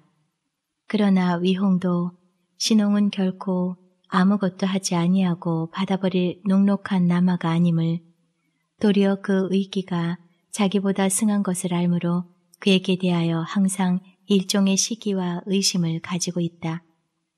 그러므로 위홍의 마음속에는 이번 일을 기회로 하여 신홍을 아주 없애버리자는 생각이 들고 신홍만 없어지면 감히 자기와 겨룰 사람이 신라 천지에는 없으리라고 믿는 것이다. 그래서 위홍은 일변 염탐꾼을 늘어놓은 동시에 일변 신홍의 집에 다니는 문객에게 뇌물을 주어 신홍의 일을 염탐하여 본 결과 신홍의 세력이 생각하던 바보다 큰 것을 알고 위홍은 놀랐다. 만일 이대로 내버려 두면 장차는 자기의 몸이 위태로워질 것을 깨닫고 일이 벌어지기 전에 얼른 신홍을 처치해버릴 생각을 가지게 되었다. 신홍 편에서도 위홍이가 자기의 뜻을 벌써 알고 사방으로 염탐하는 줄을 알 일이 생겼다. 6월 유두가 앞으로 사흘을 남겼을 때다. 사돌 신홍의 집 후원 연당에 연꽃이 방싯방싯 피기 시작하여 식정과 황혼이면 맑은 향기를 놓았다. 신홍은 날마다 마시며 노래도 읊었다. 신홍을 가까이 모시는 사람들은 수상 지인이 집 가까이로 왕래를 한다 하여 신홍이 혼자 후원에 소요하는 것을 걱정하였으나 신홍은 그런 일은 염두에도 두지 않는 듯하였다. 그러다가 일전에 과연 시몽의 집 후원 나무숲에서 신홍을 엿보던 자객 하나를 잡았다. 그는 몸에 비수를 품고 있었다. 사람들이 그 자객을 붙들어 신홍의 앞에 끌어왔을 때 신홍은 웃으며 이놈 나를 죽이러 왔던? 하고 어린애에게 묻듯이 물었다. 네, 그저 죽을 죄로. 하고 그 자객은 벌벌 떨었다. 나를 죽이고 가면 무엇을 준다던? 하고 신홍은 또 물었다. 금 백냥 하고 자객은 땅에 엎드렸다. 신홍은 사람을 불러 내 금 백냥을 이놈에게 내어주고 상대 등 대감께 자객이 너무 약해서 못 쓰겠다고 편지해라. 하고 크게 웃어버렸다. 자객은 금 백냥과 위홍에게 가는 편지를 받아가지고 신홍집 앞 대문으로 나왔다. 신홍은 연당으로 돌며 반쯤 핀 연꽃과 그 밑에서 팔딱팔딱 뛰는 고기와 개구리들을 바라보고 있다가 원종, 애노 두 사람을 보고 오늘 밤 달도 좋고 연꽃도 볼만하니 한 잔 마시지 아니할까? 하였다. 원종과 애노는 신홍이 가장 신복으로 믿는 사람이다. 원종은 의기가 있고 애노는 모략이 있었다. 그래서 이 두 사람은 신홍의 두 팔과 같이 신홍의 곁을 떠나지 아니한다. 원종과 외노는 본래 첫 뼈도 아니었마는 신홍은 문벌 같은 사람이나 다름없이 두 사람을 사귀고 또 두 사람은 어떤 연유로 죽을 지경에 빠진 것을 신홍의 의기로 살아났기 때문에 신홍에게 대하여서는 목숨의 은인으로 충성은 다하는 터이라. 원종과 애노는 신홍의 뜻을 안다. 사흘을 지나 6월 유두날이면 왕이 만조 백관을 데리고 표석정 물맞이 놀이를 한다. 이 기회를 타서 위홍 이하 모든 무리를 한 그물에 싸잡기로 계책을 정한 것이다. 지금 신홍이가 달 좋고 꽃 좋은 것을 기회로 한 잔 술을 마시자 하는 것은 성패와 성사를 앞에 둔 큰 일을 하기 전에 마지막으로 하룻밤에 연락을 하자는 뜻인 줄을 두 사람은 안다. 길던 여름날도 다 가고 왔다 갔다 하는 구름장조차 나기를 따라 쓰러져 버리고 하늘에는 맑은 별과 거의 만월이 된 밝은 달이 걸리고 땅에는 연잎에 맺힌 이슬이 고기에게 놀라 굴러 떨어지어 거울 같은 물 위에 실 물결을 일으킨다. 목가에 포기포기 칼갈이 잎사귀를 뽑은 창포잎이 이따금 간들간들 흔들리는 것은 붕어와 잉어의 꼬리에 스친 까닭이다. 안압지 본을 받아 목가에는 봉우리 셋 가진 조산이 있고 봉우리 끝마다 노송이 있고 노송 밑에 조그만 정자가 있고 정자 앞 물가에는 혹은 버드나무가 긴 머리를 풀어내리고 혹은 조밥 꽃나무 빨간 꽃을 날리고 있다. 연당 한가운데 밑등을 피석으로 쌓은 조그만 팔각 정자가 있는데 거기는 복례도라 심진각이라 이렇게 한 현판이 도로라 붙고 기둥마다 글귀를 새겨 붙이었다. 나무숲에서 밤새가 울고 불 속에서 벌레 소리 나기 시작할 때 잔치도 시작되었다. 부드러운 검은 고소리와 처량하고 비장한 옥퉁소 소리에 맞춰 아름다운 화랑과 기생의 맑은 노랫소리가 떠올랐다. 신홍은 난간에 기대어 울리고 술잔이 지나가는 틈에는 뚜렷한 깊 부채를 한가로이 흔들었다. 40이 넘을락 말락한 신홍은 아직도 청춘의 호화로운 피가 넘치었다. 신홍의 곁에 모여 앉은 객들도 모두 술이 반이나 취하여 노랫가락을 맞추어 무릎 장단을 쳤다. 사람이 살면 얼마나 사나, 천년을 사나, 만년이나 사나, 영랑, 술랑도 소식이 없네. 살아 생전에 놀아볼까나. 하고 한 화랑이 노래를 끝내자 넓은 깁소매를 이마에 대고 덩실덩실 춤을 추던 다른 사람들도 좋다! 하고 무릎을 친다. 그러면 이번에는 한 기생이 작은 북을 들고 나서서 얼씬얼씬 한 바퀴 돌아가다가 땅땅 하고 조그만 손으로 북을 두어 번 울린 뒤에 하고 깁소매를 한번 둘러 향기로운 바람을 내며 풍정이 가득한 눈으로 모인 사람을 한 번 둘러본다. 칼과 활로 일생의 벗을 삼는 장사들도 무르녹은 여름밤, 연꽃 향기 물려오는 바람결에 칠석 같은 마음이 녹는 듯하여 모두 난간에 몸을 기대고 반쯤 눈을 내려 감았다. 달빛을 담은 술잔이 오락가락할수록 취홍은 밤과 밤으로 더불어 더욱 깊어갔다. 신홍은 도도한 흥을 이기지 못하는 듯 종을 불러 난이를 나오라고 명하였다. 난이는 3년 전 장안의 이름이 높던 명기로 여러 기공자의 사랑을 받다가 마침내 신홍의 총애가 되어 일시도 신홍의 곁을 떠나지 아니한 미인이다. 상대 등 위홍을 모르는 사람은 있어도 절대가인 난이를 모르는 이는 없었다. 난이는 춤을 잘 추기로 이름이 있었다. 신홍은 취홍이 깊어갈수록 마음 한편 구석에 일종 비감이 생겨 난이의 춤을 한번 보아야 그 비감이 풀릴 것 같이 생각한 것이니 일자에 모인 사람들도 이러한 자리에 난이를 불러내는 것을 의외로 생각하였다. 두어 번 사양한 뒤에 마침내 시녀 두 사람에게 옹이 되어 난이가 수사판 태도로 자리에 올라왔다. 몸에는 소매 넓은 붉은 갑옷을 입고 머리에 향기 높은 난초 한 송이를 꽂았다. 달빛에 비추인 난이의 얼굴에는 말할 수 없는 수심의 푸른 빛이 도는 듯 하였다.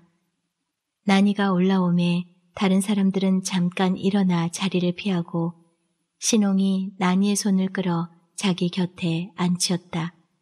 난이가 가장 추기를 좋아하는 춤은 가야 선무라는 춤이다.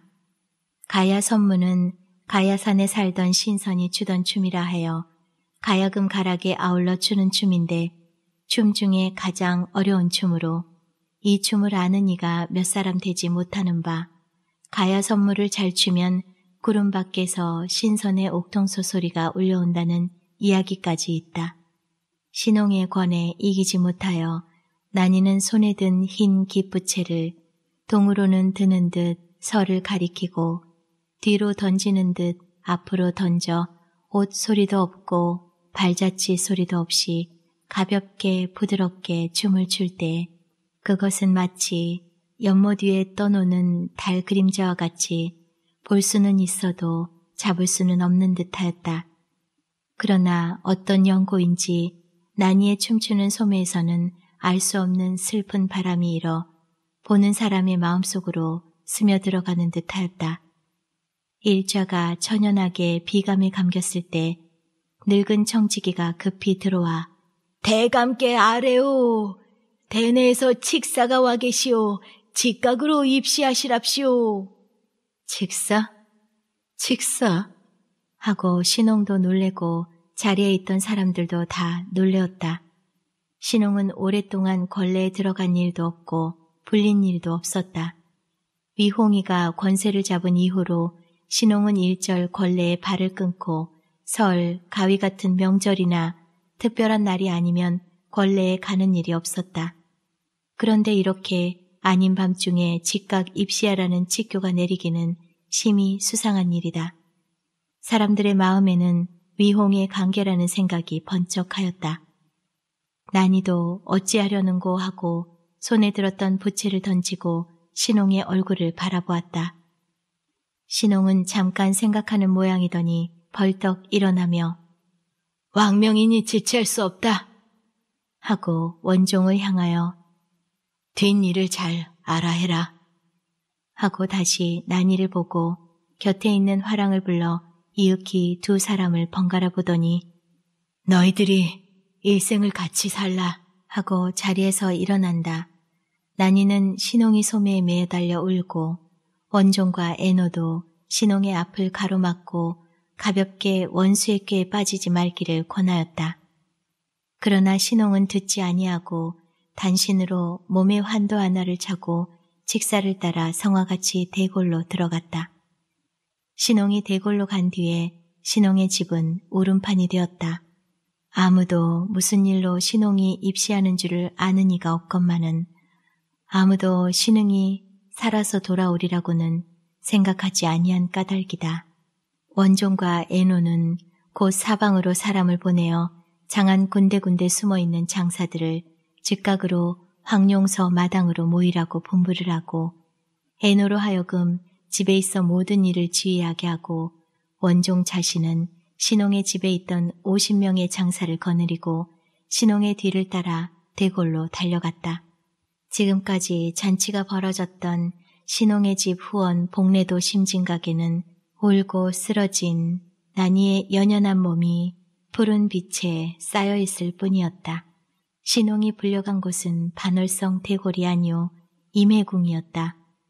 신홍은 이제나 저제나 하고 무슨 일이 생기기를 기다렸으나 아무 일도 없이 임해전에 들어갔다.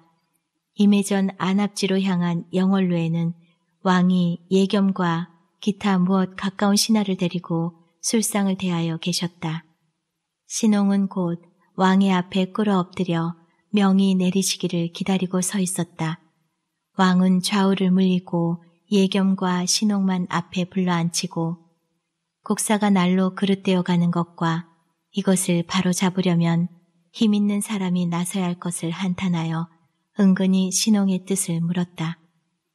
왕의 말씀은 심히 간절하였고 또 그 음성에는 굳은 결심의 빛이 보였다. 비록 달 아래에 한 잔을 마신다는 것을 핑계로 앞에 술을 벌렸으나 왕은 조금도 술 취한 기운이 없었다. 동해안을 순행하고 돌아오신 뒤로 왕은 국사가 날로 그릇되어 가는 것을 새삼스럽게 깨달았고 또 예겸도 나물 캐는 처녀 일을 말하여 일천년 사직의 흥망 융체가 오직 왕에게 달린 것을 피눈물로 누누이 간하였다. 그러한 결과로 왕은 마침내 예겸의 말을 믿어 단연히 상대 등 위홍과 그의 무리를 몰아내고 널리 어진 사람을 구하여 정사를 일신하기로 뜻을 정하였다. 그러나 궁중 부중에는 모두 위홍의 무리요. 심지어 근시하는 궁녀들까지도 태후와 위홍의 뇌물을 먹는 염탐꾼이며 12 영문군사의 두목이 모두 위홍의 무리인 것을 볼 때에 왕은 자기가 만승인 지위에 있으면서도 수족을 잘라버린 사람인 것을 깨달았다. 차라리 깊은 뜻이 없을 때에는 근심도 없더니 큰 일을 생각하고 보니 왕은 힘없는 슬픔을 깨달았고 또 돌아가신 부왕의 슬프던 일생을 생각할 수가 있었다. 여러 가지로 들려 생각한 끝에 마침내 왕은 예겸의 말대로 만사를 일기쏜 신홍에게 맡기어 건곤 일척에 대사업을 하기로 결심하였다. 왕의 마음을 여기까지 끌어오는데 예겸의 힘이 얼마나 컸던 것은 말할 필요가 없었다. 그러나 왕이 신홍을 불러보실 일이 여간 어려운 일이 아니다. 만일 신홍을 불러보시는 일이 태후나 위홍의 귀에 들어만 가면 만사는 와해가 될 줄을 아는 까닭이다. 그래서 임해전 달 구경을 핑계로 벼랑간에 미행을 하시어 치사를 신홍에게로 보냈던 것이다. 신홍은 왕의 간곡한 말씀에 감격의 눈물을 흘렸다. 왕께 이러한 뜻이 있으면 만사는 뜻같이 되리라고 속으로 기쁘고 하늘나라를 도우시는 것을 고맙게 생각하였다. 그래서 신홍은 일어나 세 번 왕께 절하고 신홍이 비록 우둔하오나 간내 도지하와도 저는 만일을 봉답하겠나이다. 하고 아뢰었다. 왕은 신홍의 손을 잡고 손수 신홍에게 술을 권하시었다. 날이 샌 뒤에 여차여차히 할 일을 예겸과 의논한 뒤에 사람의 눈에 띄기를 꺼려 신홍은 오래 머물지 아니하고 곧 임해전에서 물러나왔다. 신홍이 관해문에 나와 마침 수레에 오르려 할 때 좌우로서 일대 복병이 신홍을 애워싼다. 위홍은 벌써 왕이 신홍을 부르실 줄을 염탐하고 군사를 임해궁 사문에 숨겨두었던 것이다. 신홍은 칼을 빼어 싸웠으나 한 몸이 여러 사람을 당하지 못하여 마침내 위홍의 군사에게 사로잡혔다. 신홍이 반월성 대골로 입시한 줄만 알고 그리로 갔던 원종이 거느린 군사가 임해궁으로 달려왔을 때에는 벌써 신홍은 어디로 간 곳을 알 수 없었다. 다만 관해문 앞에 피해 젖은 시체가 가로 세로 쓰러진 것을 보아 무슨 일이 있었던 것을 짐작할 뿐이다. 임종은 임해문을 지키는 군사에게 신홍이 간 곳을 물으나 알지 못하고 할일 없이 일변 사람을 황룡사로 보내어 거기 모인 군사로 반월성을 들여치라 하고 자기는 수병을 몰아 문지기를 군사로 베고 임해궁을 들이쳤다. 원종의 거느린 장사들은 임해궁 내에서 가장 잘 싸웠다. 그러나 하나씩 둘씩 죽어 없어지는 것이 임해궁을 거의 둘려 찾을 때는 원종과 아울러 사오인밖에 아니 남고 원종도 오른팔에 칼을 맞아 왼팔로 칼을 쓰지 아니하면 아니 되게 되었다. 그래도 신홍이 간 곳은 찾을 길이 없었다. 원종은 간신히 몸을 빼어 피 흐르는 팔을 안고 반월성을 달려갔다. 대화문 앞에서는 신홍의 군사와 위홍의 군사 사이에 큰 접전이 일어났다. 위홍의 군사는 몇 번이나 반월성 안으로 쫓겨 들어갔다가는 도로 나오고 쫓겨 들어갔다가는 도로 나왔다. 그 많은 군사가 300명도 못 되는 신홍의 군사를 무서워하여 손발을 놀리지 못하였다. 만일 원종이 반월성을 스쳐 들어가려고만 했으면 곧 하였을 것이다. 그러나 신홍을 원수의 손에 넣고 그렇게 범거를 하면 신홍의 몸과 명예에 해로울 것을 생각하고 대함은 밖에서 엄포만 한 것이다. 이 소동에 깊이 잠이 들었던 장하는 모두 깨어 일어나 무슨 큰 변이 나는가 하고 벌벌 떨었다. 사람은커녕 강하지 않아도 문 밖에 나오지 못하고 장한 대로상에는 파수하는 군사들의 동으로 서로 달리는 말발굽 소리뿐이었다. 열 이틀 달이 서학제에 걸리고 새벽을 재촉하는 새북 소리들은 예와 다름없이 웅웅 온 장안을 울렸다. 이러하는 동안에도 대화문 앞에서는 군사와 군사의 칼이 마주쳐 불꽃이 일고 화살이 푸르르 올 때마다 붉은 피가 흘러 땅을 적시었다. 이때 신홍은 황새 족쇄로 금영군 철정 속에 혼자 갇혀 있었다. 이튿날 평명에 신홍은 금분아졸 4명에게 끌려 어떤 방으로 갔다. 거기는 위홍이 친히 나와 좌기를 열었다. 신홍은 높이 앉은 위홍을 바라볼 때 전신의 피가 끓어오르는 듯 하였다. 위홍은 나졸을 명하여 신홍을 자기 앞으로 가까이 끌어오라 하였다. 나졸들은 묶어놓은 돼지 모양으로 신홍을 번쩍 들어다가 위홍의 앞에 꿀렸다. 위홍은 수족을 묶이어 땅바닥에 엎어진 신홍을 물끄러미 들여다보고 픽 웃으며 이놈, 내가 네 삼동형은 되거든 일륜을 몰라보고 그래 이놈, 네가 나를 어쩔 테냐? 하고 소리를 쳤다. 신홍은 엎어진 대로 고개를 돌려 위홍을 노려보며 짐승의 입에서 일륜이라는 말이 당치 않다. 군부를 몰라보고 나라를 도둑질하는 너 같은 대역부도 놈의 썩어진 간을 내어 선왕의 영 앞에 제사를 못 지낸 것만 분하다. 구군이 불길하고 네 죄악이 아직 관영치를 못하여 내가 네 손에 잡혔거니와 나 죽은 혼이 있고만 보면 삼생 구사를 하더라도 불중불이한 대역 위용의 간을 씹어 피를 뽑고야 말리라 하고 입술을 부쩍 깨물어 위홍의 얼굴을 향하여 뿌렸다. 붉은 피는 방울방울이 위홍의 얼굴과 옷에 묻었다.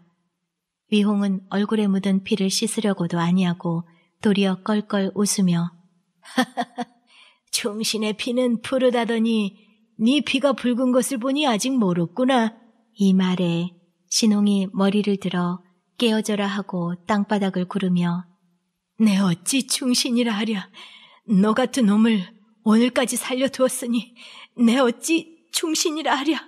하고 소리를 내어 울 때에 위홍의 얼굴과 옷에 묻은 선홍의 피가 유황불같이 푸른 빛을 발하고 신홍의 눈에서는 붉은 불꽃이 띄었다.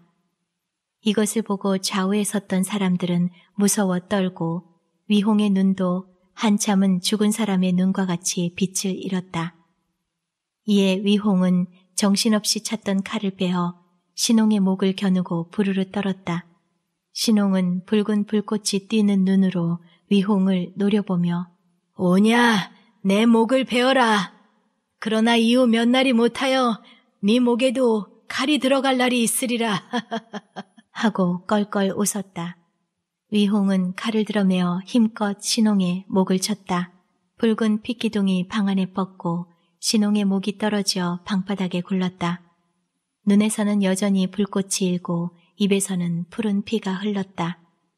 위홍은 곧 금군 대장에 명하여 신홍의 머리를 종로에 높이 달고 신홍이 사당을 거느리고 승야 범거란 죄상을 기록하여 방방곡곡에 방을 붙이라 하였다.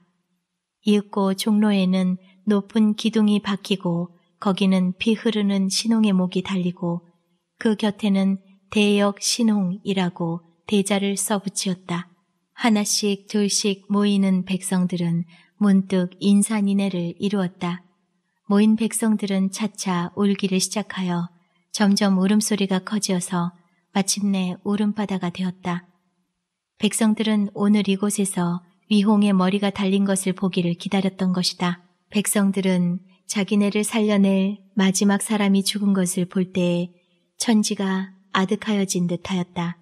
처음에는 금영군 군사들이 오는 백성을 해치려고 하였으나 백성들의 울음이 더욱 커지는 것을 보고는 군사들 중에 더러는 손에 들었던 창을 땅에 집어던지고 백성들과 어우려지어 울고 더러는 슬며시 뒷골목으로 빠지어 달아났다. 위홍의 머리를 베어라! 하는 소리가 백성들 중에서 일어나자 울던 백성들은 고함을 지르고 이리 몰리고 저리 몰렸다. 이때 어떤 사람이 대역 신홍이라는 패를 떼어 분질러 내버리고 총신 신홍이라는 새 패를 세웠다. 이것을 본 백성들은 총신 신홍이라고 소리를 지르고 다시 소리를 높여 울며 신홍의 머리 단 곳을 향하고 합장하였다. 신홍의 부릅뜬 눈에서는 피눈물이 흘러내렸다. 역적 위홍아! 하고 또 백성들은 소리를 질렀다. 백성들의 얼굴은 상기와 더위로 핏빛이 되고 눈에는 피와 눈물이 넘치는 듯하였다.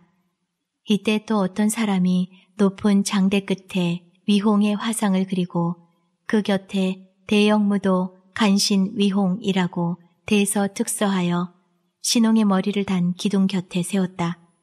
이것을 본 백성들은 와 하고 소리를 치고 달려들어 위홍의 화상을 끌어내려 찢고 밟고 입으로 물어뜯었다. 이때 한 사람이 피 흐르는 신홍의 머리를 내려 두 손으로 받들고 위홍을 잡아라! 하고 반월성 대골 가는 길로 나섰다. 백성들은 우아우아 하고 혹은 몽둥이를 들고 혹은 돌멩이를 들고 그 뒤를 따랐다. 그러나 힘없는 백성의 무리는 마침내 구름같이 몰아오는 위홍의 군사에 칼과 창에 반은 줄고 상하고 나머지는 흩어져 버리고 말았다. 이리하여 신홍의 계획은 틀어져 버리고 위홍은 여전히 태우와 불의의 쾌락을 누리면서 일국의 정권을 농락하였다. 신홍마저 없어지니 위홍은 꺼릴 것도 없는 듯하였다. 이 일이 있은 후로 예겸은 마침내 쫓겨나고 왕은 더욱 의롭게 되어 국사와 정사에는 조금도 참내할 수가 없었다. 그리됨에 왕은 만사의 뜻을 잃고 오직 주색에만 치면하여 밤낮을 잊었다. 이리하여 그렇게도 총명하던 왕은 반이나 폐인같이 되었다. 점점 몸과 정신이 쇠하여 즉위하신 지 12년, 25이라는 한창 젊은 청춘에 그만 승하하시고 말았다. 형강 대왕이 승하하심에 궁중에는 또 더러운 난리가 났다. 태후는 그 따님이신 망공주를 세우려 하고 정화마마는 당신의 소생인 황왕자를 세우려 한 것이다. 그러나 만사는 위홍의 손에 달린 것이 물론이다. 위홍은 태우가 싫어졌다. 벌써부터 태우보다 나이도 젊고 자색도 아름다운 정화마마에게 뜻이 있었건만은 권세를 위하여 아직까지 태우의 마음을 맞춰왔던 것이다. 그러다가 헝강대왕이 승화하시니 이때야말로 평소의 뜻을 달할 때라 하여 태우의 간청을 물리치고 황 왕자를 왕으로 세웠다. 정화마마는 오랫동안 형님 되는 태우에게 학대를 받아오는 분풀이를 할 때였다. 그는 태우에게서 나라와 사나이를 한꺼번에 빼앗아가지고 의기양양하였다. 태우에게서 받은 것을 그대로 감노라고 태후와 만공주를 뒤대골로 내쫓아 가두고 반월성 대골을 혼자 맡아 위용과 함께 불의의 쾌락을 노렸다. 그러나 태후는 이 분을 참고 가만히 있을 사람이 아니다. 아무리 하여서라도 동생 되는 정화 마마의 원수를 갖고 국권과 위홍을 빼앗아 오지 아니하면 안 될 것이다. 그리하자면 사람을 잡으려면 그가 탄 말을 쏘는 격으로 새 왕을 없이 하는 것이 첩경이다. 이리하여 영화태우는 새 왕을 죽일 무서운 꾀를 품게 된 것이다. 새 왕은 즉위할 때 벌써 신병이 있으셨다. 왕은 본래 잔약한 몸으로 마음이 극히 어질고 약하여 날마다 공중에 일어나는 여러 가지 상스럽지 못한 일에 항상 마음을 아프게 하고 병은 더욱 골수에 사무치게 되었다. 그러다가 즉위하신 후로는 어머니 되시는 정아마마의 추한 행동을 차마 못 보아 식음을 전폐하신 일이 자주 있었다. 이리하여 병은 점점 중하여 마침내 자리에 누워 약 잡수시기로 일삼는 몸이 되시었다. 왕이 어서 돌아가시게 하기 위하여 영화 마마는 할 수 있는 모든 일을 다하였다. 술객과 무당이 밤이면 뒷대골로 도둑고양이 모양으로 소리도 없이 들고 났다. 술객과 무당은 왕이 병이 더하게 하는 일 외에 또 한 일이 있었다. 그것은 밤이면 꿈에 나타나 영화 마마를 괴롭게 하는 뒷대골 마마의 홀령이었다. 영화 마마가 뒷대골에 올마온 첫날 밤에 자리에 누워 잠이 들려 할 때에 문득 몸이 으쓱하여 입에 칼을 문 뒷대골 마마의 홀령이 보인 뒤로는 며칠을 몸이 몹시 아팠다. 그런 뒤에 병은 나았으나 가끔 뒷대골 마마가 눈에 띄고 어떤 때에는 낮에도 눈앞에 어른어른하였다. 늙어서 이런가? 하고 영화마마는 자탄을 하였다. 대개 지금까지 서슬이 푸를 때에는 그러한 일이 없었던 것이다. 어떤 늙은 무당은 정직하게 이렇게 말하였다. 귀신들도 운수 좋은 사람에게는 못 덤빕니다. 사람이 운수가 기울어지게 되면 귀신들도 업신여겨서 마음대로 덤빕니다. 영화마마는 이 무당의 말을 마땅하게 들었다. 아무리 귀신이기로 감히 자기를 거역하고 자기를 건드릴 생각은 못 내리라 하던 기운도 줄어지고 그일에는 모든 귀신이 자기를 비웃고 자기를 건드리려고 손을 내미는 것 같이 생각하였다. 첫째의 뒷대골 마마, 둘째의 남편이시던 경문대왕, 그 다음에 위홍과 좋아한다 하여 젖을 도리고 팔목을 도리고 눈을 도리고 입을 도리고 하문을 도려서 죽인 수없는 궁녀들이 모두 피 흘리는 몸을 가지고 사방으로서 달려들어 여인년 이제도 이제도 하고 자기를 건드리려는 듯하였다. 혼자 자리에 누웠으면 이런 흉물스러운 귀신들이 이구석 저구석에서 창 틈으로 병품 틈으로 모여드는 듯하여 전신에 소름이 끼치고 찬땀이 흘렀다. 위원가 한 자리에 있으면 이런 일이 없는데 하고 영화마마는 위홍을 생각하였다. 그러나 새 왕이 즉위하신 후로는 반년이나 넘도록 이내 위홍의 얼굴을 대해본 적이 없었다. 위홍은 동생 되는 정아마마의 자리 속에 전신이 타는 듯하였다.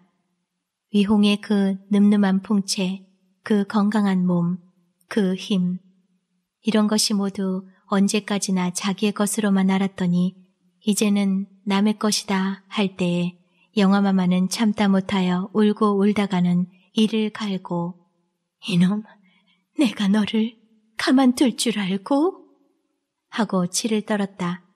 독한 눈살로 한 자리 속에서 즐기는 정아마마와 위홍을 보고 빨간 독을 바른 칼로 둘의 허리를 싹 잘라버리기를 여러 번 하였다. 그러다가 또 한 번 더 위홍을 자기 것을 만들 생각을 한다. 경문왕이 여러 해 병으로 누워 영화마마가 홀로 있을 때에 국사를 의논한다는 핑계로 위홍과 자주 만나다가 마침내 자기가 앞에 엎드린 위홍의 몸에 메어 달리고 위홍도 자기 몸이 으스러져라 하고 껴안아주던 생각이 난다. 그것이 벌써 15년 전이다. 15년 동안 뻗치었던 아군이 인제는 다한 듯하여 모든 귀신이 꿈과 생시를 물러나고 영화마마를 건드렸다. 그러나 영화마마는 아직도 힘과 운수가 자기의 손에 있는 줄 생각하였다. 그래서 아무리 하여서라도 금상을 없이 하고 권세와 위홍을 도로 제 손에 넣으려고 애를 썼다. 눈을 뜨면 왕과 정화마마를 없이 할 독약과 예방이요. 눈을 감으면 사방으로서 피 흐르는 손을 내미는 원통한 귀신들이 있다. 영화마마의 얼굴빛, 눈매까지도 점점 무섭게 변하였다. 잠이 들면 무서운 잠꼬대를 하고 깨어있을 때에도 가끔 미친 사람과 같이 소리를 질렀다. 그래서 근시하는 궁녀들은 마마의 곁에 있기를 무서워하였고 가끔 깜짝깜짝 진저리를 쳤다. 하루는 서학에 있는 태종 무열왕의 능이 터지고 비가 큰 소리를 내고 넘어가고 그날 밤에는 대궐 뒷뜰에서 백제 군사와 신뢰 군사의 우짖는 소리가 들렸다.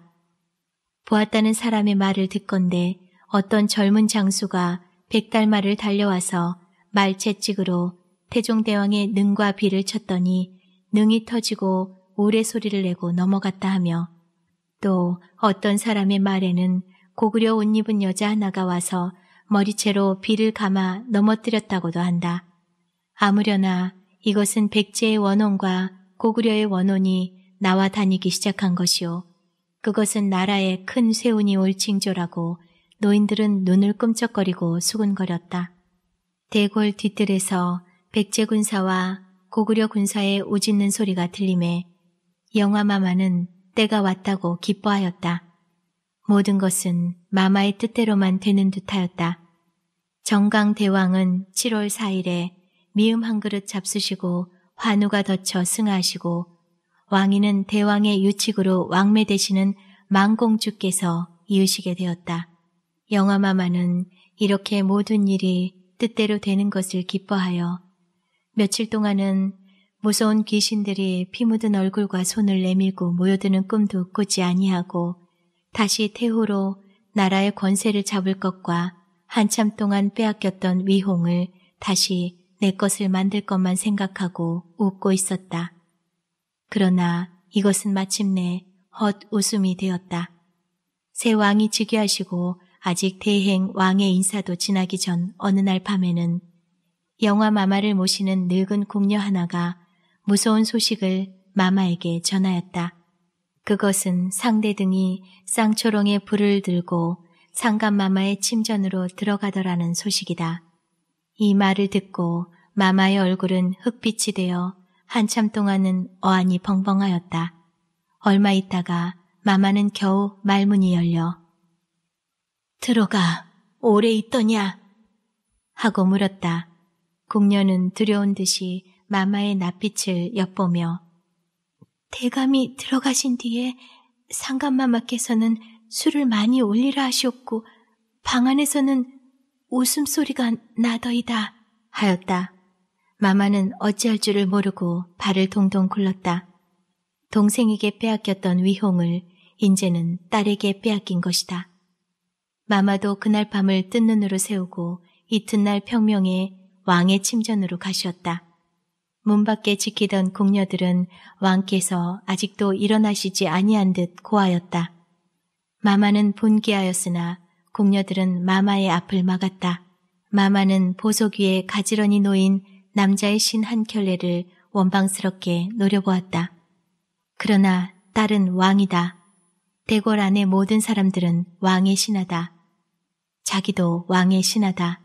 왕이 위홍과 함께 수라를 잡수고 난 뒤에야 마마가 들어가는 허락을 얻었다. 마마는 들어가는 길로 피곤한 듯한 왕을 보고 어젯밤에 이 방에 누가 있었소? 하고 물었다. 왕은 빙그레 웃으며 나하고 위홍하고 라고 대답하였다. 마마는 눈이 뒤집히고 입에 거품을 물며 그것이 옳지 않소. 하고 소리를 질렀다. 왕은 퍽 웃으며 남편을 살려놓고 남편의 신하와 한자리에 자는 이도 있거든. 어머니의 곁서방을 좀 빼앗기로 그리 옳지 못할 것이 있어? 좋은 서방은 늙으신 어머니가 가지는 것보다 젊은 내가 가지는 것이 더 옳지 않겠소? 하고 시들한 듯이 고개를 돌렸다.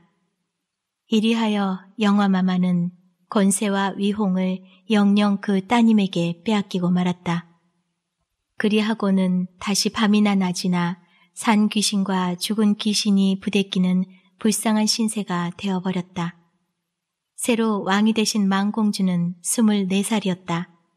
얼굴이 아름답지는 못하나 골격이 장대하고 힘이 세고 호엽한 기운이 있어 마치 대장부와 같았다. 그래서 꾀가 많고 몸이 건강하고 수십 년 권세에 많은 경험을 가진 위홍도 왕의 앞에서는 기운을 펴지 못하고 쥐어 지내왔다.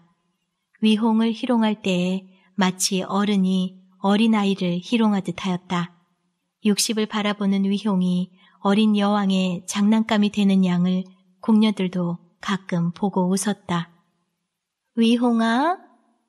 예. 몇 살이니? 쉰 다섯 살이요. 아따, 쉬는 떼버려라. 그러면 다섯 살이요. 이리하여 왕은 웃고 두 손을 내밀어 손 다오 하면 위홍은 어린아이 모양으로 왕의 앞으로 가서 주름 잡힌 두 손을 왕의 포동포동한 손에 올려놓았다. 그러면 왕은 위홍의 두 손을 잡아 끌어서 어머니 모양으로 위홍을 번쩍 안아 쳐들어 무릎 위에 올려놓고 뺨과 등을 어루만지며 둥개 둥개 둥개야 를 부르고 웃었다. 그럴 때에는 위홍은 짐직한 듯이 입맛을 다셨다. 왕은 가끔 불쾌하시면 위홍을 견디게 굴었다. 대가리가 허연 것이 이게 무슨 짓이야? 하고 위홍의 등을 밀어 문 밖에 내치기도 하였다. 그러나 그리고 나서는 곧 다시 끌어들여서 사랑하는 뜻을 표하였다. 왜 늙었어? 왜 늙었어? 하고 왕은 위홍의 허연 머리카락과 수염을 잡아 뽑았다. 아무리 늙은 줄을 모르는 위홍도 50이 넘어 60이 가까우면 백발이 생겼다. 왕은 그것을 불만이 여겼다. 그래서 젊은 남자도 여러 번 불러들여 보았으나 모두 위홍만 못하여 하루나 이틀을 데리고는 조그만 골 원이나 한 자리씩 주어서 내쫓았다. 그리고는 다시 늙은 위홍을 불러들였다. 그리고는 또 늙은 위홍이 그리워 그 젊은 사람들을 도로 내쫓았다. 음, 이 늙은 것에 내가 무엇을 보고 오겠어? 하고 왕은 가끔 위홍의 높은 코를 잡아 흔들었다. 그렇게도 여자의 마음 끌던 좋은 코에는 주름이 잡히고 기름기가 빠졌다. 왕은 젊은 위홍을 마음껏 가지고 놀던 어머니에 대하여 무서운 질투를 가끔 가졌다. 그래서 가끔 위홍을 내어 문 밖으로 밀어내며 늙은 것 같으니 노파한테로나 가! 하고 소리를 질렀다. 그러면 위홍은 문 밖에 우두커니 서서 왕이 다시 불러들이기를 기다렸다. 이리하여 밤마다 왕의 방에는 위홍이 있고 위홍이 없으면 때때로 불러들이는 젊은 미남자가 있었다. 이 소문은 왕이 즉위한 지 얼마 되지 아니하여 전국에 퍼지었다. 그래서 얼굴 잘나고 호엽한 젊은 남자들은 한번 왕을 보려고 서울로 몰려들어 서울에는 과거날이 가까운 때 모양으로 깨끗한 젊은 남자들이 우글우글하였다. 그러면서도 왕은 정사를 패하지는 아니하였다.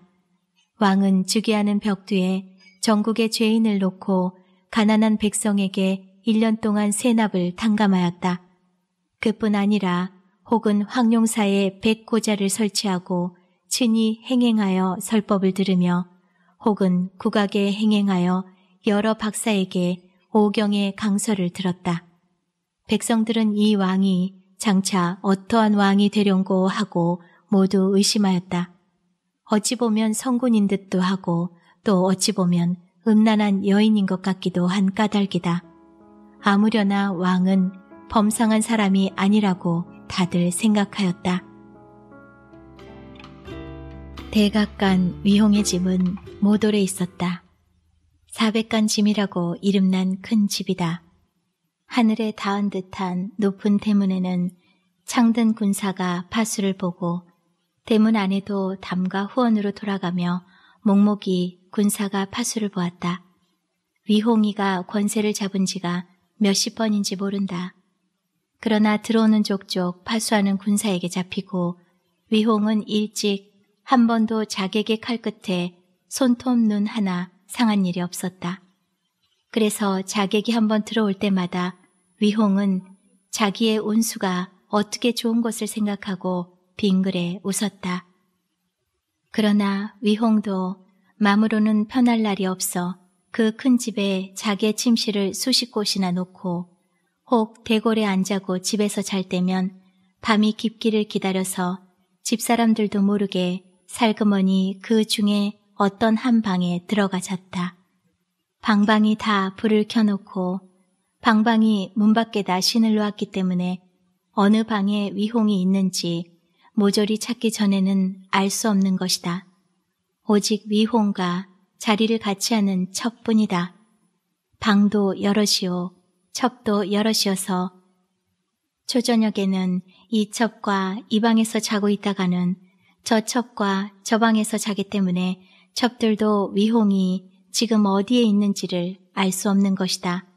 더구나 지난 2월에 사돌 신홍의 집 앞에 있던 바위가 개천가로 대걸음이나 비실비실 걸어 나갔다는 말과 그것을 신웅의 원혼이 자기가 아직도 서울에 머물러 있어서 원수를 갚을 날을 기다리는 징조라는 말을 들은 위홍은 근래에 더욱 겁이 많았고 또 나이 많아짐을 따라 젊을 때 무서움 없던 기운이 줄어짐을 따라 위홍은 모든 것에 무서움을 가지고 의심을 품게 되었다.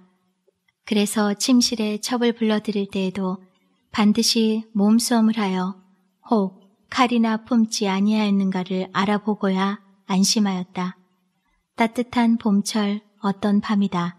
위홍은 마침 집에서 잘 기회를 얻어 저녁을 먹고 나서 후원 첩들의 방 앞을 거닐었다. 첩들은 이날의 대감이 집에서 자는 줄 알고 모두 있는 힘을 다하여 단장을 하고 대감의 발이 행여나 자기의 방에 머무르기를 고대하였다. 뚜벅뚜벅하는 발자취 소리가 박석 위로 올려올 때에 아름다운 첩들은 가슴을 두근거리고 자기 방 문고리에 손가락이 걸리기를 기다렸다. 위홍은 촛불이 비추인 창과 그 창에 비추인 그림자를 보고 어렴풋이 그 그림자의 주인을 생각하면서 오르락 내리락 하였다. 창에 비치인 그림자들은 위홍의 발자취 소리가 바로 그 앞에 왔을 만한 때에는 한번 움직였다. 그것은 마치 위홍의 마음을 끌자는 표인 것 같았다. 위홍은 마음 나는 대로 몇 방문을 열었다. 위홍의 얼굴이 방으로 들어오면 미인들은 수사판 듯이 일어나 맞았다. 위홍은 혹은 한번 슬쩍 바라보고 말기도 하고 혹은 몸 성한가 하고 말을 한번 마디 붙여보기도 하고 혹은 마음이 나면 손과 발도 한번 만져보고 혹은 한번 빙그레 웃기도 하고 그리고는 또 딴 방으로 간다. 위홍이 그냥 지나간 방에서는 문에 비추인 그림자가 쓰러지는 것이 보이고 혹은 긴 한숨과 혹은 울음소리가 들리기도 한다. 하나도 마음에 드는 게 없군. 하고 위홍은 화를 내어 몇 걸음 빨리 걸어간다. 그때는 두 분 마마와 왕의 생각이 난다. 제일 마음에 들기는 정아 마마였으나 그와는 오래 즐길 기회가 없었다. 제게 마음대로 안 되는 세상. 하고 위홍은 혼자 한탄하고 한숨을 쉰다. 위홍은 문득 어떤 울음소리를 듣고 우뚝 섰다. 위홍은 울음소리 나오는 창을 바라보았다. 그 창에는 사람의 그림자는 없이 울음소리 뿐이었다. 위홍은 그것이 나니인 줄을 안다. 위홍의 눈앞에는 나니의 아름다운 자태가 보였다. 그때 위홍의 눈에는 웃음이 있었다. 그러나 나니의 자태가 보인 뒤에는 반드시 푸른 피를 뿜던 신홍의 얼굴이 보였다. 위홍은 손으로 얼굴을 한번 만지었다. 얼굴에는 지금도 그때 신홍의 피의 뜨거움을 감각하는 듯하였다. 신홍을 죽인 뒤에 맨 먼저 위홍의 마음에 드는 것은 물론 난이를 빼앗아 오는 것이었다. 그래서 곧 난이를 붙들어 왔다. 붙들어 올 때 난이는 그리 저항을 하지 아니하였다. 그러나 붙들려 와서는 좀처럼 위홍에게 몸을 허하지 아니하였다. 처음에는 발악을 하였고 다음에는 먼저 남편의 거상을 입은 것을 핑계로 하였고 그 후에도 혹은 발악을 하고 혹은 병 핑계를 하고 혹은 밤을 새고 혹은 죽는다고 위협을 하여 위홍에게 몸을 허하기를 막아왔다. 위홍도 신홍이 기억이 새롭고 또 나니의 굳은 마음이 무서워서 나니가 하는 대로 내버려 두고 물 같은 여자의 마음이 반드시 변할 날이 있을 것과 한번 자기에게 허하기만 하면 다시는 떨어지지 아니할 것을 믿고 오늘까지 참고 기다렸다. 오늘까지라는 것이 벌써 8년이나 되었다. 그러다가 지금 나니가 슬피 우는 것을 볼 때 아직도 때가 이르지 아니하였나 하였다. 섣불리 건드리다가 또 발악을 하여도 창피하다고 위홍은 슬며시 그 방 앞을 지나가며 나니의 생각은 아니하리라 하였다. 그러나 생각을 아니하려 할수록 나니의 슬픈 울음소리는 위홍의 구름 따라 오는 듯 하였다. 그것이 이상하게 위홍의 마음을 괴롭게 하였다. 위홍은 어린 잎이 나불나불하는 은행나무 아래 서서 뒷짐을 지고 수없는 늙은 가지 틈으로 반짝반짝하는 별을 바라보았다. 꽃향기를 품은 바람만이 위홍의 얼굴을 스치어 지나간 때에 위홍의 늙은 마음속에도 청춘의 하염없는 유혹의 바람이 불었다. 위홍은 결심한 듯이 발을 돌려 다시 나니의 방 앞으로 왔다. 방에서는 아직 연연하게 느껴 우는 소리가 들린다. 위홍은 기침을 하고 마루에 올라서서 나니의 방문을 열었다. 나니의 젖은 별 같은 눈으로 그것을 대답하였다. 방에 켠 옥등잔 불이 문바람에 금실금실 춤을 추어 흰 벽에 비추인 두 사람의 그림자를 춤을 추인다. 위홍이 들어오는 것을 보고 나니는 일어나 아랫목 자리에 앉으며 오늘은 웬일이냐? 네가 전에 없이 단장을 하고 또 내게 자리를 권하니 알 수 없는 일이로구나. 하고 고개를 수그리고 앉은 나니의 울어서 불그레한 뺨을 탐내는 듯이 보였다. 과연 나니는 단장을 하였다. 머리는 기름을 발라 빗고 평생에 안 입던 분홍 비단 바지에 짙은 자주깃을 단 유록색 저고리를 입고 얼굴에는 분이 반이나 눈물에 씻기어 혈색 좋은 연한 살이 군데군데 나온 것이 더욱 풍정이 있다. 나니는 길게 한숨을 쉬며 늦어가는 봄을 마지막 보려고요. 한다. 늦어가는 봄을 마지막 본다. 하고 위홍은 나니의 말을 그대로 한번 불러보더니 그 뜻을 알아들은 듯이 고개를 끄덕끄덕하며 그래도 네게는 아직 봄이 남았다. 하고 자기의 반백이 넘어된 수염을 만진다. 나니는 힘없이 벽에 몸을 기대며 나의 봄, 시들은 봄, 꽃 없는 봄 하고 또 한 번 하염없는 한숨을 길게 쉬었다. 나비 하나가 어디로서 들어와 등잔불을 싸고 돈다. 위홍은 손을 내밀어 분홍 바지 무릎 위에 놓인 나니의 하얗고 부드러운 손을 덥석 잡아 끌었다. 위홍이 나니의 손을 잡아 끌 때에 나니는 몸서리치는 듯이 손을 뿌리치려 하였다. 그러나 어느덧 나니의 가는 허리는 위홍의 팔에 껴안겼다. 늦어가는 봄을 헛되이 보낼 수가 있으랴. 아직 꽃은 필 것을. 하고 위홍은 나니를 끌어 무릎 위에 얹었다. 나니는 더 반항하려고도 아니하고 붙들린 참새 모양으로 숨소리만 시근시근하였다. 애기하였던 반항과 바락이 없는 것을 다행히 여기어 위홍은 어머니가 젖먹이는 아기를 안듯이 나니의 몸을 꼭 껴안았다. 나니의 몸은 비단같이 부드럽고 불같이 뜨거운 듯하였다. 위홍은 60이 가까운 몸이 갑자기 젊어지는 듯하여 미친 듯이 몸을 떨고 나니의 몸은 전신이 향기에 젖은 듯하였다.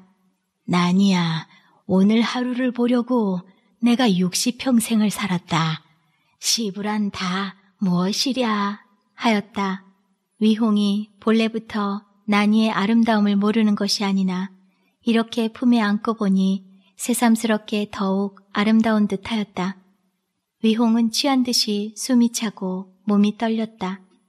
또 어디서 들어온 나비가 등잔불을 싸고 돈다. 가끔 날개로 불을 치고는 놀래서 물러나다가 다시 날아든다. 나니는 가만히 두 팔을 뽑아 위홍의 가슴을 안았다. 그 뚱뚱한 가슴이 나니의 아름에 겨우 두 손끝이 위홍의 등 뒤에서 닿을락 말락하였다. 나니는 손으로 위홍의 등을 위아래로 쓸어 만지었다. 그렇게 할수록 위홍의 숨결은 더욱 커지고 눈가는 더욱 술 취한 듯 하였다. 나니는 위홍의 가슴에 한편 구리를 대었다. 엷은 겹옷을 통하여 염통 뛰는 소리가 쿵쿵 들린다.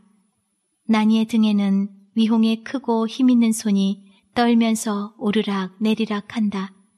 그러할 때마다 나니의 비단 저고리가 위홍의 손바닥에 스치어 바삭바삭 하는 소리를 낸다.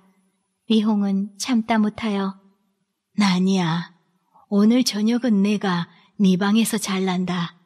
하였다. 위홍은 지금까지 첩을 자기 방으로 불러들일지언정 일찍 첩의 방에서 잔 일은 없었다. 그것은 무슨 일이 있을까봐 무서운 까닭이다. 그러나 오늘은 차마 나니의 방을 떠날 수가 없었다. 비록 잠시라도 한 걸음이라도 나니 방에서 발을 내놓을 수가 없었다. 나니는 여전히 구리로는 위홍의 염덩 뛰는 소리를 듣고 손으로는 위홍의 등과 허리를 만지면서 고개도 돌이지 아니하고 주무시게 해드리죠. 하였다. 이 말에 위홍은 더욱 기뻐서 나니를 한 번 더 껴안았다. 그러고는 곧 자리를 펴라 하고 나니를 안았던 팔을 풀었다.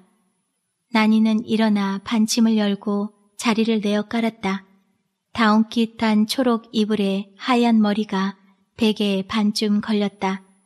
자리를 펴고 나서 나니는 등잔을 들고 방 한편 구석에 섰다. 위홍은 칼을 끌러 걸고 옷을 끌으면서 등잔 뒤에 선 나니의 수사판 얼굴을 보고 그 날씬한 몸을 볼때 더욱 정욕이 부릴 듯 하였다.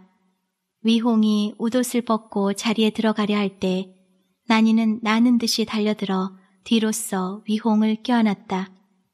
위홍은 가슴에 무엇이 선뜻하는 것을 깨달았다. 그리고는 앞으로 쓰러졌다.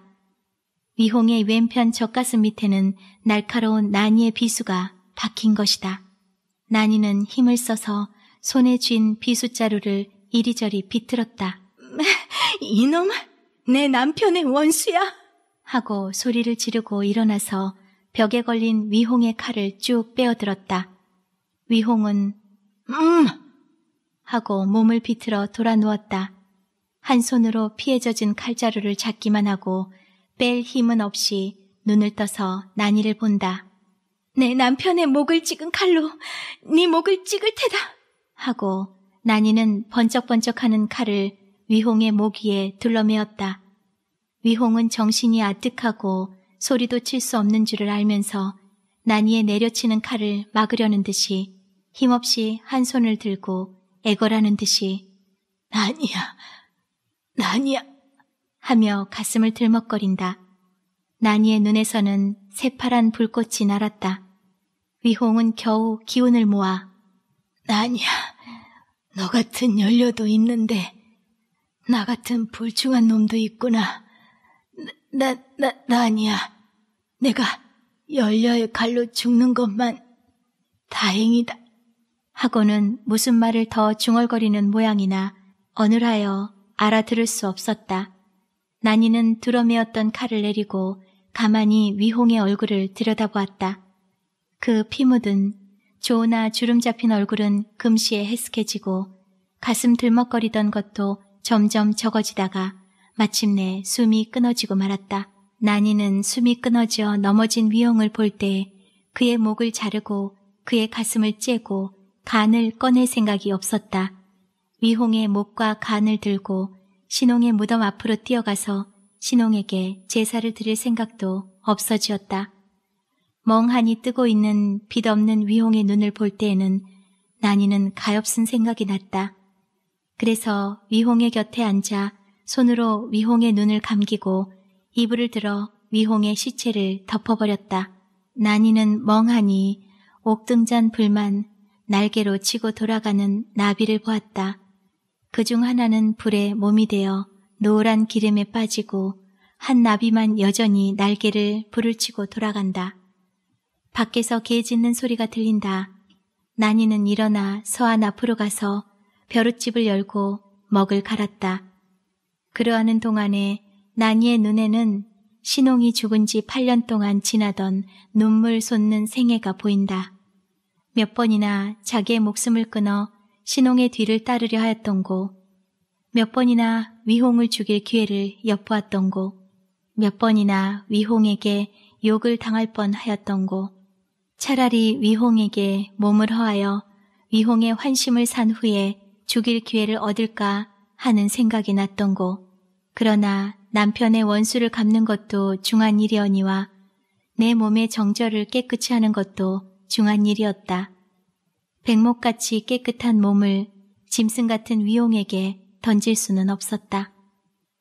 그러나 이러한 동안에 한 봄이 가고 한 가을이 또 가기 일곱째 봄이 또 늦어가려 하였다. 원통이 죽은 남편의 몸은 벌써 썩어서 죄가 되어버리고 어리던 자기의 눈초리에도 한 줄 두 줄 가는 주름이 잡히기 시작하였다. 그러다가 그날에 위홍이 집에서 잔다는 말을 들었다. 근래에 위홍은 매일 대궐에서 자고 집에서 자는 일은 한 달에도 며칠이 되지 못하였다. 이날을 놓치면 또 언제 기회가 올는지 몰랐다. 난이는 자기가 위홍을 잡을 무기가 자기의 아름다움밖에 없는 줄을 안다. 난이는 8년 만에 처음 단장을 하고 채색 옷을 입었다. 머리에 기름을 바른 때나 채색 옷에 고름을 맬 때나 난이의 가슴은 아프고 눈물을 흘렸다. 더구나 단장을 다하고 나서 품에 비수를 품고 거울을 대하여 앉을 때 난이의 창자는 천조각 만조각으로 끊어지는 듯 하였다. 단장을 하고 채색 옷을 입고 거울을 대하니 옛날과 다름이 없다. 사돌집에서 신홍의 사랑을 받을 때와 다름이 없다. 나는 아직도 젊다. 아직도 아름답다. 아직도 한창 재미있게 살라이다. 그러나 나는 살 수 없는 사람이다. 할 때에 난이는 얼마나 슬펐나. 난이는 거울을 대하여 옛 부르던 노래도 불러보고 혼자 일어나서 옛 추던 가야 선무도 추어보았다. 노랫소리도 예와 같고 춤추는 것도 예와 같았다. 다만 같지 아니한 것은 나니의 신세였다. 나니는 품에 품었던 비수를 빼어보았다. 날은 파랗고 안개가 돈다. 8년 동안 품었던 비수다. 밤마다 내어보고 남편의 원수를 갚아다오 하고 사람에게 대해 말하듯이 말하던 비수다. 이것은 자기가 위홍에게 붙들려 온 뒤에 신홍이 자기더러 일생을 같이 하라고 하던 화랑이 담을 넘어서 갖다 주고 간 비수다. 비수의 날은 파랗고 끝이 표족하였다. 이것을 가지고 난이는 수없이 허공을 찔렀다. 찌를 때 위홍이 피를 쏟고 거꾸러지는 것을 보고는 이놈, 내 남편의 원수야! 하고 소리를 지른 뒤에 위홍의 목을 찢고 배를 째고 간을 내어 입으로 씹고 이렇게 한 번씩 되풀이하고는 다시 싸두었다. 그리하던 비수다. 오늘은, 오늘은 하고 나니는 비수로 한 번 허공을 찔러보았다.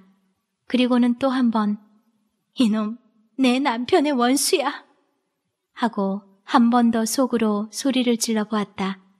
그리고는 또 거울을 보았다.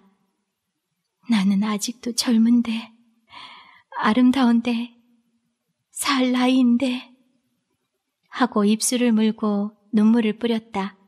나니가 먹을 갈다 말고 이런 생각을 하고 있을 때 등장가로 돌아가던 나비가 마주 불을 치고 등잔 밑에 떨어져 바르르 떨었다.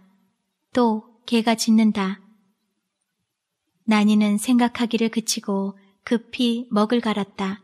갈던 먹을 벼룻집에 던지고 붓을 들어 벽에 이렇게 썼다. 이것을 번역하면 이러하다. 임 잃고 외로운 몸이 8년 풍상 어려워라. 8년 풍상 어이 겪은 고 임의 원수 갚았으니 임 따라 가노매라. 다 쓰고서 난이는 위홍의 칼을 들고 후원으로 나갔다. 밤은 고요하고 별은 반짝인다. 난이는 은행나무 밑을 지나 연단가를 돌아 풀에 맺힌 이슬에 옷을 적시면서 후원 북쪽 끝 노속 밑에 다다랐다. 여기는 땅이 높고 가장 정결한 곳이다. 난이는 칼을 곁에 놓고 땅에 꿇어 엎드려 황촌과 후토와 1월 성신과 부처님과 부모와 남편의 홀룡에게 원수 갚은 일을 고하고 나는 깨끗한 몸으로 임을 따라가오. 님의 목을 베인 같은 칼로 내 목을 베고 따라가오. 하고 위홍의 긴 칼을 빼어 한삼 소매로 한 번 칼날을 씻은 뒤에 칼끝을 입에 물고 앞으로 거꾸러졌다. 점점 가늘어가는 울음소리가 들리다가 그것도 얼마 아니하여 끊어지고 향기로운 나니의 몸은 마치 기도하는 사람 모양으로 꿇어 엎드려 다시 움직이지 아니하였다. 이튿날은 왕이 임해전에 전춘년을 배설하고 만조 백강과 홍윤사의 높은 중들과 국악의 박사와 이름난 국선과 화랑을 부르시는 날이다. 왕은 일찍 일어나 목욕하고 머리를 감고 사오인의 궁녀를 재촉하여 가장 아름다운 의복과 가장 아름다운 단장을 하고 이날의 즐거운 연락을 시각이 바쁘게 기다렸다. 왕은 신상의 모든 행락이 자기를 위하여 있는 듯하고 자기는 영원히 젊어서 이 행락을 누릴 것 같이 생각하였다. 이날의 하늘에는 구름 하나 없고 환한 해는 토암산 위로 거침없이 솟아올라왔다. 서불안! 서불안! 하고 왕은 단장이 끝나기도 전부터 위홍이 들어오기를 기다리고 들어오나 보라고 쉴 새 없이 궁녀를 자주 내보내었다. 왕은 자기의 새로 한 단장이 빛이 날아가기 전에 위홍이 보아주기를 바란 것이다. 위홍이 아니 들어왔다. 주능도 왕이 사랑하는 아름다운 남자다. 얼굴 잘난 시중이라는 동요까지 생겼다. 왕은 준웅을 가까이 불러 내가 어떻게 보이오? 하고 자기의 단장한 몸을 본다. 준웅은 눈을 들어 왕을 한번 우러러보고 다시 고개를 숙이고 하늘이 낳으신 성주시옵고 미인이시옵니다. 하였다. 이 말에 왕은 수사판 듯이 웃었다. 그리고 어서 위홍이 들어와서 그 입으로도 그와 같은 말을 듣고 싶다 하였다. 준웅은 차마 위홍이 죽었다는 말이 나지 아니하여 머뭇머뭇할 때에 왕은 매우 초조한 빛을 보이면서 서부라는 웬일인가? 벌써 진신은 되었거든. 한다. 그제야 준웅은 상대등은 죽었습니다. 왕은 낯빛을 변하여 그게 참말일까? 하고 책망하는 듯이 시중을 본다. 준웅은 더욱 고개를 숙이며 위홍은 죽었습니다. 하였다. 왕은 이윽히 말이 막히더니 겨우 정신을 수습하여 무슨 병으로? 하고 묻는다. 칼에 가슴을 찔려 죽었습니다. 칼에? 네, 날카로운 비수에 왼편 젖가슴을 찔려 죽었습니다. 왕은 그 젖가슴을 잘 알매 그것이 눈앞에 번쩍 보인다. 피부 좋은 위홍의 가슴은 젊은 여자의 가슴과 같이 살이 많고 부드러웠다. 어떤 자객이 찔렀나?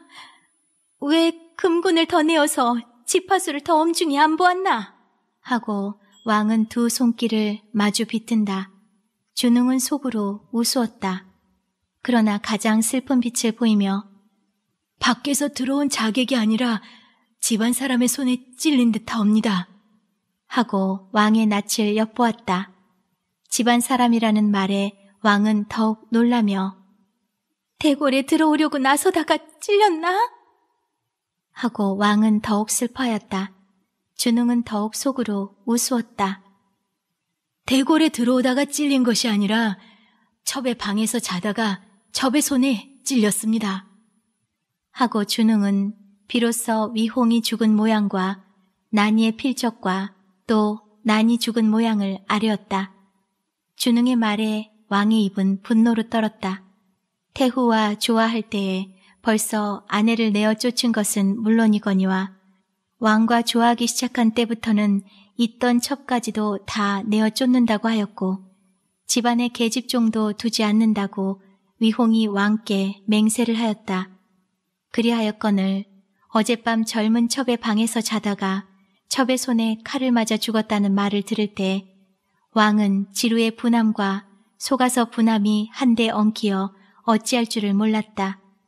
그래서 왕은 오늘 연락을 패하지 말고 위홍이야 죽었거나 말았거나 그대로 연락을 열되 더욱 질탕하게 하라고 준웅에게 명을 내렸다.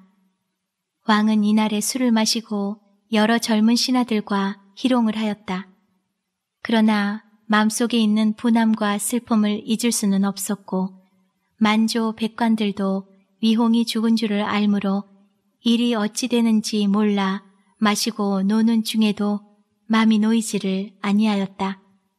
그러나 왕은 끝까지 위홍을 미워하지 못하였다.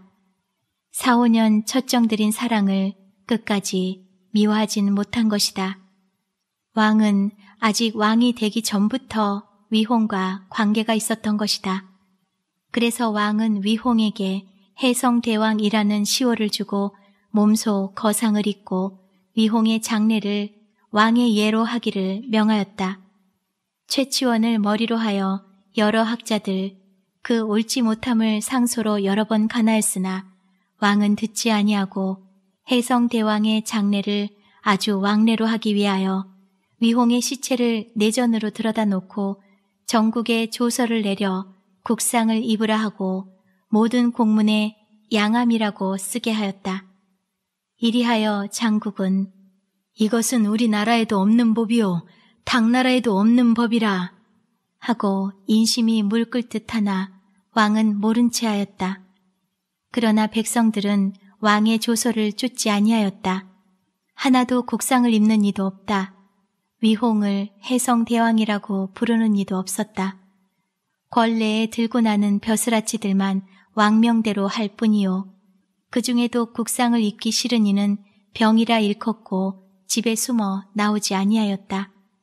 왕은 자기의 명령이 행해지지 않는 것을 분이 여겨 국장을 아니 입는 이는 모조리 잡아 엄벌하라는 조서를 내려 많은 백성이 붙들려도 가고 매도 맞았으나 그것도 시원치 아니하였다. 이때 민간에는 여러 가지 동요가 돌아다녔다. 그것은 대개 왕을 풍자한 것인데 누가 지었는지 모르거니와 한 입 건너 두 입 건너 저마다 부르게 되었다. 그 중에는 이런 것도 있다. 우리나 나니는 임 따라 갔건만은 우리나 마누라 어느 임 따라가리? 한 몸을 둘이네 두임 다 따를까? 우리나 마누라 두임 다 따라가도 우리나 아기씨 어느 임 따라가리? 머리칼 올올이 그 임 다 따르려나 이 동요에 마누라라 함은 물론 영화, 정화 두 분 마마요. 아가씨라 함은 물론 왕이다. 두 분 마마는 딸을 이미 물뿐이지만 왕은 머리칼 올올이 따라도 모두 따를 만큼 이미 많단 말이다. 또 이런 것도 있다. 10만 명 군사도 믿을 수 없어라. 서불한 가슴도 칼은 박힌다네. 이 모양으로 왕과 위홍을 풍자하는 동요가 돌아다니고 혹은 성문과 대골문에 이상한 글들이 나붙기 시작하였다. 왕은 금문을 풀어 금발이 붙는 대로 떼고 동요를 부르는 자가 있으면 잡아서 엄벌을 하였다. 그래도 왕은 자기의 위령을 세우려고 강제로 흰 감투를 씌우려 하니 백성들은 왕께 복종하지 아니하니 왕만 혼자 가슴이 끓었다. 그럴수록 왕은 위홍의 장례를 찬란히 하려고 장 안에 있는 배와 비단을 사들이고 왕릉을 꾸미기 위하여 남산의 옥과 가야의 청석을 캐오라 하였다. 그러나 준비 아래였고 아무리 성화같이 독촉하여도 농시방정에 백성에게 세납을 거둘 일이 없음을 아뢰었다. 왕은 할 일 없이 벼슬을 팔기로 하였으나 벼슬을 사는 사람도 많지 못하였다. 장안에 살던 부자들은 경보를 싸가지고 밤마다 슬며시 서울을 떠나 사방으로 피난을 떠났다. 세상은 오늘 내일로 뒤집힐 듯하고 늦더라도 위홍의 장례날에는 무슨 변괴가 날이라는 소문이 떠돌았다. 위홍의 빈전에는 왕과 두 분 마마가 소복을 입고 빈틈없이 들어가 있었다. 혹시 두 분이 서로 만날 때도 있고 세 분이 동시에 만날 때도 있었다. 그러한 때에는 서로 외면을 하였고 어떤 때는 그 중에 한 분이 획 나가버렸다. 태후는 말이 못되게 쇠하였다. 눈에는 항상 충혈되고 살도 많이 내리고 주름도 많이 늘었다. 질투와 원종의 괴로움이언니와 가끔 양심의 가책이 괴로워 남은 태우의 마음을 때렸다. 더구나 근래에는 경문대왕이 가끔 꿈에 보여서 괴로웠다. 대왕은 혹은 위의를 갖추고 혹은 병석에 누운 모양으로 태우에게 보였다. 왕은 대개 태우를 물끄러미 볼 뿐이요 아무 말도 하지 아니하건만은 그래도 싫고 무섭고 꿈이 깨면 전신에 땀이 흐르고 다시는 잠이 들지를 아니하였다. 태후는 위홍의 빈전에 들어올 때마다 마음으로 위홍을 생각하고 이런 모든 불길한 꿈이 다시 꾸어지지 않게 해달라고 빈다. 버금마마는 아드님이신 정강대왕이 돌아가신 후로 염려를 하기 시작하여 어떤 때에는 주무시는 방에서 밤이 깊도록 연부라는 소리가 들리고 때때로 늙은 여승들을 청하여 연부를 배웠다. 여승들은 아무리 죄가 많아도 나무아비 타불만 부르면 왕생 극락하옵니다. 하고 슬퍼하는 정화마마를 위로하였다. 마마는 위홍의 빈전에 들어올 때마다 나무아미타불을 불러 위홍이나 자기나 현세의 모든 죄를 빌고 왕생 극락하기를 빌었다. 영화 마마보다 마음이 약한 정화 마마는 가끔 눈앞에 유황불이 이글이글 타는 지옥의 광경이 보이고 그 불덩이에는 자기 형제가 위홍의 한 팔씩을 붙들고 매달려 영겁에 끝나지 아니할 괴로움을 보는 양이 보였다. 그러할 때마다 정화마마는 몸에 소름이 끼치어 떨리는 목소리로 나무아미 타브를 불렀다. 날은 가물고 더워 위홍의 시체에서는 무서운 구린내가 나기를 시작하였다. 겹겹이 칠을 한 관 속에 넣었건만은 어디 틈이 벙긋하였는지 쥐구멍이 뚫렸는지 코를 쳐들 수 없게 냄새가 났다. 그래서 아무도 빈전에 들어가기를 싫어하고 송경하는 중들도 문으로 코를 향하고 왕과 두 분 마마도 들어왔다가는 코를 쥐고 나와버렸다. 왕은 차비원에게 엄명하여 냄새가 나지 않도록 하라고 하였다. 차비원들은 다시 관 하나를 더 만들어 넣었다. 그래도 치를 뚫는 냄새나는 시습이 흐르고 이상하게 생긴 구더기와 벌레가 관에서 기어나와 빈전 마루로 기어다녔다.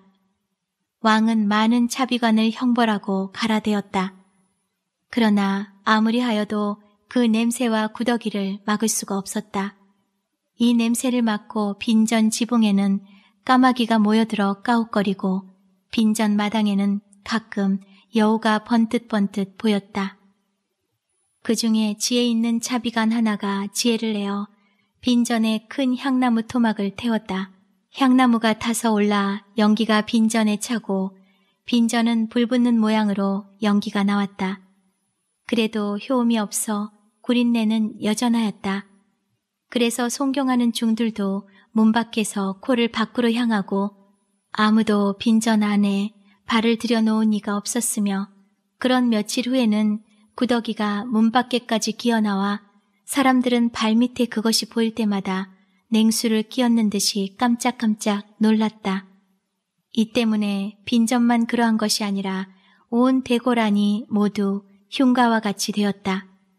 누구는 어느 구석에서 목 잘린 귀신을 보았다 하여 밤이면 아무도 밖에 나가기를 싫어하였고 빈전 안에서는 가끔 이놈 위홍아 하는 소리와 위홍이 응, 응 하는 우는 소리가 들려 송경하는 중들이 경문을 내버리고 달아나기도 하였다. 왕은 심히 마음이 괴로워 사방으로 사람을 보내어 궁중에 잡기를 물리고 시체에서 냄새와 구더기를 막을 명승을 청하였다. 사방에서 많은 중들이 모여들었다. 혹은 고깔 장삼을 입고 혹은 속락 쓰고 바랑을 지고 혹은 늙은이 혹은 젊은이 가지각색 중들이 모여들어 혹은 송경을 하여 경의 힘으로 위홍의 몸의 냄새와 구더기를 막으려 하고 혹은 불가사의한 영혼이 있는 부족으로 혹은 신통력이 있는 진원으로 혹은 다란이로 혹은 염불로 혹은 염력으로 저마다 이 냄새나고 구더기 끓는 죄 많은 혼을 제도하려 하였으나 아무 효력이 없고 날이 갈수록 더욱 소리와 대궐 안에 잡기의 설법은 더하여 갔다. 그래서 중들은 모두 지팡이를 돌려짓고 코를 싸고 물러나갔다. 그러는 동안에 동요는 더욱 늘고 왕을 풍자하는 글과 말은 더욱 유행하였다. 처음에는 별로 뜻이 깊지 아니하던 동요와 글뿐이었으나 근래는 썩 잘 지은 글과 노래가 돌아다녔다. 덜어는 한문으로 지은 것이요 덜어는 이두로 지은 향가였다.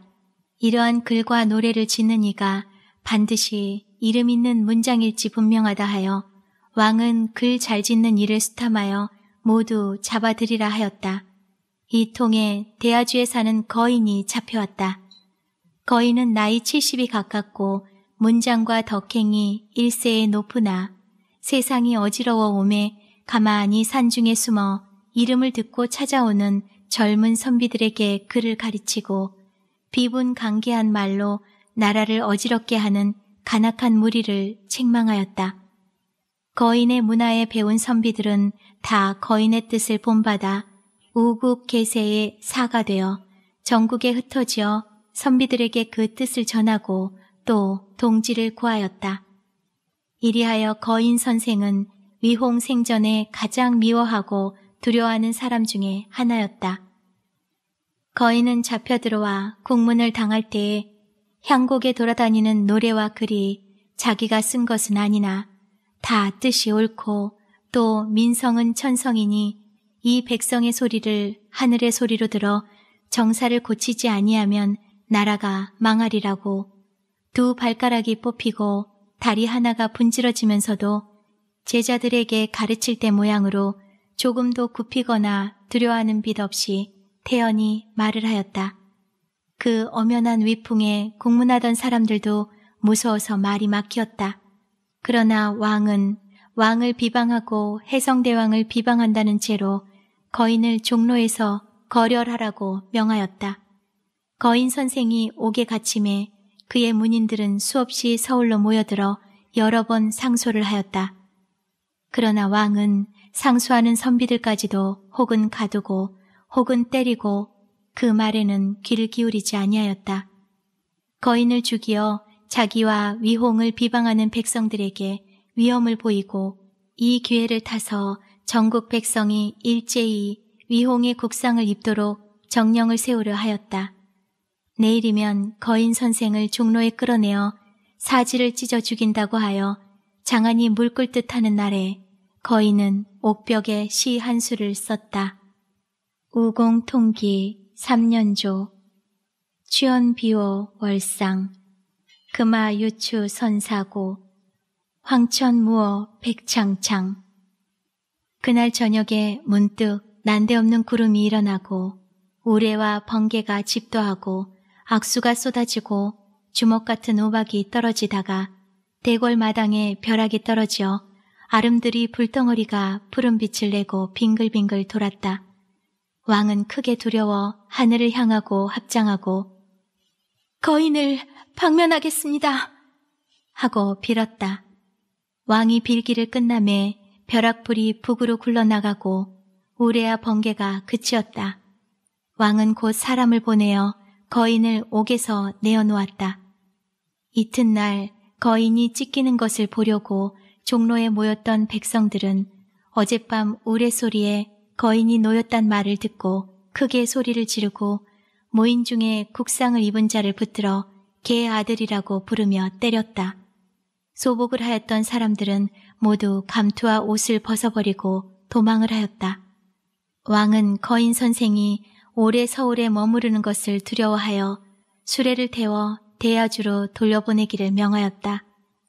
왕이 보낸 수레가 문 밖에 기다릴 때 거인은 좌우의 문인을 불러놓고 구군이 날로 기울어짐을 한탄한다.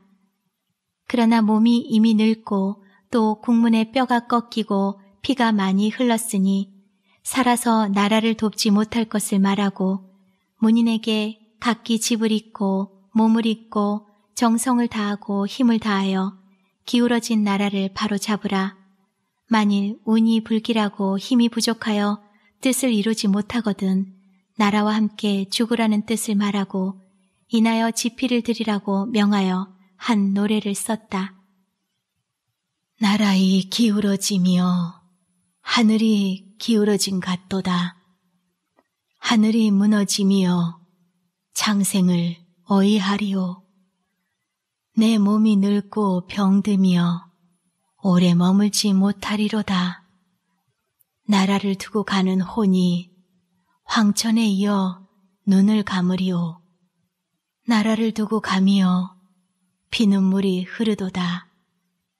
남산이 높고 오래며 구군이 그와 같기를 빌었더니 동해 깊고 푸르름이 오직 충신의 한만 끝이 없도다. 죽노니 만일 혼이 있을진데 아홉 번 죽고 열 번 다시나 천년 종사를 지키고자 하건만은 혼이 흩고 넋이 쓸진데 아 장천 내 어이하리오. 쓰기를 마치고 붓을 던질 때에 거인의 눈에서는 눈물이 흐르고 좌우에 있던 문인들은 스승의 옷자락을 비어잡고 목을 놓아 울었다. 문 밖에 수레를 머물고 기다리던 과인들은 거인이 속히 수레에 오르기를 재촉하였다.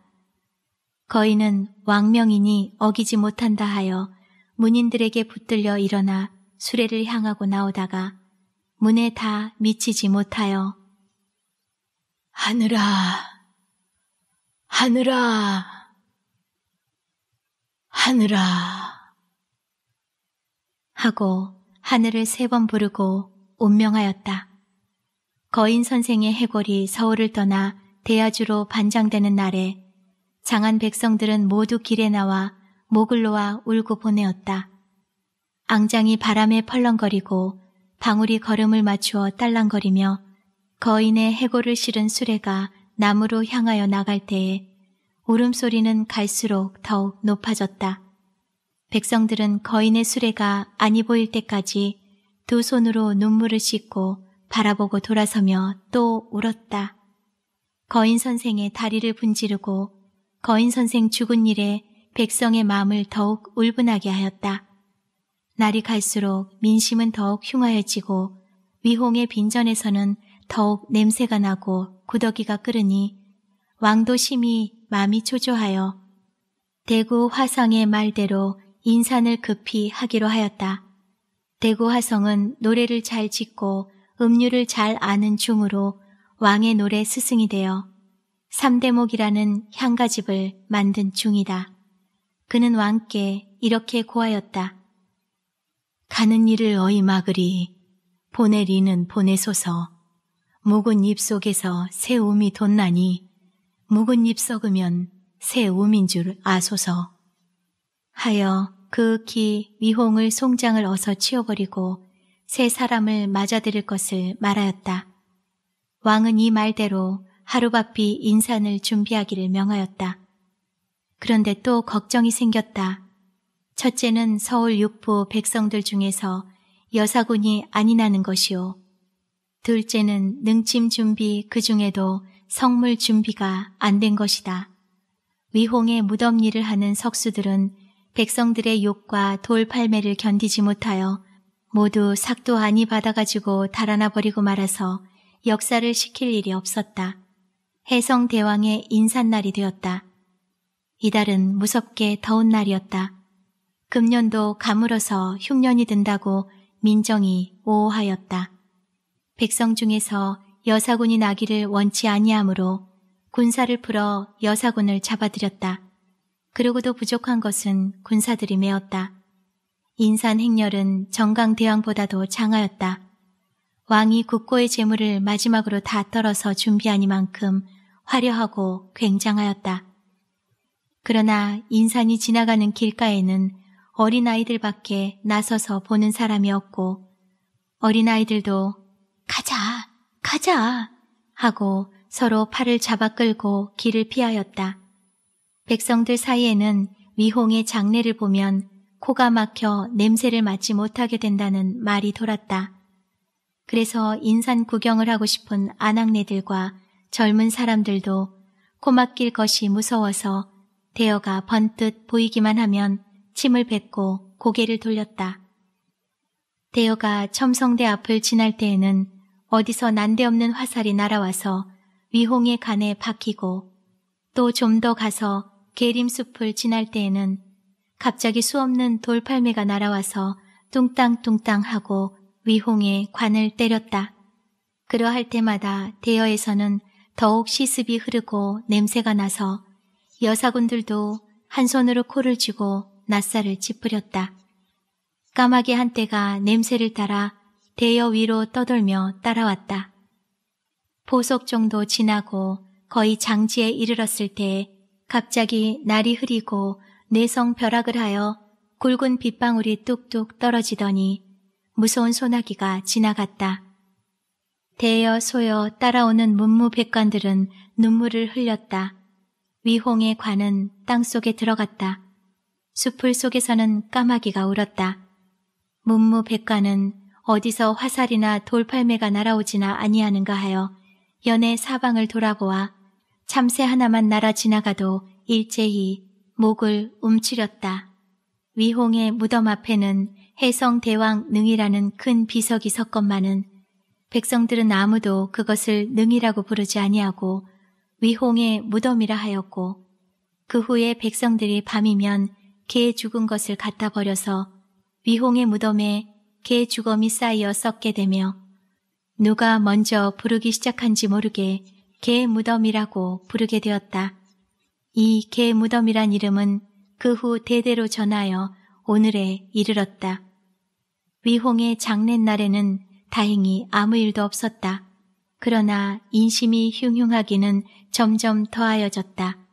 나라의 돈이 말라 백성들에게는 때 아닌 납세를 독촉하고 하늘은 가물어 노는 틈이 벌어지고 밭은 노랗게 탔다.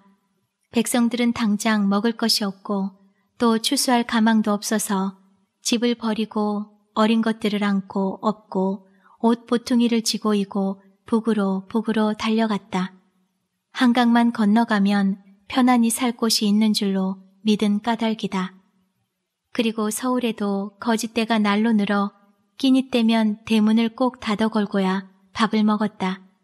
그렇지 아니하면 배고픈 거지들은 우는 아이를 안고 들어와서 숟가락을 들고 밥상에 마주 앉고 혹은 부엌에 들어가서 지어놓은 밥을 맘대로 퍼먹었다. 만일 그것을 못하게 하거나 듣기 싫은 소리를 하면 혹은 안았던 어린아이를 마당에 던져 죽이고는 자기가 목을 메어 늘어져 있기 때문에 사람들은 거지들이 하는 대로 가만히 보고만 있었다. 못 먹어서 얼굴이 희어멀끔해지고 허리가 굽은 거짓대들이 지팡이를 끌고 먹고 싶은 눈을 번득거리며 종로 내거리로 대궐 앞으로 꾸역꾸역 다니는 꼴은 참으로 참혹하였다. 인지야말로 세상 끝날이 왔다고 백성들은 시집 장가가는 것과 아기 낳은 것까지도 시들하게 알고 슬퍼하였다. 죽는 사람이 있으면 잘 죽었지. 살면 몇 날이나 더 사나. 하고 죽는 이를 부러워하게 되었다. 그러나 왕은 여전히 밤낮 젊은 남자를 들여 음란한 쾌락에 취하기를 그치지 아니하였다. 소호가 달아난 것은 사중에 큰 이야기거리가 되었다. 마을에 재 올리러 갔던 길로 이내 돌아오지 않고 말았다. 허담 화상은 성을 내어 이놈 간단 말도 아니하고 하고 소호를 원망하였다. 허담 화상도 인제는 늙어서 옛날에 호화롭던 기운도 줄고 마음이 약해져서 선종과 소호 둘에게만 의지하게 되었다. 그래서 둘 중에 하나는 곁을 떠나지 못하게 하였다. 그 중에도 화상은 소호를 더 믿었다. 대개 선종은 오락부락하고 활쏘기를 좋아하고 중의 계행도 잘 지키지 아니하고 가끔 마을에 가서 술과 고기를 먹고 돌아다니므로 허담 화상뿐 아니라 사중 모든 중들이 선종은 중으로 일생을 보낼 사람이 아니오 반드시 무슨 일을 저지를 사람이라고 여겼다. 그러나 소호는 그렇지 아니하였다. 그는 어려서는 선종을 따라 토끼 사냥도 다니고 장난도 하였으나 점점 나이 자라고 또 백일 선인의 제자가 된 뒤로부터는 더욱 말이 적어지고 중의 계행을 잘 지키고 또 불공을 잘한다 하여 사중에서 많은 신용을 얻고 소호 화상도 여생을 소호에게 의탁할 줄만 믿고 있었다. 그랬던 소호가 재 올리려 갔던 길에 이내 어디로 달아나 버리고 만 것이다. 허담은 홧김에 선종을 졸랐다. 너는 알겠구나. 그놈이 어디를 갔느냐? 하고 하루에도 몇 번씩 이 같은 소리를 물었다. 내가 알아요? 그것이 누구더러 속말해요. 하고 선종도 화를 내었다. 진실로 선종과 소호와는 10여 년 내로 사형 사제의 관계로 방도 같이 치우고 밥도 같이 짓고 물도 같이 깃고 한자리에서 자고 하였건만은 아무리 하여도 뜻이 합하고 정이 통하지 아니하였다. 소호는 낯살이 먹어갈수록 더욱 꽁하였다. 남이 열 마디가 물어야 한 마디를 대답하고 그것도 자기 비위에 맞지 않는 날이면 가늘한 눈만 깜빡깜빡하고 길다란 몸을 들여 기지개만 켰다. 성급한 선종은 가끔 기가 막혀 주먹을 부르짖고 요것이? 하고 소호를 때리려고 덤빈 일도 여러 번 있었다.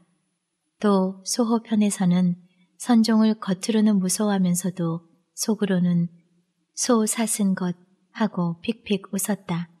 그래서 선종과 소호와는 항상 티격태격으로 지냈다. 더구나 그 꾀만 남고 안 잊고 온 곳이 점점 스님과 사중 사람들의 신용을 얻고 자기는 도리어 가끔 웃음거리가 되는 것이 아니꼽고 분하였다.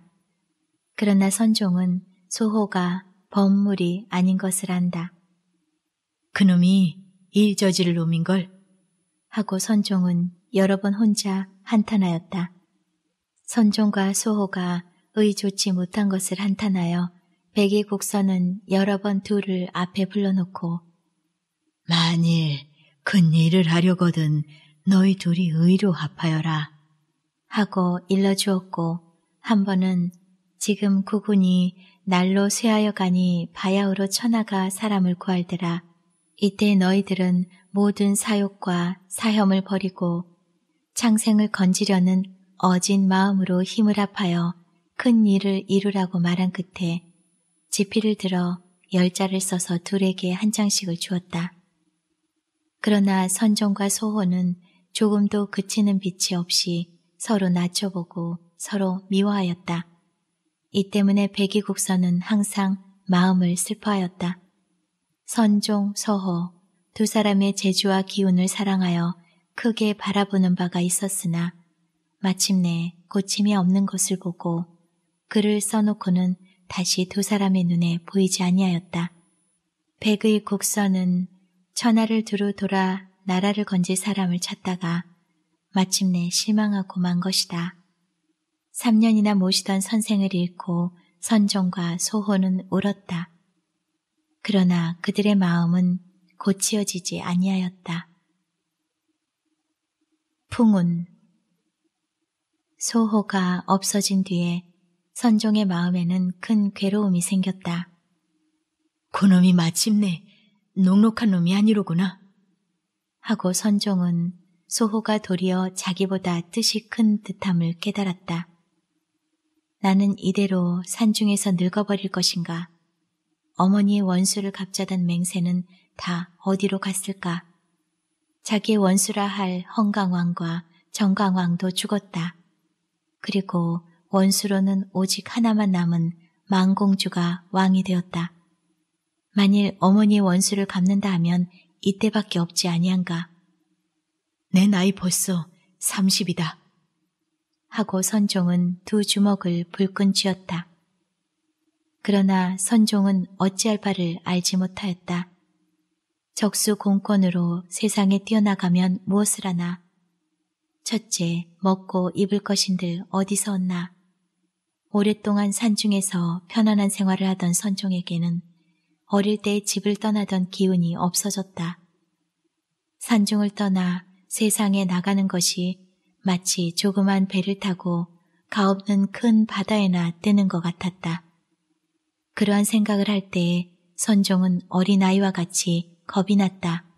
소호가 떠난 뒤에 날이 지날수록 허담화상은 더욱 몸도 쇠약하여 가고 맘도 약하여지어서 잠시도 선종을 곁에서 떠나지 못하도록 붙들었다. 잠이 들었다가도 선종아 하고 여운이 팔을 내어 들어서 선종의 곁에 누워 있는 것을 보고야 다시 잠이 들었다. 선종도 소호가 없어진 뒤로는 늙은 스님을 사모하고 불쌍히 여기는 마음이 더욱 자랐다. 워낙 소박한 성질이라 특별히 기호하는 빛도 보이지 아니하고 15년 생활을 돌아보면 허담 화상의 은혜와 정이 선종의 뼈에 사무침을 깨달았다. 이것을 뿌리치고 달아난 소원은 아주 인정없고 매몰한 사람이거나 그렇지 아니하면 크게 용기 있는 사람이라고 생각하였다. 선종은 산중을 떠나자고 생각하였다가도 자기에게 매어 달리는 스님의 기운 없는 모양을 볼 때에는 맥이 풀렸다. 가자. 못 간다. 선종의 속에서는 두 소리가 다투었다. 어머니의 원수는 지난 일이요. 스님의 정은 지금 일이다. 만일 천하를 다 준다 하여도 차마 늙은 스님을 뿌리칠 수는 없었다. 선종은 소호가 떠난 뒤에는 소호와 같이 말이 적어지고 소호와 같이 순한 사람이 되어버렸다. 그래서 효도하는 자식 모양으로 병든 스님을 받들고 계행 지키는 중으로 모든 불사를 근실히 하였다. 산중 사람들은 선종의 행동이 돌변한 데 놀랐다. 그러나 선종의 마음속에서는 누를 수 없는 무슨 뭉텅이가 불끈불끈 솟아올라왔다. 더구나 새로 즉위한 여왕이 음탕하여 민심이 이반하고 각처의 영웅 호골들이 불끈불끈 일어나서 천하를 엿보는 것을 듣고 볼 때 나도 하는 생각이 안이나지 못하였다. 그러나 선종에게는 첫째로 어린아이 같은 겁이 있고 둘째로는 스님의 정을 뿌리칠 수가 없었다. 나는 왕자다. 하고 자기가 범상한 사람이 아닌 것을 생각하여 본다. 그러나 15년 동안이나 소식이 없다가 자기가 왕자라고 나서기로 누가 믿어줄까? 세상에서는 도리어 미친놈이라고 웃을 것이다. 섣불리 그런 소리를 하다가는 공연히 봉변만 당할 것이다. 그러면 내가 무엇으로 큰 일을 하나? 백의 국선은 말하였다.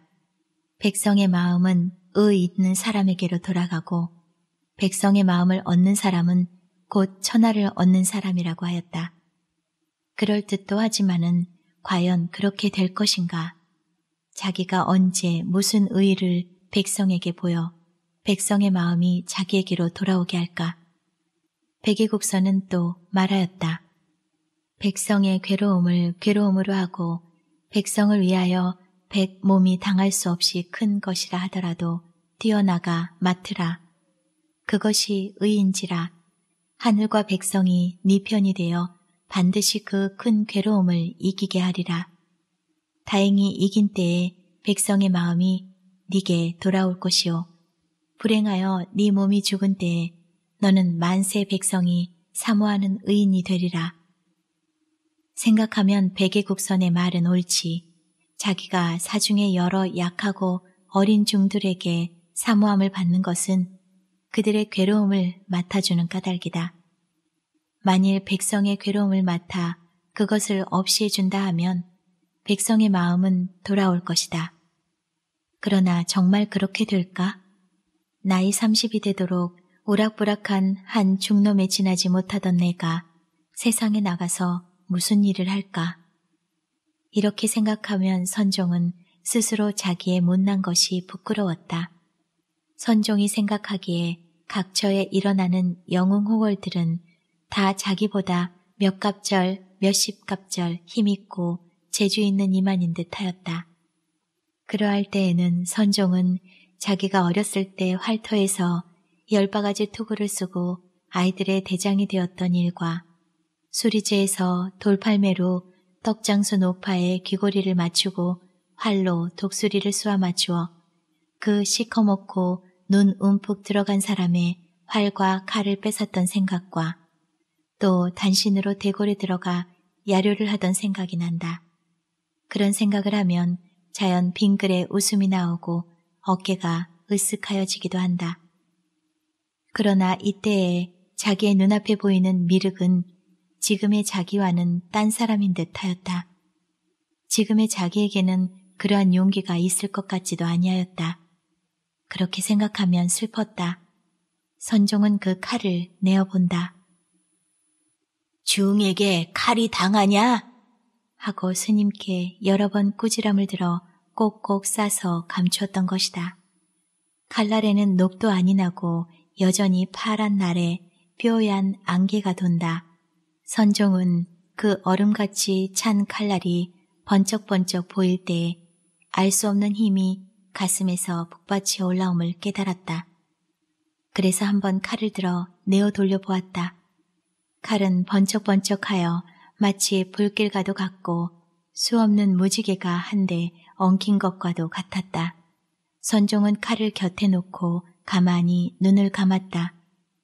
선종의 앞에는 엷은 벌판이 보이고 거기는 구름같이 밀려오는 군사가 보이고 번뜩거리는 기치와 창검이 보이고 안개같이 일어나는 말발굽에 먼지가 보이고 그 중에 자기가 황금 두구에 해, 달 그린 갑옷을 입고 한 어깨에 활을 메고 한 손에 칼을 두르며 망군 중으로 쫓아 들어갈 때에 군사들은 자기의 칼 끝에 3대 쓰러지듯 하고 또 광풍 앞에 풀이 눕듯이 자기의 위풍에 눌려 넋을 잃고 달의 왕과 같은 위풍으로 비단 장망이 펄럭거리는 본진 중으로 돌아오는 양이 보이고 본진 중에는 달 같고 꽃 같은 미인이 있다가 자기를 보고 반겨 내달아 일변 투구와 갑옷 벗기고 일변 자기의 칼에 묻은 피를 씻고 이러하는 양이 보인다.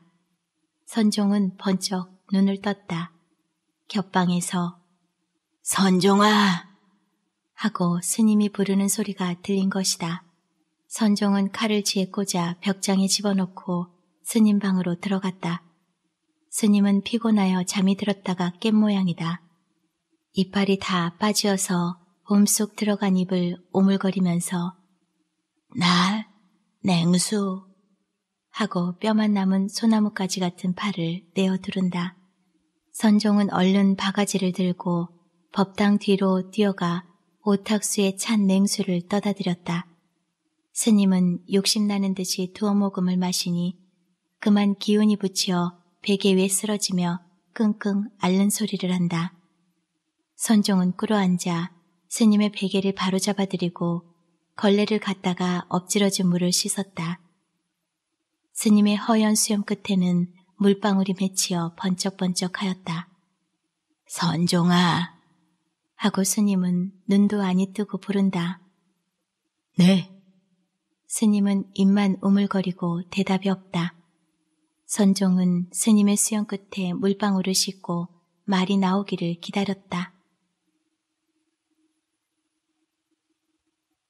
세상은 점점 떠들어 세 달사 젊은 중들도 경공포와 연불의 뜻이 없고 모여 앉으면 어디는 누가 몇백 명 군사를 가지고 은거에 있고 어디는 누구누구와 싸워서 누가 이겨 한 고를 차지하고 어디 누구는 본디 중으로서 몇천 명 군사의 두령이 되어 술과 고기와 젊은 계집 속에 묻혀 있고 또 서울서는 대궐 안에 호랑이가 들어와 관등을 하고 대가리 색 가진 아이가 나고 또 군사를 모집하는데 사뭇 녹이 많고 이러한 소리를 늘 하게 되고 가끔 중에 한두 명씩 사중에 있는 재물을 훔치어 가지고 달아나는 중도 있고 부처님의 이맛배기에 박힌 구슬을 빼다가 벌을 받아서 소경이 되었다는 중도 있었다.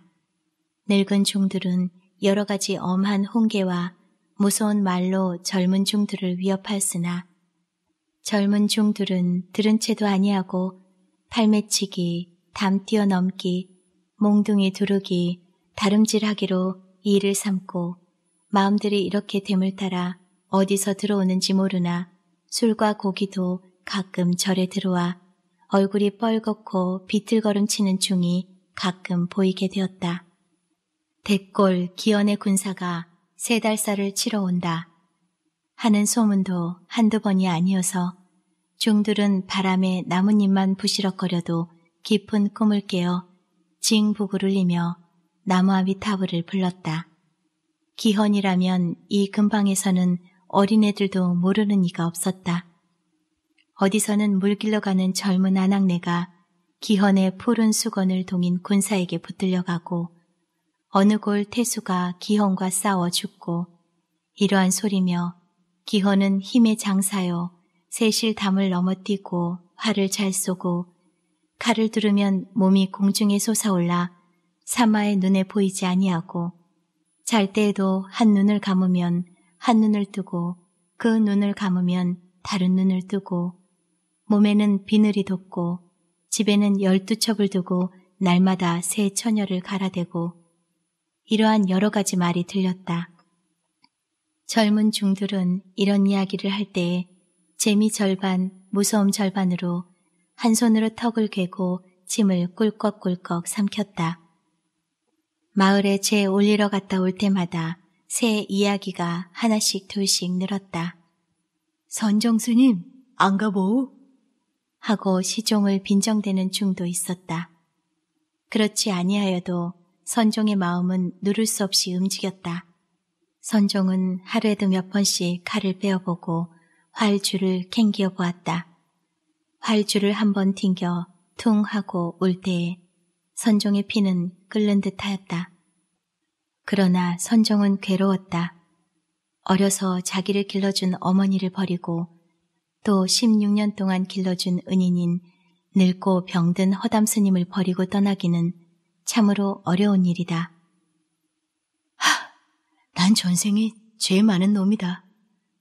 하고 선종은 손길을 비틀고 한탄하였다. 그러나 큰 일을 하는 자는 일이 얽매일 수가 없다. 이때야말로 어머니의 원통한 원수를 갖고 도탄에 든 창생을 건지어 한 번 대장부의 뜻을 필 때가 아니냐. 가거라 선종아.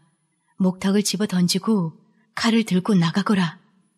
하고 밤중에 일어나 선종은 혼자 말하고 활과 칼을 내어 메고 차고 병으로 고나게 자는 스님의 방 앞에 꿇어 엎드려 합장하고 스님, 스님 하고 속으로 두어 번 부를 때 눈물이 떨어졌다.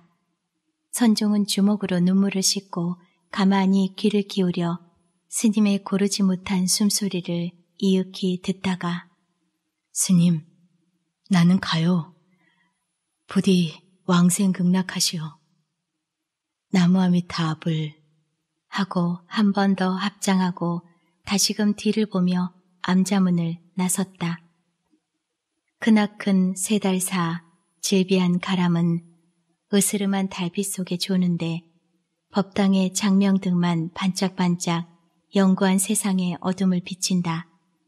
선종은 법당을 향하여 한번 절하고 합장하고 스님의 복을 빌고 절문을 나왔다. 바람에 몰리는 구름이 달을 향하고 끊임없이 달아난다. 선종은 잠을 이루지 못하고 홀로 물가에 나와 거닐었다. 자깃돌 위로 흘러가는 물은 늦은 가을빛을 받아 금빛으로 번쩍거리며 여울여울 소리를 낸다. 달은 바로 대지에 걸려 강 건너편에는 산 그림자가 먹빛과 같은데 대째 중턱에는 양길의 군사가 반팥으로 피우는 불이 반딧불 모양으로 여기저기 반짝거린다. 이따금 돌아가는 기러기 소리와 함께 찬 바람이 휘 지나가며 강 언덕에 허옇게 마른 맥갈 포기를 흔들어 우수수 소리를 낸다. 선종의 거니는 발이 지나갈 때마다 벌레 소리가 뚝 끊기고 저편 기원의 군막에서 늦도록 질탕하게 논이는 풍악 소리가 들린다. 강가로 길게 늘어선 군사들의 장막에서는 아무 빛도 아무 소리도 아니 나고 이따금 잠 못 이루어 나와 거니는 군사의 그림자가 어른어른 보일 뿐이다. 벌써 여기 온 지 1년이 되었다. 하고 선종은 기러기 소리에 끌려 하늘을 우러러 보았다. 하늘에는 잘 자리를 찾지 못한 기러기 한 떼가 들 입자로 진을 지어 나무로 피곤한 날개를 친다. 달은 더욱 하늘에 닿은 듯한 대째 마루터기에 허덕거리며 올라간다. 이때 뒤에서 궁예인가 하는 소리가 들린다. 선종은 선종이라는 중의 이름을 버리고 기원의 휘하에 온 때부터 공예라는 이름으로 행세를 하였다. 하, 자네들인가? 웬일로 아직도 자지 않고 나와 다니나? 하고 궁예는 두 사람을 보고 손을 들었다. 그 두 사람은 원혜와 신원이다. 원혜와 신원은 지난봄 상벌 싸움에 궁예가 큰 공을 세운 때부터 궁예를 사모하였다. 더구나 궁예가 조금도 교만한 빛이었고 아랫사람을 사랑하고 자기의 공을 남에게로 돌리는 것을 볼때 더욱더욱 사람들의 사랑을 받게 되었다. 그래서 군사들 중에는 궁예를 따르려 하는 이가 많고 기현의 인망이 떨어질수록 더욱 그러하였다. 아무리 하여도 큰일은 다 틀렸으니 무슨 끝장을 내어야 하지 않겠나?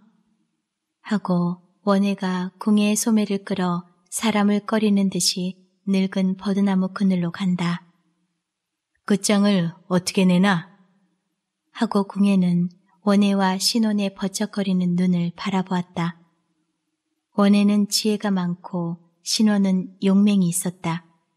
두 사람은 산중에서 공부도 같이 하였고 이태 전 기현의 휘하에 올 때에도 같이 왔고 죽고 살기를 같이 하기로 피를 마시고 서로 맹약한 사람이다. 원혜는 한 번 사방을 돌아보아 인적이 없음을 살핀 뒤에 자, 이 사람이 아무래도 큰일은 못할 사람 아닌가. 지금도 우리들이 한참이나 이 사람과 다퉜지만 그만 주색에 빠져서 헤어날 줄을 모르네 그려. 내일은 양길과 대접전을 할 텐데 밤새도록 저 모양이야. 군사들에게는 소 한 마리, 술 한 동이 이렇다는 말이 없으니 군사들이 싸울 생각이 없는 것은 분명한 일이 아닌가. 지금 군사들 중에는 수군거리는 자도 있는 모양이니 만일 이때에 일을 바로 잡지 아니하면 우리들까지도 이 사람 한 가지로 군사들에게 배반을 당하고 말 것 아닌가. 그러니까 일을 하려면 이 기회에 무슨 끝장을 내어야 한단 말일세. 그런데 하고 원혜가 더 말하려는 것을 신원이 참지 못하는 듯이 가로막고 여러 말할 것 있나? 그 녀석을 해내고 자네가 우리 두목이 되란 말일세. 그 녀석 해내는 것은 내 담당함세. 또 삼천명 군사도 자네라면 다 따를 것이오. 또 우리들의 말이라면 안 들을 리가 없네. 첫째 그 녀석을 두고야 백성의 원망에 견딜 수가 있나. 오늘도 남의 청원에 놓은 처녀를 뺏어다가 지금 저 지랄이니 자 어찔 텐가. 단마디로 끝장을 내소. 하고 궁의 곁에 바싹 대든다. 원회, 신헌 두 사람이 궁예를 보고 이런 말을 한 것은 한두 번이 아니었다. 그럴 때마다 궁예는 고개를 흔들고 그것은 무리일세. 우리가 우리 윗사람에게 불의를 하면 우리 아랫사람이 우리에게 또 불의를 할 것일세. 하니까 우리 힘껏 가나여서 하회를 보세. 하고 눌러왔었다. 그리고 원혜와 신원 두 사람은 틈 있을 때마다 기원을 가나였다. 그러나 기원에 하는 일은 점점 더 악하여질 뿐이요. 조금도 고칠 줄을 몰랐다. 이 천하에 나를 당할 놈이 있느냐? 있거든 나오너라. 내가 하려면 사흘 안에 서울을 내 손 안에 넣을 것이다. 이 모양으로 뽐내기만 하였다. 그러는 동안 한참 5천 명이라고 일컫던 군사 중에서 2천 명이나 더러는 싸워 죽고 더러는 달아나고 인제는 군사라고 3천 명밖에 아니 남았다. 양길이 데리고 온 군사 중에는 기현의 군사였던 군사가 반이나 되고 그 군사들은 대개 기현을 원망하는 무슨 원통한 것을 품은 사람들이다. 지난 1년 동안에 사오차나 큰 싸움이 있었다. 그때마다 궁예는 목숨을 내놓고 싸워서 큰 공을 세웠다. 궁예가 아니더면 이번 싸움에는 함무를 당할 뻔하였다. 하고 모든 군사들도 다 말하였다. 그러나 기어는 싸움에 이긴 것이 다 자기의 모략과 용기라고만 말하고 궁예와 다른 장졸들에게는 위로하는 말 한마디도 하는 일이 없었다. 본래는 그렇지 않아더니 점점 교만하게 되었다고 한다. 특별히 궁예에게 대하여서는 일종의 미움을 가졌다. 그것은 처음에는 몰랐다가 차차 궁예가 활을 잘 쏘고 칼을 잘 쓰는 것을 볼 때에 그것이 16년 전 수리제 위에서 자기의 활과 칼을 빼앗던 애꾸놈인 것을 알게 된 때문이다. 그는 하루는 조용히 궁예를 불러 자네는 나를 모르나? 하고 물었다. 궁예도 그제야 기현의 얼굴을 자세히 보고 그 모습이 낯익음을 깨달았다. 그래서 이윽히 있다가 어렴풋이 생각납니다. 저 수리제에서 하고 말을 끊었다. 그때부터 기현은 궁예를 미워하기 시작한 것이다. 그리고 싸움이 나면 궁예를 항상 선봉으로 내어보냈다. 첫째는 궁예가 어서 죽기를 바란 것이요. 둘째는 궁예가 싸움에 이기기를 바란 것이다. 그러나 궁예는 충성으로 기원을 섬겼다. 궁예는 백이 국선에게 들은 말을 그대로 실행하는 것이다. 윗사람에게는 수종하라. 아랫사람을 아끼라. 이것이 병가의 첫째 가는 요결이니라. 하고 백이국선은 여러 번 선정과 소호를 가르치었다. 한 번 누구에게 몸을 허하였거든 죽기까지 그에게 충성되라. 오직 만민이 도탄에 든 때에만 대의의 칼을 들지니 이것은 탕, 무의 일이오니와 저마다 할 바 아니니라. 이러한 말도 여러 번 백일국선에게 들었다. 궁에는 이 말도 그대로 실행하려 하였다. 진실로 궁에는 이름만 고친 것이 아니요 마음도 고치어지어 선종으로 있을 때와는 전혀 딴 사람이 되었다. 선종은 큰 뜻을 품게 된 것이요.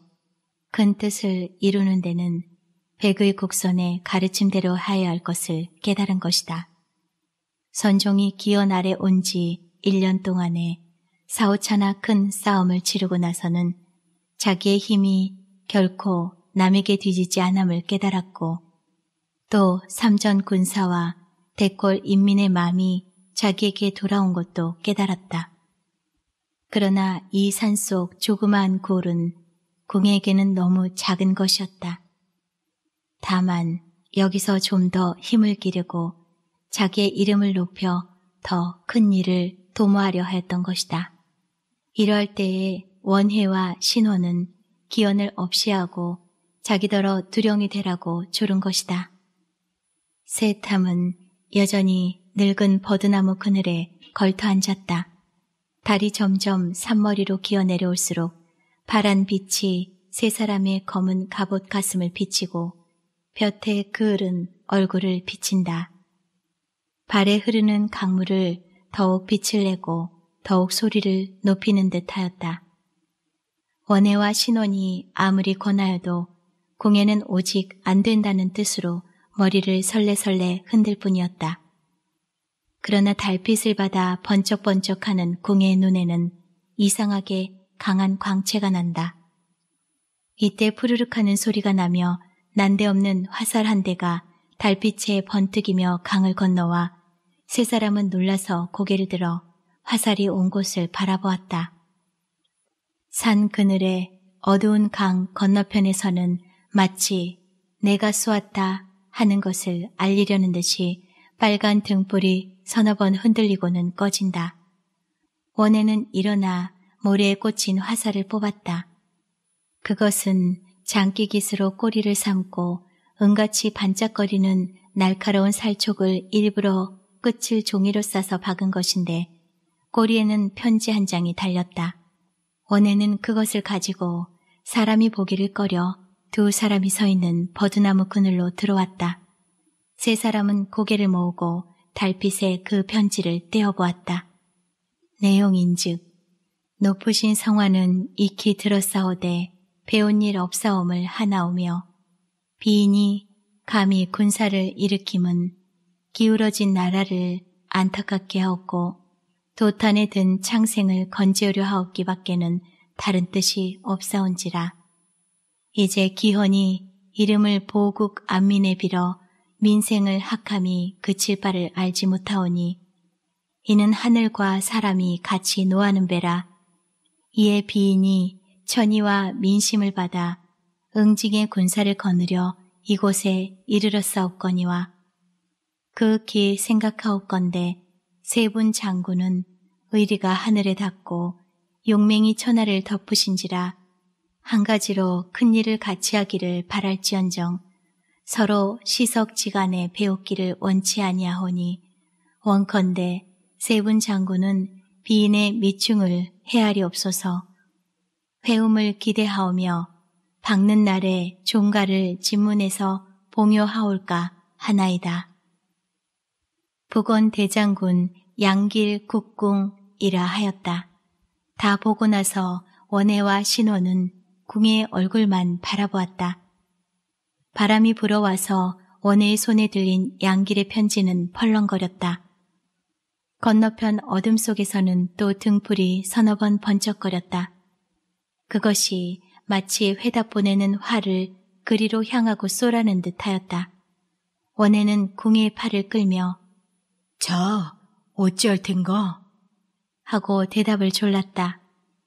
어찌할 텐가? 이 편지를 도로 쏘아 보낼 텐가? 백지 답장을 보낼 텐가? 하고 신원도 곁에서 졸랐다.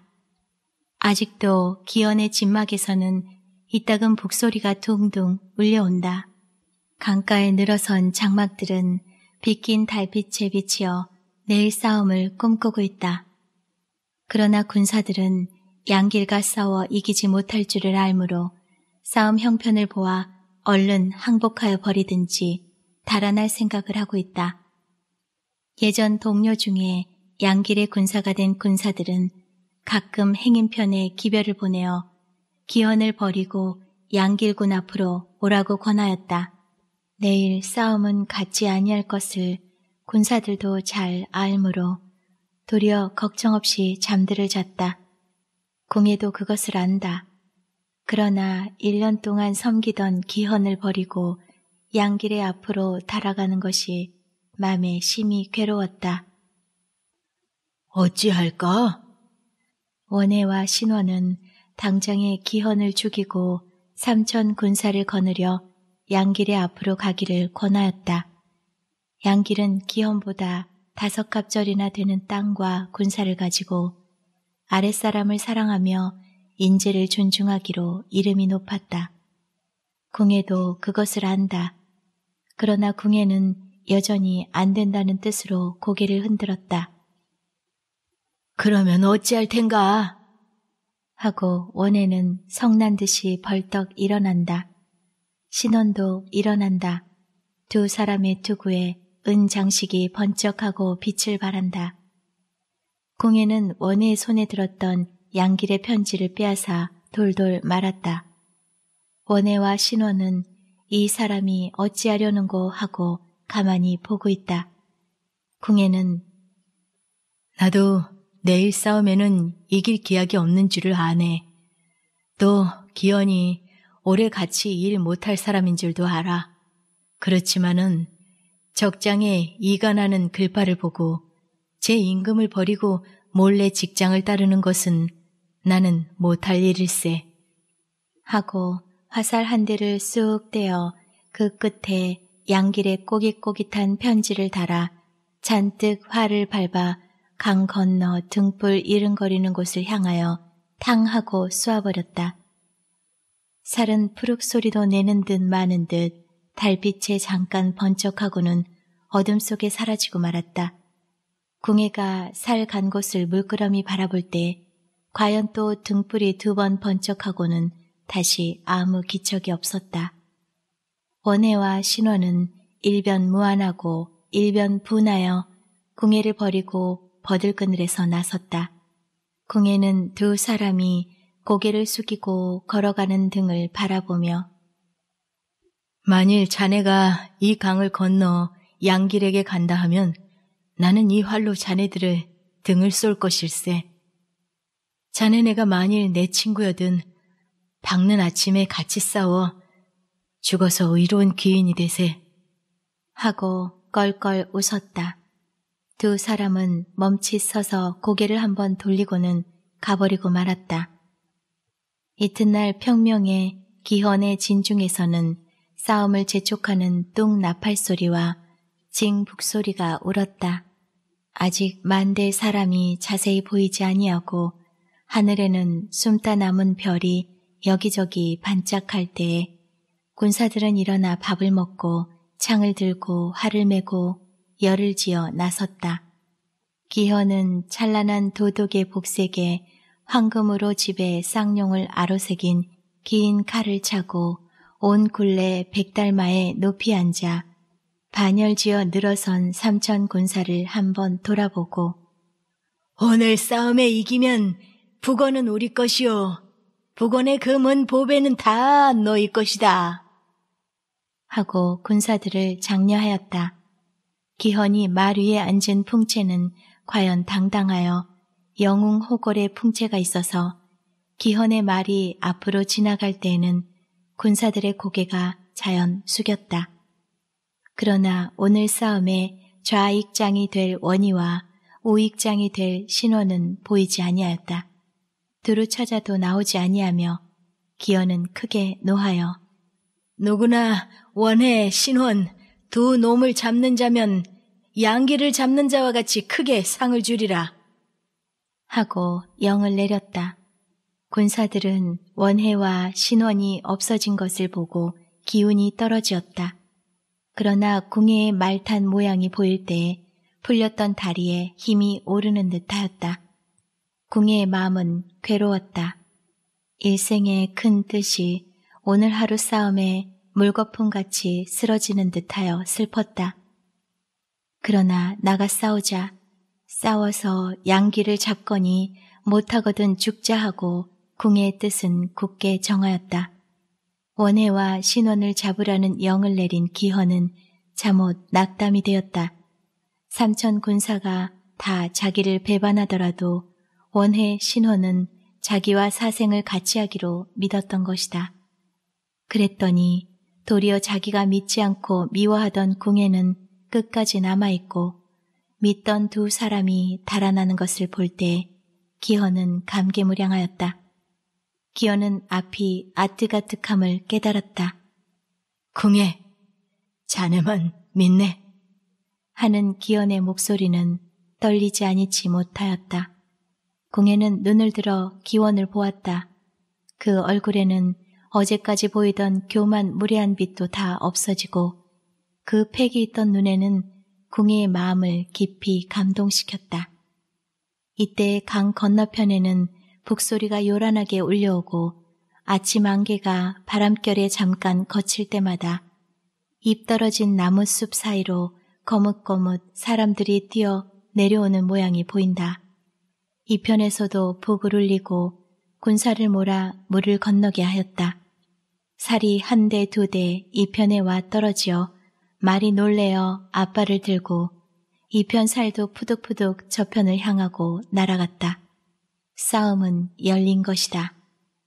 군사들은 기운차게 허리까지 나 오는 물을 절벅절벅 건너고 말들도 고개를 번쩍 들고 물바래를 쳤다. 군사들이 물을 건너는 동안에도 저편 화살이 푸룩푸룩 소리를 내며 머리 위로 지나가고 물에도 떨어졌다. 찬물에 아랫도리가 젖고 화살 소리가 푸르거리는 것이 들림에 군사들의 마음에는 싸우고 싶은 기운이 발하였다. 양길은 천명쯤 되는 군사를 데리고 본진에 머물러 있어서 높게 지어놓은 망대 위에서 바라본다. 저편에서는 망대를 향하고 활을 쏘는 모양이나 아직 살은 거기까지 미치지 아니하였다. 거단 북을 가죽이 터져라고 두드리니 새벽 안개 낀 산천이 덜덜 떨려온다. 기현의 군사가 물을 거의 다 건넌 때에 매불이라는 봉우리에는 아침에 붉은 빛이 피를 묻힌 듯이 비치고 골짜기에 낀 안개가 뭉글뭉글 용솟음치기 시작하였다. 양길의 군사 있는 편에는 안개가 더욱 깊어 보이고 그 안개가 매부리에 비친 햇볕을 받아 철석이다가 연빛이다가 자주빛이다가 금빛으로 변하고 뭉게뭉게 피어오르는 안개 봉오리가 어떤 것은 불길이 타오르는 듯이 환하였다. 기현의 군사들은 그것을 바라보고 와 하고 함성을 내며 앞으로 나아갔다. 맨 앞에서 말을 달리는 궁예의 투구와 갑옷 뒷장식에 햇빛이 번뜩거려 불같은 빛을 발할 때에 군사들은 또 와 하고 함성을 지르고 궁예의 뒤를 따랐다. 밤 이슬에 젖은 땅에서는 먼지 하나 일지 아니하고 다만 마른 풀과 늦게 핀 흰 국화송이들이 말 발굽에 놀래어 고개를 흔들었다. 궁에는 색강 언덕에 발을 세웠다. 거기는 꿈틀꿈틀 물결같이 된 사람의 키 하나만한 긴 언덕이 있었다. 궁예를 따르는 군사들은 이 언덕에 몸을 감추고 매복하였다. 양길편의 불소리가 더욱 가까워지고 화살 푸릇거리는 소리가 더욱 많아진다. 불붙은 안개 속으로는 점점 화살이 수없이 이 편을 향하고 날아온다.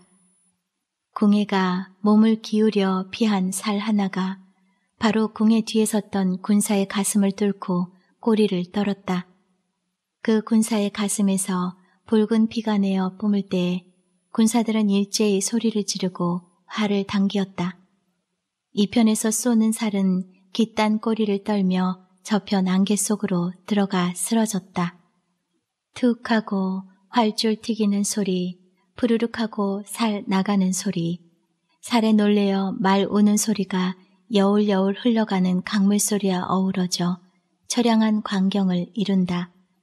붉은 해가 산머리에서 갑자기 뛰어올랐다. 천지는 갑자기 환하여지고 대체 골목골목에 뭉글거리던 안개들도 점점 쓰러지기를 시작하여 숨었던 작은 봉오리도 고개를 내어놓고 입 떨린 나무들도 우뚝 나서게 되었다. 이따금 안개가 휘 지나가면 불그레한 땅에 까만 군사들이 이리로 향하고 움직이는 양이 보였다. 그러할 때에는 일제히 그리로 향하고 화살을 몰아넣었다. 그러나 그 다음에 안개가 터진 때에는 그곳에는 사람은 그림자도 없었다. 군사들은 활에 살을 메어든 채로 눈도 깜짝하지 아니하고 건너편에 안개가 터지어 사람들의 모양이 번쩍 보이기를 기다린다. 그러다가 번뜩 보일 때에는 툭 시르륵 하고 이천 활이 일제히 온다. 해는 높이 올라와서 군사들은 이마에는 구슬땀이 맺혔다. 공중으로는 서늘한 바람이 불어 지나가건만은 땅 위에는 아직도 더운 김이 남은 듯하였다. 양길과 궁에는 여러 가지 진영을 바꾸었다. 그러할 때마다 군사들은 물결과 같은 혹은 오른편으로 혹은 왼편으로 우르르 밀렸다. 그리고 나서는 또 한바탕 화살 소리가 쏟아지고 많은 군사들은 혹은 가슴에서 혹은 이마에서 빗줄기를 뿜고 넘어졌다. 넘어진 지 오랜 군사의 송장에는 벌써 개미가 까맣게 붙었다. 그러나 살아있는 군사들은 그것을 돌아볼 새가 없고 오직 저편에 번득거리는 적군의 가슴을 겨누기에만 바빴다. 궁에는 이 모양만으로 싸움 끝나기 어려운 줄을 깨달았다. 애초에 궁의 생각에는 양길의 군사가 밀어 들어오도록 유인하여 새강과 큰강 새 벌판에 몰아넣고 싸우려는 계책이었으나 양길은 군사들을 나무 사이에 숨겨놓고 용이하게 움직이지 아니하여 도리어 성급한 궁예를 산 밑으로 끌어들인 뒤에 좌우 복병으로 일시에 엄살하려는 계책이었었다. 더구나 궁예의 군략을 잘 아는 원해와 신호는 결코 군사를 벌판으로 내몰지 말기를 양길에게 말하였다.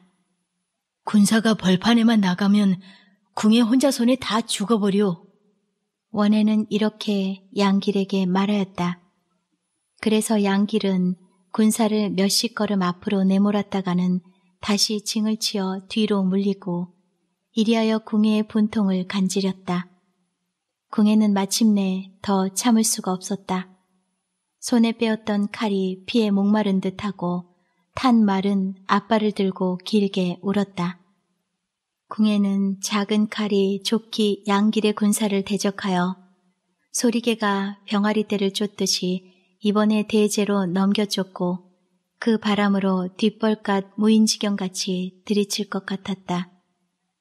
궁의 눈앞에는 자기의 칼바람에 쫓기는 병아리 떼 같은 양길의 군사들이 발이 땅에 붙지 못하고 달아나는 양이 보인다.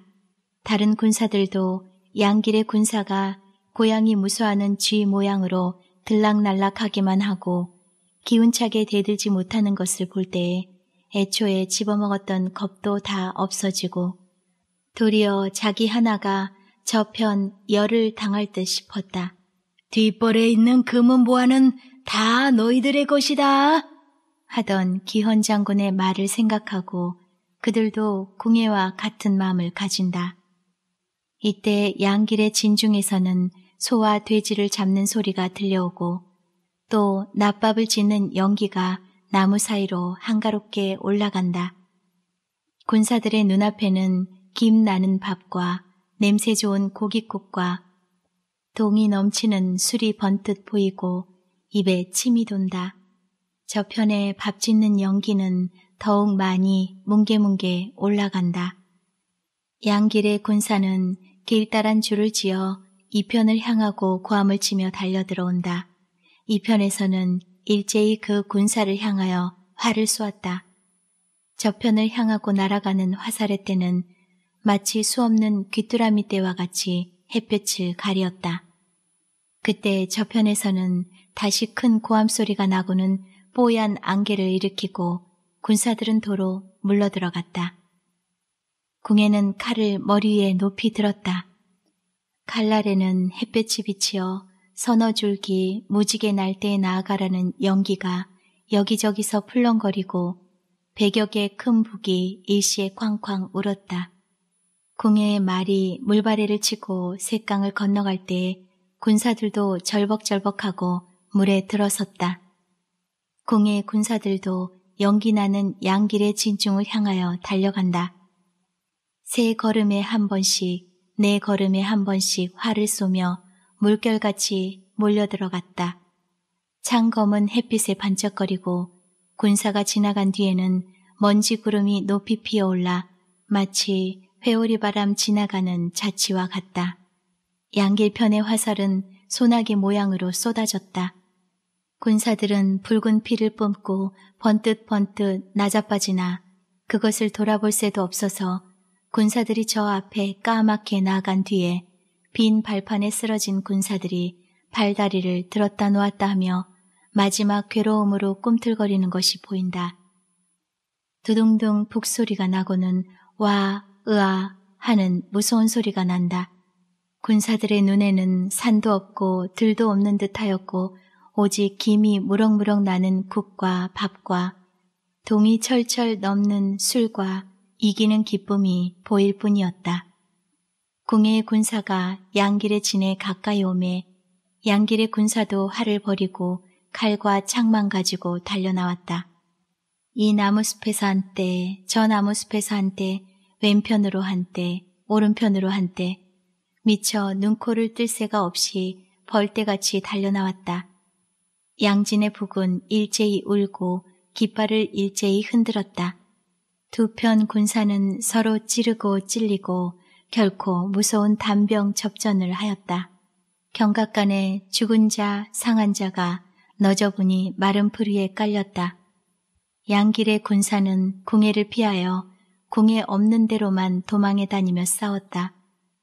그러나 동으로 궁예를 피하면 동에 궁예가 있고 서로 궁예를 피하면 서에 궁예가 있었다.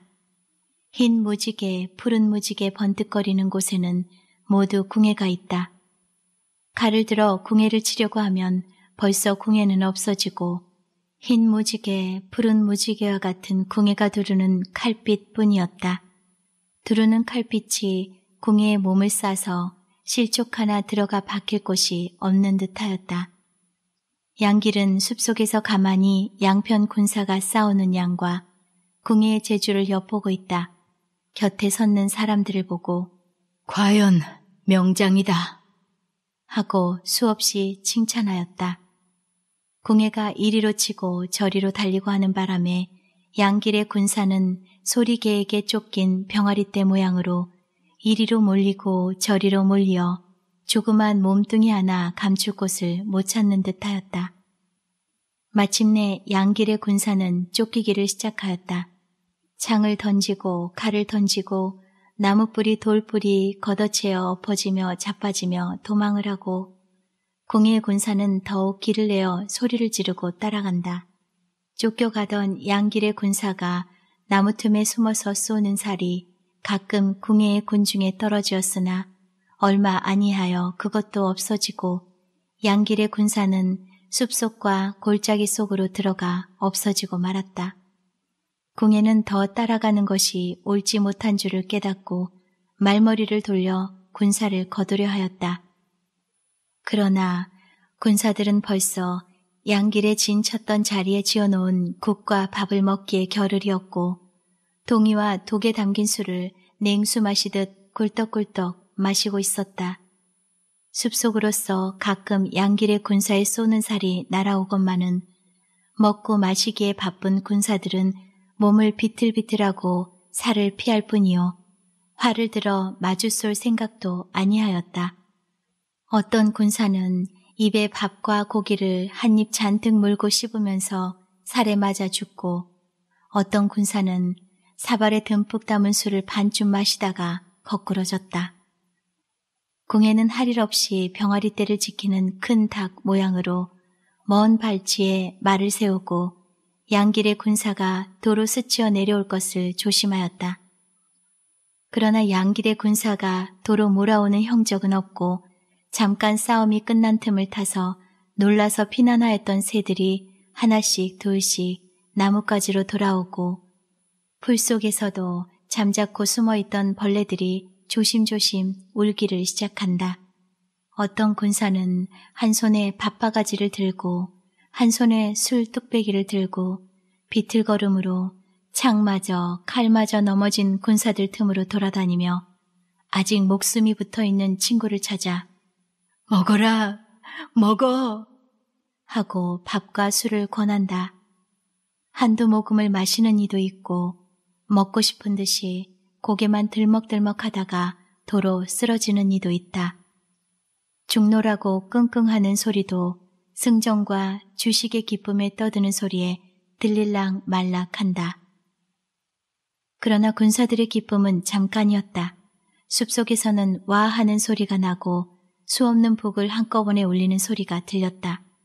나뭇가지에 앉았던 새들은 다시 놀라서 갈 곳을 몰라 헤매고 벌레들도 소리를 그치었다. 궁에는 군사를 시켜 길을 두르고 북을 울렸다. 취해 놀던 군사들도 칼과 활을 들고 일어났으나 비틀비틀 몸을 거두지 못하였다. 순식간에 무서운 다병 접전이 일어났다. 지금까지 즐겁게 밥을 먹고 술을 마시던 자리는 뻘겋게 피로 젖었다. 밥가마, 국솥, 술동이를 들어 적군을 향하여 내어 던지면 그것이 혹은 칼 끝에 혹은 창 끝에 맞아 요란한 소리를 내고 땅에 떨어져 깨어지고 그 중에 어떤 군사는 끓는 국을 뒤집어 쓰고 거꾸러졌다. 창보다도 칼보다도 궁의 군사를 이롭게 한 것은 돌팔매다.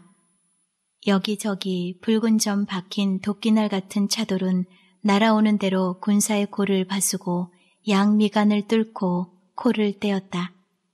찌르고 찢고 엎어지고 자빠지고 무서운 소리를 지르고 서로 붙들고 결코 싸우던 술 취한 궁이의 군사는 건드리기만 해도 쓰러지고 두르는 칼과 창이 모두 헛선질 되기가 쉬웠다. 마침내 궁의 편 군사는 뛰기를 시작하였다.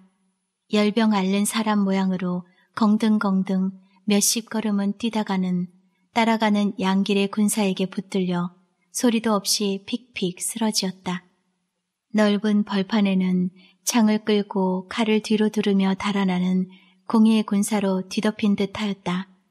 구름 같은 먼지 속에 가끔 불길 모양으로 번쩍번쩍 하는 것은 양길의 군사에 두르는 칼과 그 칼에 맞아 내뿜는 기헌의 군사의 피다.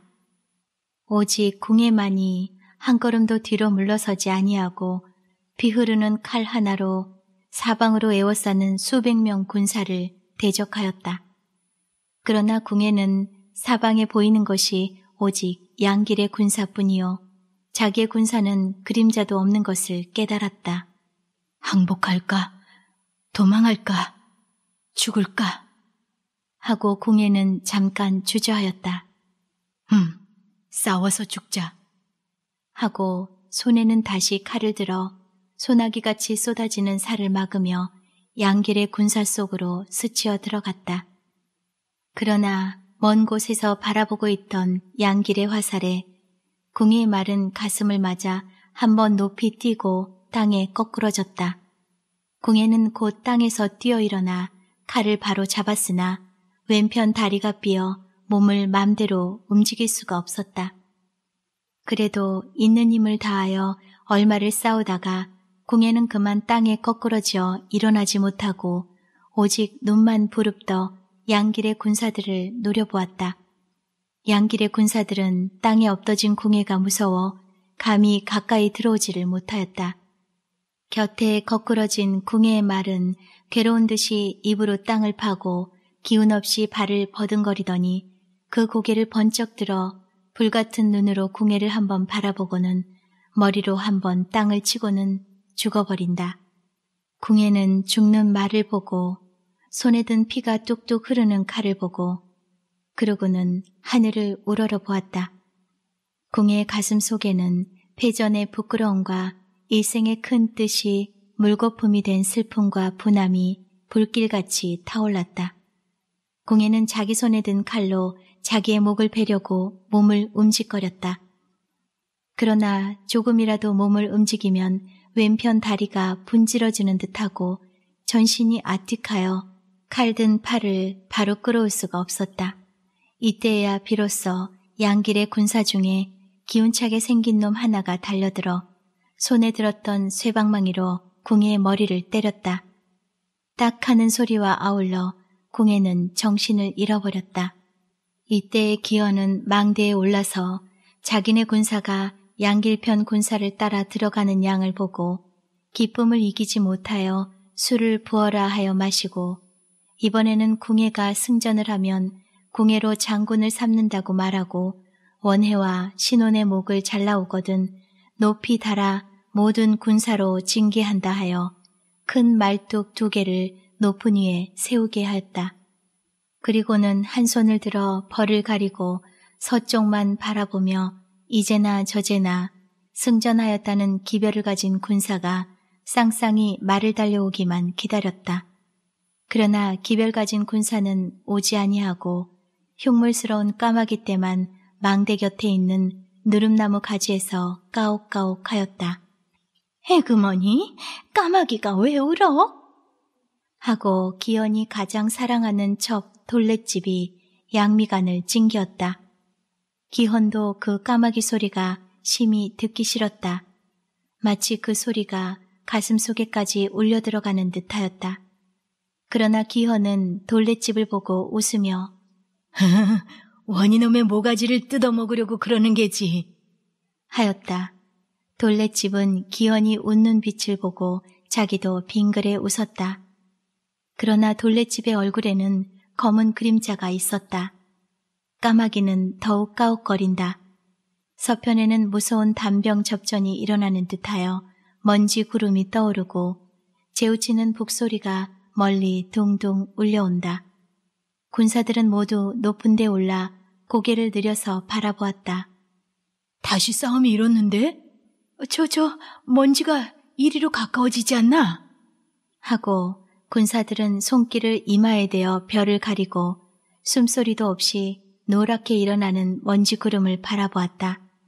가끔 번쩍번쩍 하는 것이 보일 때 그것은 칼빛, 창빛인 듯 하였다. 백성들은 몰래 부녀들과 아이들을 성 밖으로 피난시키고 가끔 와서 동정만 살폈다. 만일 이 편이 쫓겨오는 눈치만 보이면 들고 뛰자는 것이다. 기헌은 군사를 시켜 골목골목 파스를 보게 하고 피난 가거나 도망가는 백성은 죽인다고 위협을 하였다. 어머니들은 젖먹이를 안고 젖을 먹이면서 밖에서 바싹 소리만 나도 깜짝깜짝 놀랐다.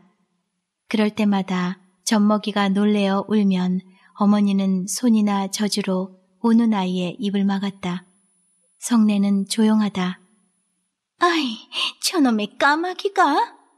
하고 돌레집은 한 번 더 까마귀들이 모여 앉은 느릅나무 가지를 쳐다보았다. 가만히 한 곳에 앉아있지를 못하고 공연히 이리 왔다 저리 갔다 하면서 흉한 소리를 내며 까마귀들이 운다. 기현은 마침내 활을 당겨 퉁 하고 까마귀 앉은 자리를 향하여 쏘았다. 그 화살에 까마귀 하나가 맞아 너플너플하고 땅에 떨어져 죽었다. 그것을 볼 때에 기현은 얼굴을 찌푸리고 돌렛집은 진저리를 쳤다. 다른 까마귀들은 놀래어 다 달아나 버렸다. 암만 해도 저 먼지가 가까워지는걸? 하고 바라보던 군사들의 중얼거리는 소리가 들린다.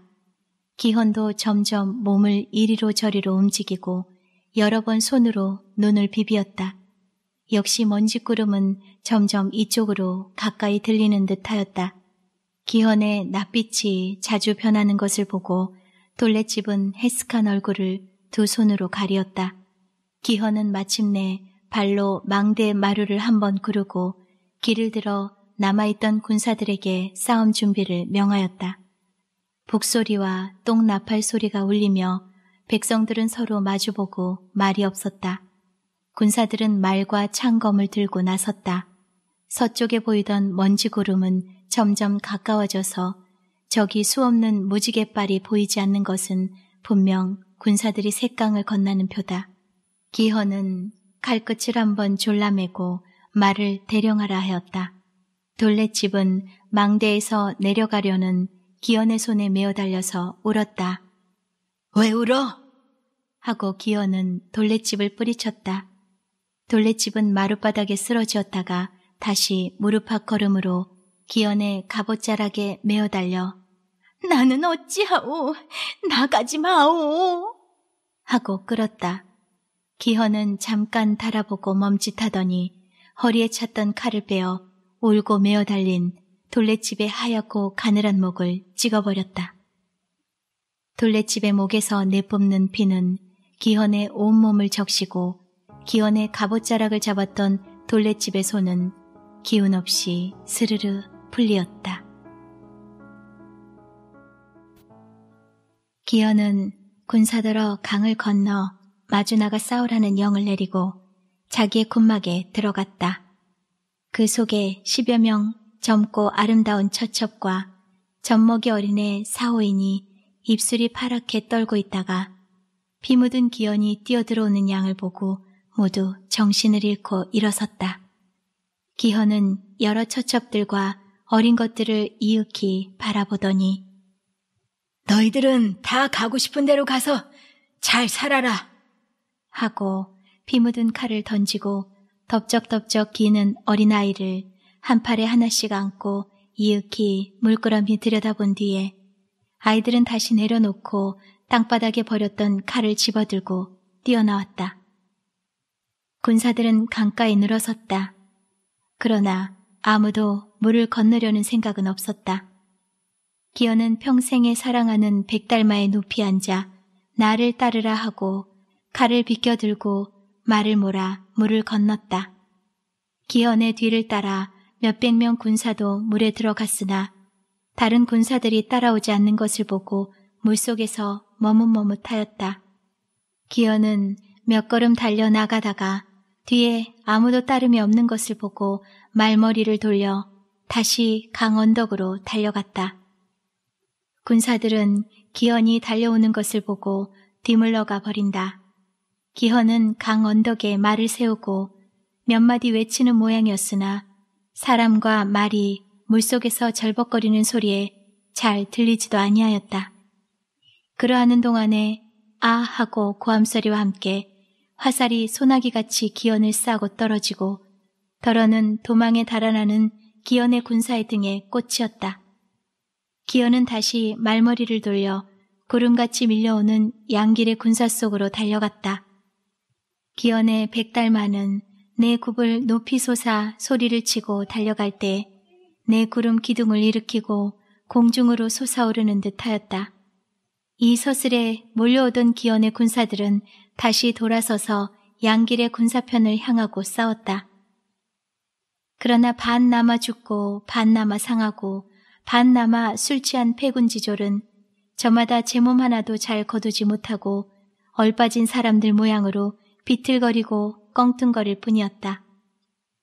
기헌은 쾌하여 쫓겨오는 자기의 군사의 꼴을 볼때 가슴이 찢어지는 듯하였다. 그래도 옛 정을 못 잊어 자기를 보고 발꿈치를 돌려 다시 싸워주는 것만이 눈물이 나도록 가상하였다. 궁예, 궁예, 궁예! 하고 기현은 불렀다. 죽었소. 하고 어떤 군사가 대답하였다. 궁예가 죽었어? 하고 기어는 앞이 캄캄하여지는 듯 하였다. 기어는 양길의 군사 앞에 말을 세우고 나는 죽주 장군 기헌이다. 너희 두목 양길과 자웅을 결단할 터이니 양길이 나오너라. 하고 소리를 질렀다. 기현의 위풍에 양길의 군사들도 멈칫하였다. 저 뒤에 따라오던 양길은 좌우가 만류하는 것도 아니 듣고 아무리 대적이기로 장군을 대하는 예의가 그렇지 아니하다. 내 몸소 나아가 기원과 자웅을 결단할 터이니 너희는 보고만 있으되 내가 싸워 죽기 전에는 아무도 나를 돕지 마라. 고 분부하고 쇠를 쳐서 군사들을 수십 보 뒤로 물린 뒤에 양길은 검은 말 위에 높이 앉아 단기로 기원을 향하고 나와 내가 북원 장군 양길이다. 나라의 어지러움에 너 같은 좀도둑이 험한 것을 믿고 이곳에 운과하여 백성을 도탄에 들게 하니 네 죄를 네가 알 것이라. 내 싸울 일을 즐겨 아니하고 또 너 같은 좀도둑과 겨루기를 부끄러워하거니와 장생을 위하여 너를 잡으러 온 것이니 네 만일 네 죄를 뉘우치고 곧 말을 내려 항복하면 네 목숨을 보전하려니와 그렇지 아니하거든 곧 나와 내 칼을 받으라 나의 칼이 불의에게는 용서함이 없나니라 하였다.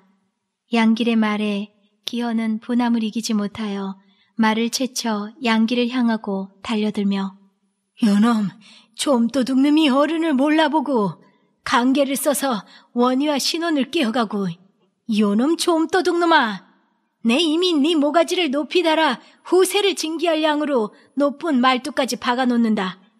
어서 목을 누려 내 칼을 받아라. 하고 칼을 들어 양길을 엄습하였다. 이리하여 기헌과 양길은 어우러져 싸웠다. 양길의 군사도 가만히 서서 보고 기현의 군사도 겨우 숨을 태우고 정신을 수습하여 기현은 항상 양기를 엄습하고 양길은 항상 기현을 피하였다. 가끔 비호같이 달려드는 기현의 칼날이 양길의 몸에 닿는 듯 닿는 듯 하였으나 양길은 날래게 그것을 피하였다. 마치 양길은 어디 네 칼이 몸에 닿나 보자. 그래야 너만 고를걸. 하는 듯 하였다.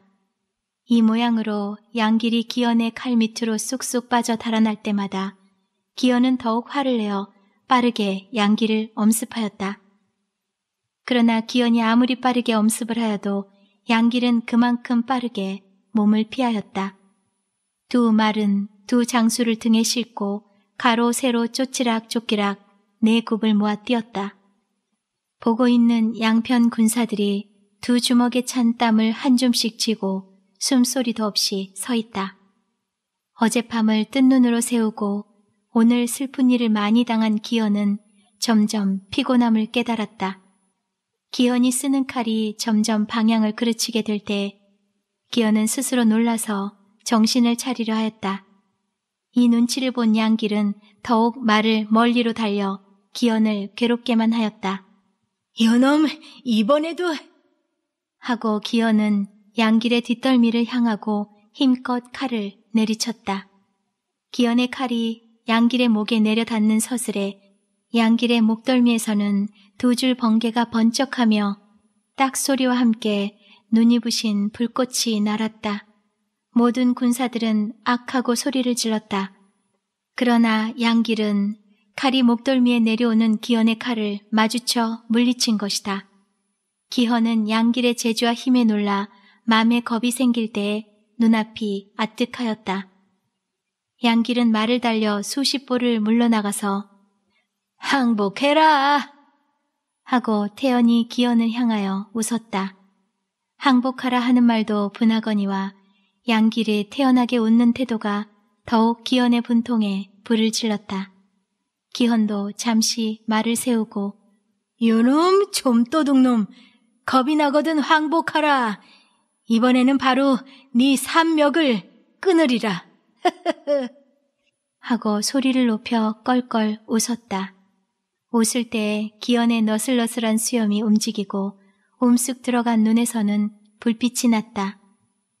한바탕 웃고 나서 기연은 새 기운이 남을 깨닫고 이번에야말로 대번에 조마기만한 양기를 칼끝에 번쩍 깨어들 듯하였다.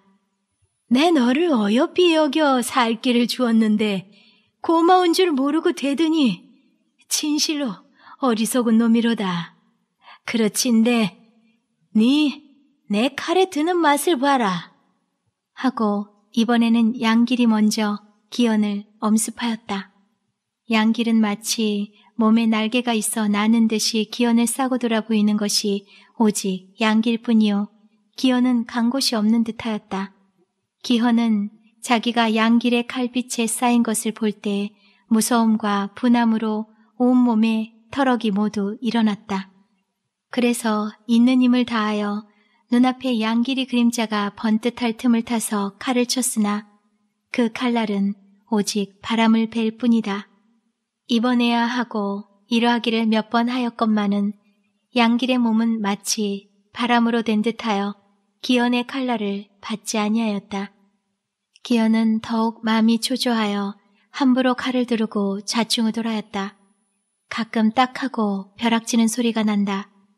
그러할 때마다 두 편 군사는 손에 땀을 부쩍부쩍 쥔다. 마침내 기현은 자기의 팔과 칼이 자기의 말을 듣지 아니함을 깨닫고 도망할 틈을 찾았다. 그러나 사방이 모두 양길의 칼빛이요 몸 하나 빠져 달아날 틈이 없었다. 기현은 마지막으로 힘과 정신을 모아 눈을 딱 부릅뜨고 양길의 모양이 앞에 번뜩하기를 기다렸다.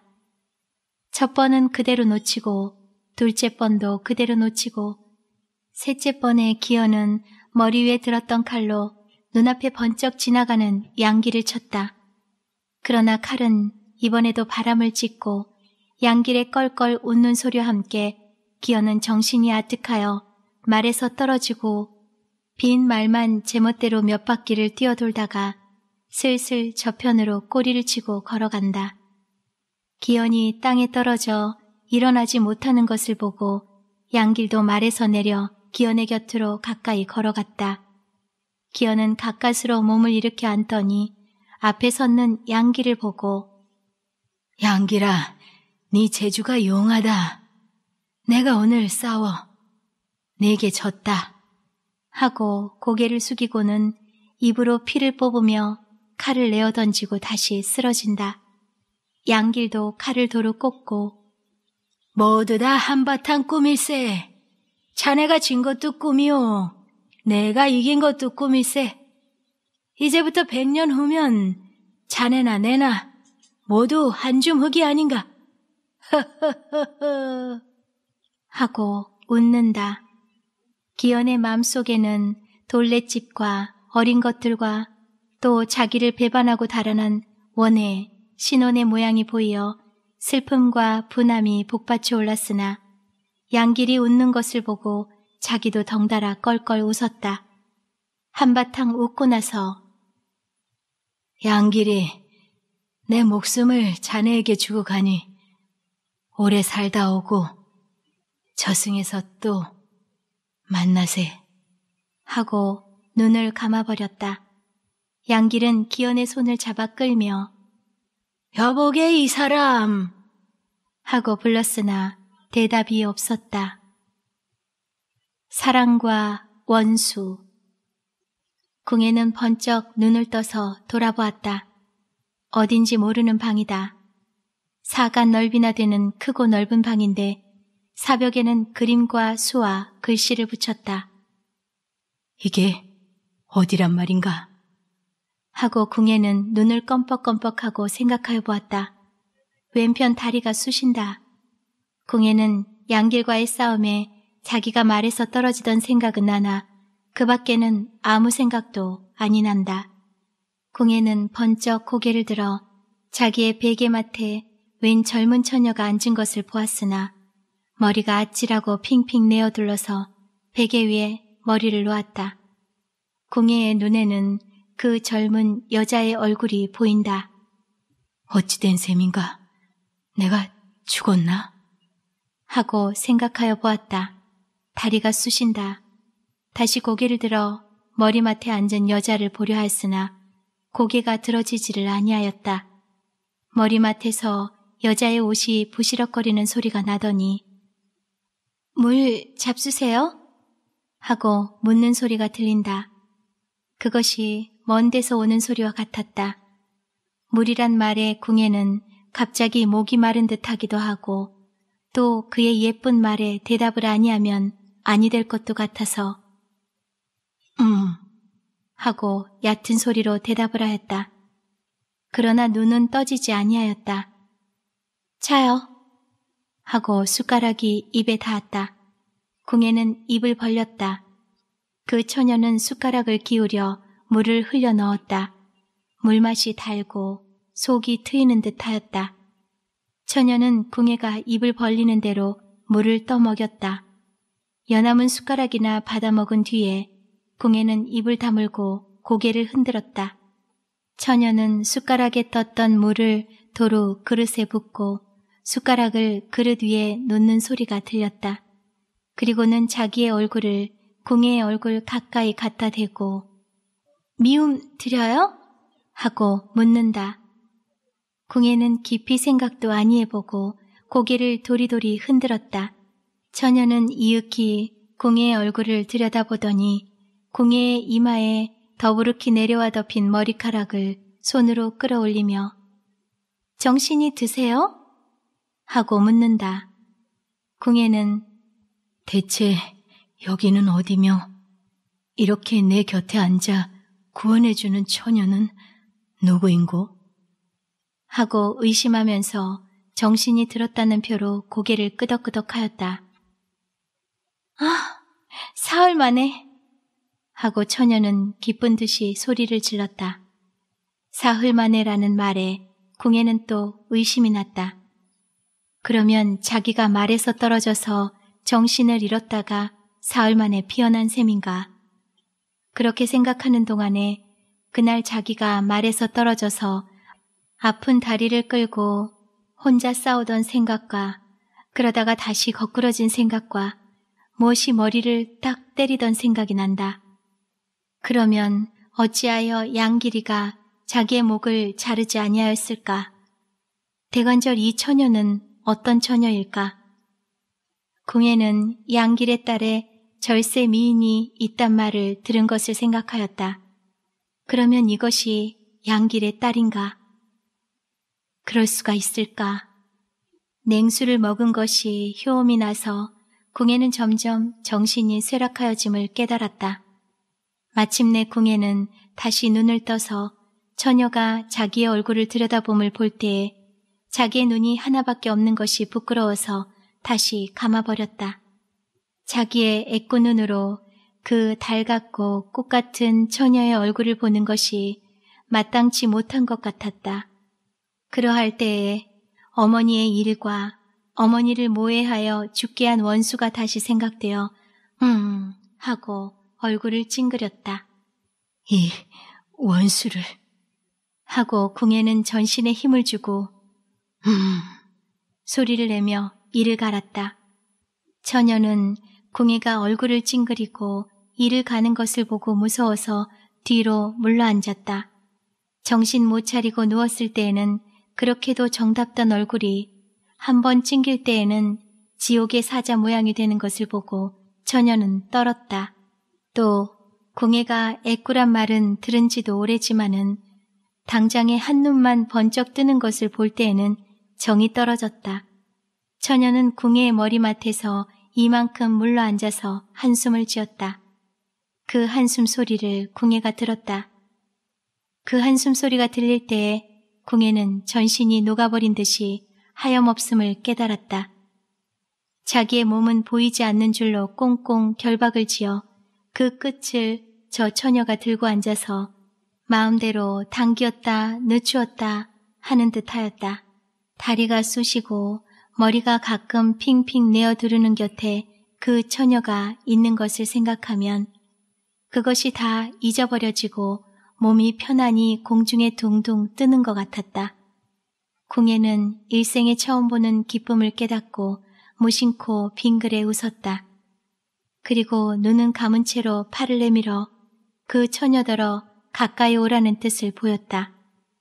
처녀는 궁에 볕에 그을고 힘줄 덕은 팔과 한 번 쥐면 바위돌이라도 으스러질 듯한 손을 보았다. 그리고 그 힘있는 궁의 손과 팔은 자기를 가벼운 새털 모양으로 고이고이 들고 헝거롭게 극락세계 상상층 도설청까지 데리고 갈 듯하였다. 처녀는 자기의 조그만 하얀 손을 궁의 손바닥에 가볍게 올려놓았다. 궁의 손가락은 벌벌 떨리며 줄어들어 그 하얗고 조그만 손을 꼭 쥐고 잡아 끌었다. 처녀는 두 뺨에서 불길이 나도록 얼굴을 붉히고 무릎팍 걸음으로 궁의 곁으로 끌렸다. 궁의 손은 불덩어리와 같이 더워 조그만 처녀의 손은 금시에 녹아버릴 듯 싶고 손이 녹는 것을 따라 갸냘픈 몸도 힘있는 뜨거운 궁의 팔뚝 속으로 스르르 녹아 들어갈 것 같았다. 궁예는 다시 눈을 부신 듯이 그 처녀를 보며 아가씨는 누구요? 하고 물었다. 내 이름은 난영아기, 아버지는 부건장군 양길대감. 하고 처녀는 고개를 숙였다. 난영은 이상하게 머리카락 끝까지 맥이 펄떡펄떡 뛴을 깨달았다. 양길의 딸이란 말에 궁에는 난영의 손목을 놓았다. 양길이란 말을 들으면 패전의 수치와 분노가 한꺼번에 복받쳐 오르는 까닭이다. 그러나 난영의 손을 놓으면 자기는 공중에서 매달렸던 줄을 놓치고 허공으로 둥실둥실 떨어지는 듯하였다. 난영은 궁예의 얼굴에 괴로운 빛이 떠도는 것을 보고 자기도 마음이 괴로웠다. 아버지는 원수기로 나까지 원수는 아닐 것을 하고 중얼거렸다. 원수는 원수 풀면 그만이언니와 사랑은 사랑 풀어도 안 풀리는 사랑 하고 난영이 한숨을 진다. 아버지 양길이 죽주로 군사를 거느리고 간 뒤에 난영은 아버지를 근심하여 밤에도 잠을 이루지 못하였다. 며칠 동안 잠을 못 자고 애를 쓰던 끝에 하룻밤에는 옷도 입은 채로 잠깐 누워 잠이 들었더니 난영이 평소에 믿고 귀의하던 미륵님이 꿈에 나타나 이러한 분부를 하였다. 내일은 눈 하나를 다친 미리가 이리로 올 테니 이는 너의 일생의 배필이라 반드시 네 몸이 귀히 될 것이니 정성으로 섬겨라. 나이 열여덟이 되어 아침 이슬 떨치는 꽃송이 같은 난영은 생각지 아니하려 하여도 남편을 생각하던 차에 이 꿈을 얻고 가슴을 두근거리며 날이 맞도록 이 꿈이 맞기를 기다렸다. 그날 밤이 깊고 달이 기울어진 때에 북소리 요란하게 들리며 승전하였다는 기별을 가진 군사들이 의기양양하게 북원으로 몰려들어왔다. 장군 영문에는 수없는 촛불과 횃불이 켜지고 승전한 소식을 들은 군사들은 터져라 하고 북을 치고 쇠북을 울리고 주라와 소라와 피리를 불고 뛰놀았다. 이때 난영은 그 어머니와 함께 발을 들이우고 바라보고 있을지 막 군사들이 어떤 사람 하나를 맞둘러 메어 담아지고 들어와 횃불 곁에 놓고 기연을 죽이고 궁예를 잡았네. 비호 같은 궁예도 내 철퇴에 잡혔네. 하고 장자루로 땅바닥을 두드리며 춤을 춘다. 애꾸장군 궁예란 말을 들은 지 오랜 난영은 얼른 어젯밤 꿈을 생각하고 글쎄 내 꿈이 안 맞을 리가 있나 하고 어머니가 붙드는 것을 듣지 아니하고 발을 들고 군사들이 모여 뛰는 마당으로 뛰어내려갔다.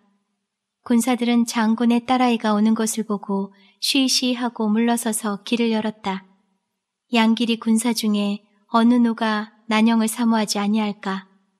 이름 없는 군졸들은 달 속에 개수까지라 감히 꺾을 생각은 못한다 하더라도 닷새에 한 번, 열흘에 한 번 난영의 아름다운 모양을 바라보는 것만으로도 배가 불렀고 하늘에서 떨어진 저 꽃송이가 장차 누구의 품에 들어갈고 젊은 장수들은 저마다 고운 꿈을 꾸고 있었다. 난영은 가벼운 깁소매를 날리며 사뿐사뿐 군사들의 앞을 걸어 지나 궁예의 곁으로 와서 고개를 숙여 궁예의 얼굴을 보았다. 그물그물하는 횃불빛에 얼굴이 분명히 보이지 아니하므로 불, 촛불 하고 난영은 누구를 부르는지 모르게 손을 넌짓 들었다. 군사들은 저마다 촛불을 얻어가지고 너도 나도 하고 난영의 곁으로 와서 촛불을 내어 밀었다. 난영은 그 중에서 하나를 받아가지고 궁예의 얼굴을 비쳤다. 비록 볕에 그을려 검붉은 빛이 날지언정 웅장한 골격과 기상이 난영의 마음을 어지럽게 하였다. 난영은 손을 궁예의 코앞에 대어 숨길이 있는 것을 본 뒤에 물! 물! 하고 또 한 손을 넌짓 들었다. 군사들은 촛불을 내어 던지고 달아나 물그릇을 들고 왔다. 난영은 곁에 섰는 군사들에게 들었던 촛불을 주고 그 중에서 물그릇 하나를 받아 옷 같은 손가락으로 궁의 입술을 벌리고 물을 흘려 넣었다. 궁에는 눈도 못 뜨고 정신도 못 차리거니와 목마른 듯이 물을 삼켰다. 난영은 부드러운 한삼 소매로 궁의 입과 뺨을 씻고 일어나며 수족의 결박을 끄르고 별당으로 모시오 하였다. 난영의 말에 곁에 섰던 군사들이 궁의 결박을 끄르려 할 때 한 군사가 내다르며 어이 아가씨 큰일 납니다. 만일 수족을 끌렀다가 이놈이 정신만 드는 날이면 우리 부건이 쑥밭이 될 것이오. 그리었기로 장군마마께 없어도 꼭꼭 묶어서 가두어도 돼. 쥐셀 틈 없이 엄중히 파수하라 하셨사옵니다. 하고 두 팔을 벌려 궁의 곁으로 모여드는 군사를 물리친다. 난영은 일변 놀라며 일변 맘에 흡족하여 빙그레 웃으며 못난 소리 마오. 아무리 궁예가 날래기로 혼자서 무슨 일을 하리? 한즉 그 군사는 눈을 크게 뜨고 손을 내어 두르며 혼자도 유만무동이 없지. 어제 싸움에도 궁예 혼자서 우리 군사를 500명은 죽였사옵고 이마추 장군 대감께서 활로 이놈이 말을 맞추었게 망정이지. 그렇지 아니었다면 소인네도 하나 목숨 보지 못하고 이놈의 손에 모가지가 날아가고 말았을 것입니다. 안 그런가? 하고 동무들을 바라본다. 그러합니다. 이놈은 나는 놈이니 꽁꽁 동여서 저 옥속에 쇠사슬로 잡아 메어두는 것이 지당하오이다. 하고 다른 군사들도 첫 군사의 말을 돕는다. 겁도 많이. 후사는 내가 담당할 터이니 어서 내 말대로 하오. 이리하여 궁의 결박을 끄르고 별당으로 옮긴 후에 난영이 몸소 밤을 새워 병고안을 한 것이다. 어머니의 걱정도 들었으나 그래도 굽히지 아니하고 난영은 자기의 몸종 월영과 함께 번갈아가며 이틀 밤 이틀 낮을 구안을 하던 끝에 지금 궁예가 눈을 뜨고 정신을 차린 것이다. 궁예가 비록 자기가 양길의 딸이란 말을 듣고 잡았던 손을 놓아버렸으나 난영은 반드시 궁예를 제 것을 만들이라고 결심하였다. 궁예는 이윽히 말없이 누웠더니 내가 어찌하여 여기 왔소? 하고 다시 말을 시작한다. 난영은 전후 심화를 대강 말하였다.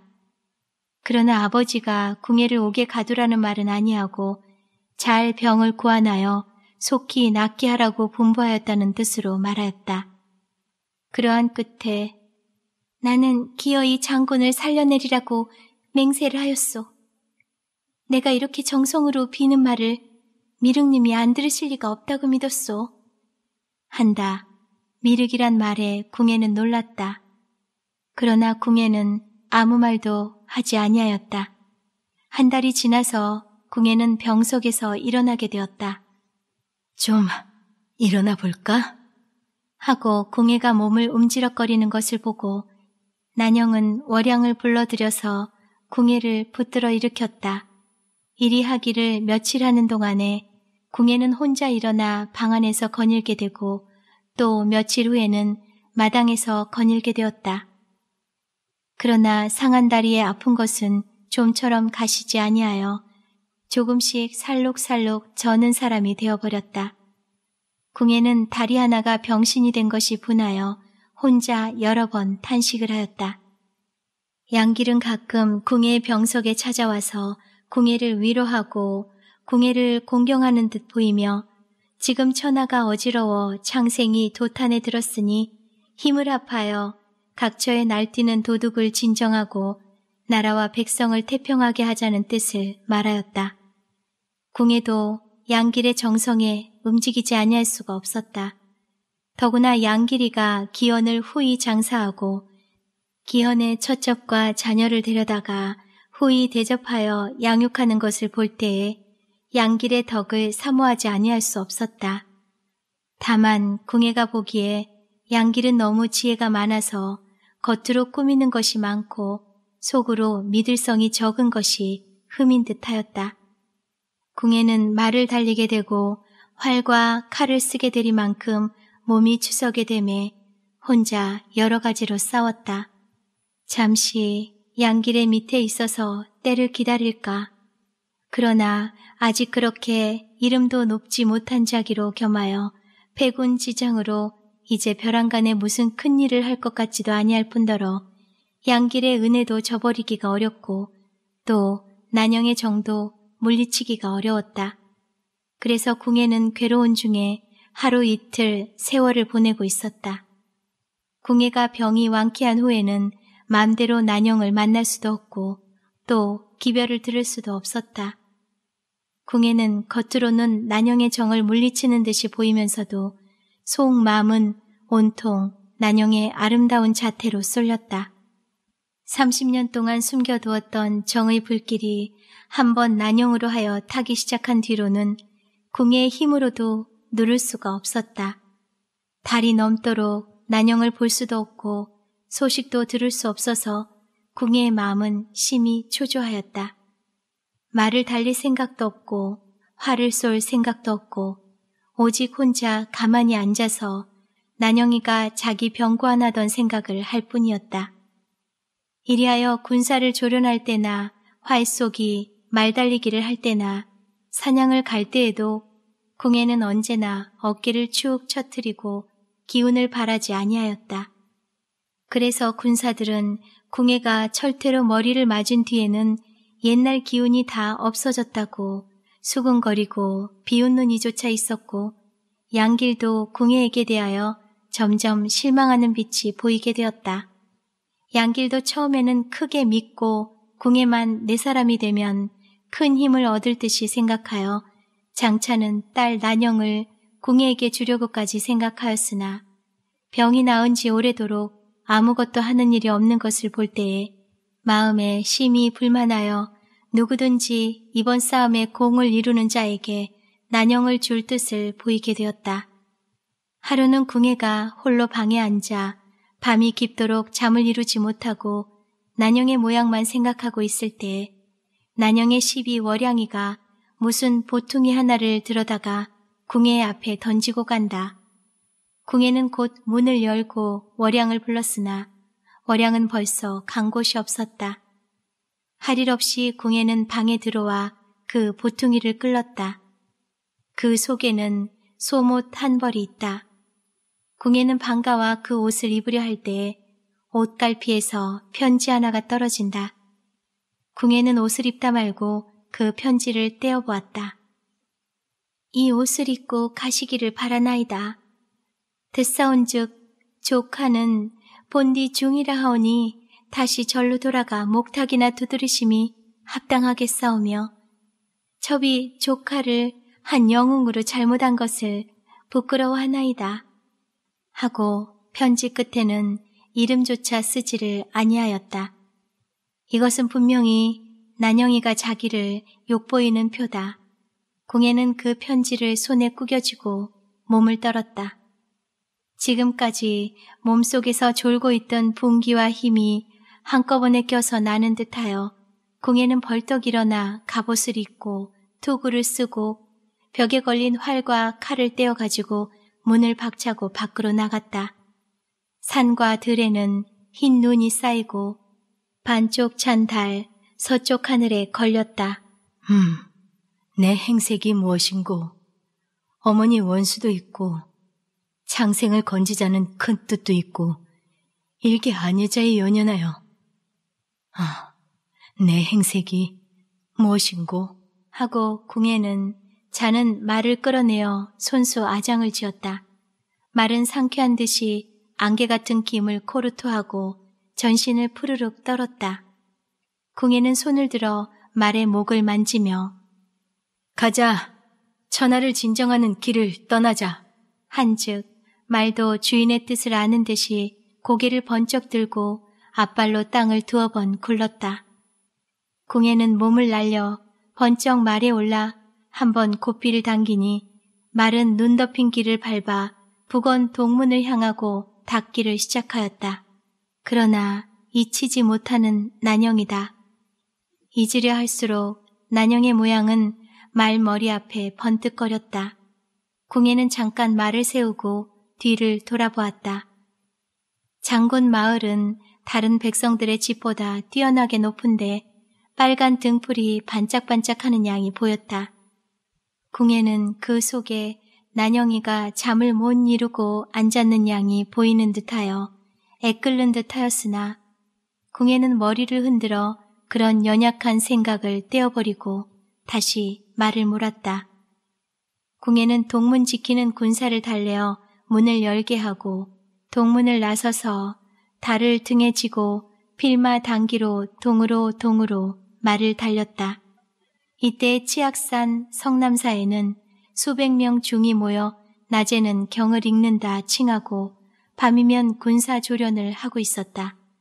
궁의 말이 마침 치악산 앞을 지날 때 어떤 노승 하나가 궁의 말 앞에 합장하며 궁의 장군이 아니시니까 하고 절하고 궁예를 인도하여 성남사로 들어가게 하였다. 성남사에 모여있던 중들은 궁예라는 말을 듣고 모두 내려와 절하며 그날부터 궁예의 군사가 되기를 청하였다. 이튿날 아침에야 양길은 궁예가 달아난 줄을 알았다.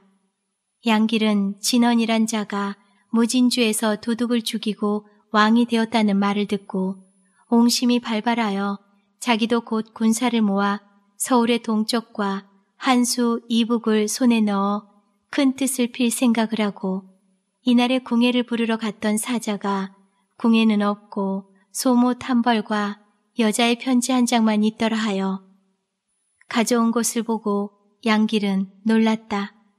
역시 궁예는 범상한 사람이 아니라 극히 큰 뜻을 품은 사람인 줄을 깨달을 때 자기가 그 일에 궁예를 냉대한 것을 후회하였다. 양길은 일변 사람을 놓아 궁예에 간 곳을 수탐하라 하고 곧 안으로 들어가 난영을 불러 궁예의 방에 있던 의복과 편지를 주었다. 양길은 그것이 난영의 소유인 줄을 안 까닭이다. 난영은 꼬깃꼬깃한 편지와 의복을 보고 놀라는 눈으로 아버지를 우러러보며 궁예가 어찌 되었어요? 하고 물었다.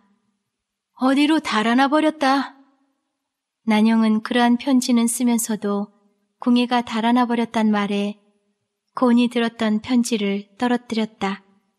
난영은 다만 궁예가 새 기운을 내어 공을 이루기를 바란 것이요. 이렇게 달아나 버리기를 바란 것은 아니었다.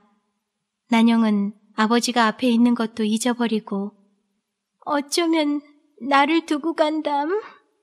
하고 눈물을 씻었다. 이때 한 군사가 들어와 양길에게 궁예가 어젯밤 깊은 뒤에 필마 단기로 동문으로 나가더란 말을 아뢰었다. 양길은 우는 딸을 버리고 곧 마을로 나와 말 잘 타는 군사를 뽑아 동문 밖으로 궁예 자치를 따르라고 영을 내리고 일변 수십 명 장수를 불러 행군할 차비를 하기를 명하였다. 오천 명 군사가 행군 차비를 하노라고 북원 성내는 물끓 듯하고 어디서 무슨 큰 변이 났는가 하여 백성들은 눈이 동그라였다. 수없는 수레는 무거운 짐을 찢고 삐걱삐걱 소리를 내며 눈 덮인 가상으로 분주히 왕래하고 수천 군마는 마구에서 끓여나와 복두를 조르며 기운차게 소리를 지른다. 이번 길에는 서울을 들이친다. 하고 군졸들은 구석구석이 모여 정들었던 사람들과 함께 술 마시며 장담을 하고 울고 메어 달리던 아내와 아들, 딸을 곧 승전하고 돌아온다는 말로 위로하며 머뭇거리는 이도 있었다. 궁예가 다른 사람의 손에 들어가는 날이면 큰일이다. 아무리 하여서라도 궁예를 붙들어 오지 아니하면 안 될 것이오. 만일 붙들어 오지를 못하면 죽여라도 버려야 할 것이다. 궁예를 따르는 군사는 쌍쌍이 말을 달려 동문 밖을 내달았다. 궁예가 성남사에 있단 말을 듣고 양길이 몸소 마방 일천과 보병 일천을 거느리고 성남사로 나가 궁예를 위로한 후에 궁예로 동령도 총관을 삼아 동의 여러 고을을 엄습하게 하고 자기는 남은 군사를 거느리고 영서 여러 고을을 엄습하여 서울에서 같이 만나기로 하였다. 궁예는 처음에 양길이 주는 벼슬과 군사를 굳이 사양하였으나 마침내 그 호의에 감격하여 허락하고 크게 잔치를 베풀어 모든 군사를 먹이고 일변 200여 명 중으로 하여금 종과 북을 울려 이르는 곳마다 승전하기를 비는 제를 올리게 하였다. 이날의 치악사는 종소리와 북소리와 군사들의 떠드는 소리로 떠나갈 듯 하였고 날이 저물매 양길은 궁예와 작별하고 크게 공을 이루기를 빌며 북원으로 돌아왔다.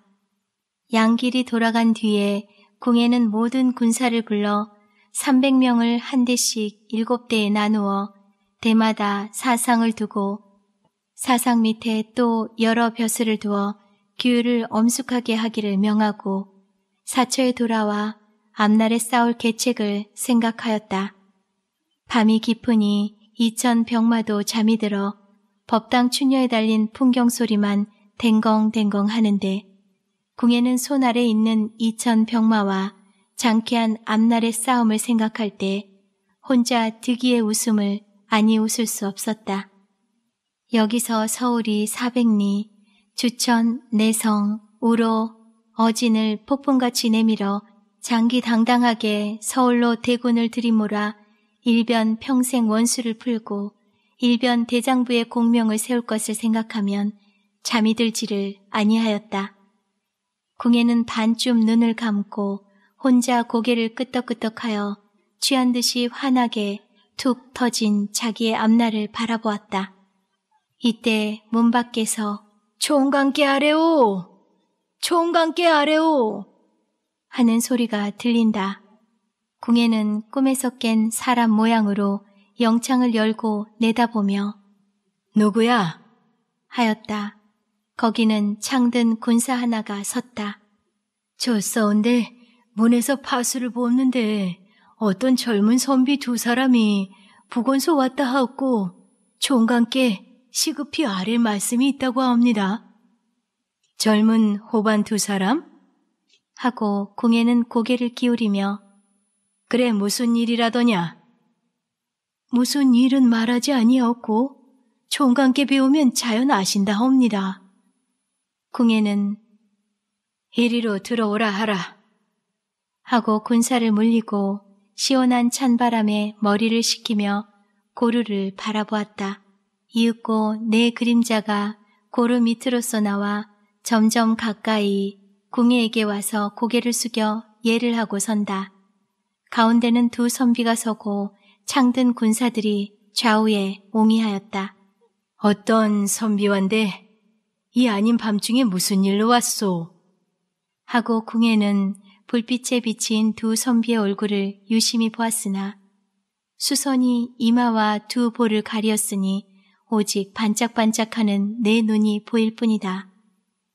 좌우를 물리시오면 사려올 말씀이 있습니다. 하고 한 선비가 엄연한 음성으로 말한다. 궁에는 두 군사에게 물러가라 하고 명하였다. 두 군사의 그림자가 고름 밑으로 쓰러질 때 두 선비는 손을 들어 이마와 뺨을 가린 수건을 벗었다. 그들은 난영과 월양이었다. 궁에는 눈을 의심하고 다시금 보았으나 그들은 분명한 난영과 월양이다. 궁에는 일변 반갑기도 하고 일변 놀랍기도 하여 마루에 뛰어나와 난영의 손을 끌어올렸다. 남복을 하니 말쑥한 젊은 선비다. 궁에도 앉고 두 사람도 앉은 뒤에 궁에는 아직도 놀라는 빛을 가지고 웬일이오? 어찌하여 왔소? 하고 물었다. 어디를 가시든지 따라가려고 왔소. 하고 난영은 얼굴을 붉혔다. 궁예는 더욱 놀라며 여자의 몸으로 전장애를 어떻게 따라가오? 이렇게 남복하고 따르죠. 이런 난세에 한 번 떠나면 어디서 만날 것을 기약하오. 아버지도 내일은 군사를 거느리고 전장으로 나간다 하시니 집엔 누구를 믿고 있소? 한다. 이튿날 평명에 군의 군사는 주천을 향하고 떠났다. 성남사의 쇠북은 은은히 울려서 그칠 줄을 모르고 아침에는 2천명 군사의 기치와 큰 검을 비치어 오색 빛을 발하였다. 동구박 북원 가는 길이 갈리는 곳에서 점점 멀어가는 궁예를 바라보고 말 위에서 울고 있는 두 사람이 있다. 그것은 난영과 월양이다. 난영은 마침내 북원에 떨어져 있기로 하였다. 소매에 매어 달려 우는 난영을 뿌리치기는 궁예에게도 어려운 일이었으나 궁예는 큰 일을 위하여 애끓는 정을 아니 누를 수가 없었다. 사졸과 감고를 같이 할 몸으로 그럴 수 없소. 장차 만날 날이 있을 것이니 그때를 기다리오. 하는 궁예의 말에 난영은 더할 말이 없고 오직 소매로 눈물을 씻으며 부디 마음을 변치 마오. 승전하시고 너무 위태한 곳에 들어가지 마오. 할 뿐이었다. 궁의 군사는 길다란 구렁이 모양으로 하얀 눈길을 꿈틀꿈틀 감돌아간다. 앞머리가 벌써 고개를 넘더니 점점 고개 너머로 쓰러지어 마침내 마지막 사람이 쓰러져 버렸다. 한번 뒤도 안 돌아보네. 하고 난영이 눈물을 씻을 때에 월양은 뒤를 돌아보아서 써요. 하고 난영을 보고 웃으며 영웅의 부인 되시리가 그렇게 눈물을 흘려서 쓰겠소? 하고 먼저 말머리를 북원으로 향하고 돌린다. 이별은 슬프구나. 영웅의 아내도 귀찮으니 이별 없는 아내가 되고 싶다. 하고 난영은 한 번 더 눈을 비비어 궁예의 말이 넘어간 고개를 바라보고 월양과 같이 말머리를 돌린다. 이별이 섭다고들 그럽디다마는 난 이별할 사람도 없소. 하고 월양은 심화가 나는 듯이 채찍을 들어 말을 갈기니 말은 뛰기를 시작한다. 이야, 같이 가자. 하고 난영은 말을 빨리 몰 기운도 없었다. 난영과 월양이 이별이 서러운 이야기와 인제 큰 싸움이 났으니 장차 어찌 될 것인가를 이야기하면서 말머리를 가지런히 하여 북원 장군 마을에 다다랐을 때에는 벌써 양길은 대군을 거느리고 한물을 건너 서쪽으로 떠나버린 때였다. 난영은 이날부터 한편으로는 아버지를 그리고 한편으로는 궁예를 그리는 몸이 되어 억지로 잠이 들어도 꿈길에 방황하는 신세가 되었다. 처음 며칠 동안은 날마다 기별 가진 군사가 달려왔으나 날이 갈수록 두 군사가 점점 멀어갈수록 이틀에 한 번 기별이 오게 되고 눈이나 많이 온 날은 사흘에 한 번, 나흘에 한 번도 기별이 오게 되었다. 기별이 온대야 양길에게서나 궁예에게서나 싸운다는 기별, 이겼다는 기별, 적군을 몇십 명 사로잡았다는 기별뿐이요. 난영에게 보내는 기별은 없었다.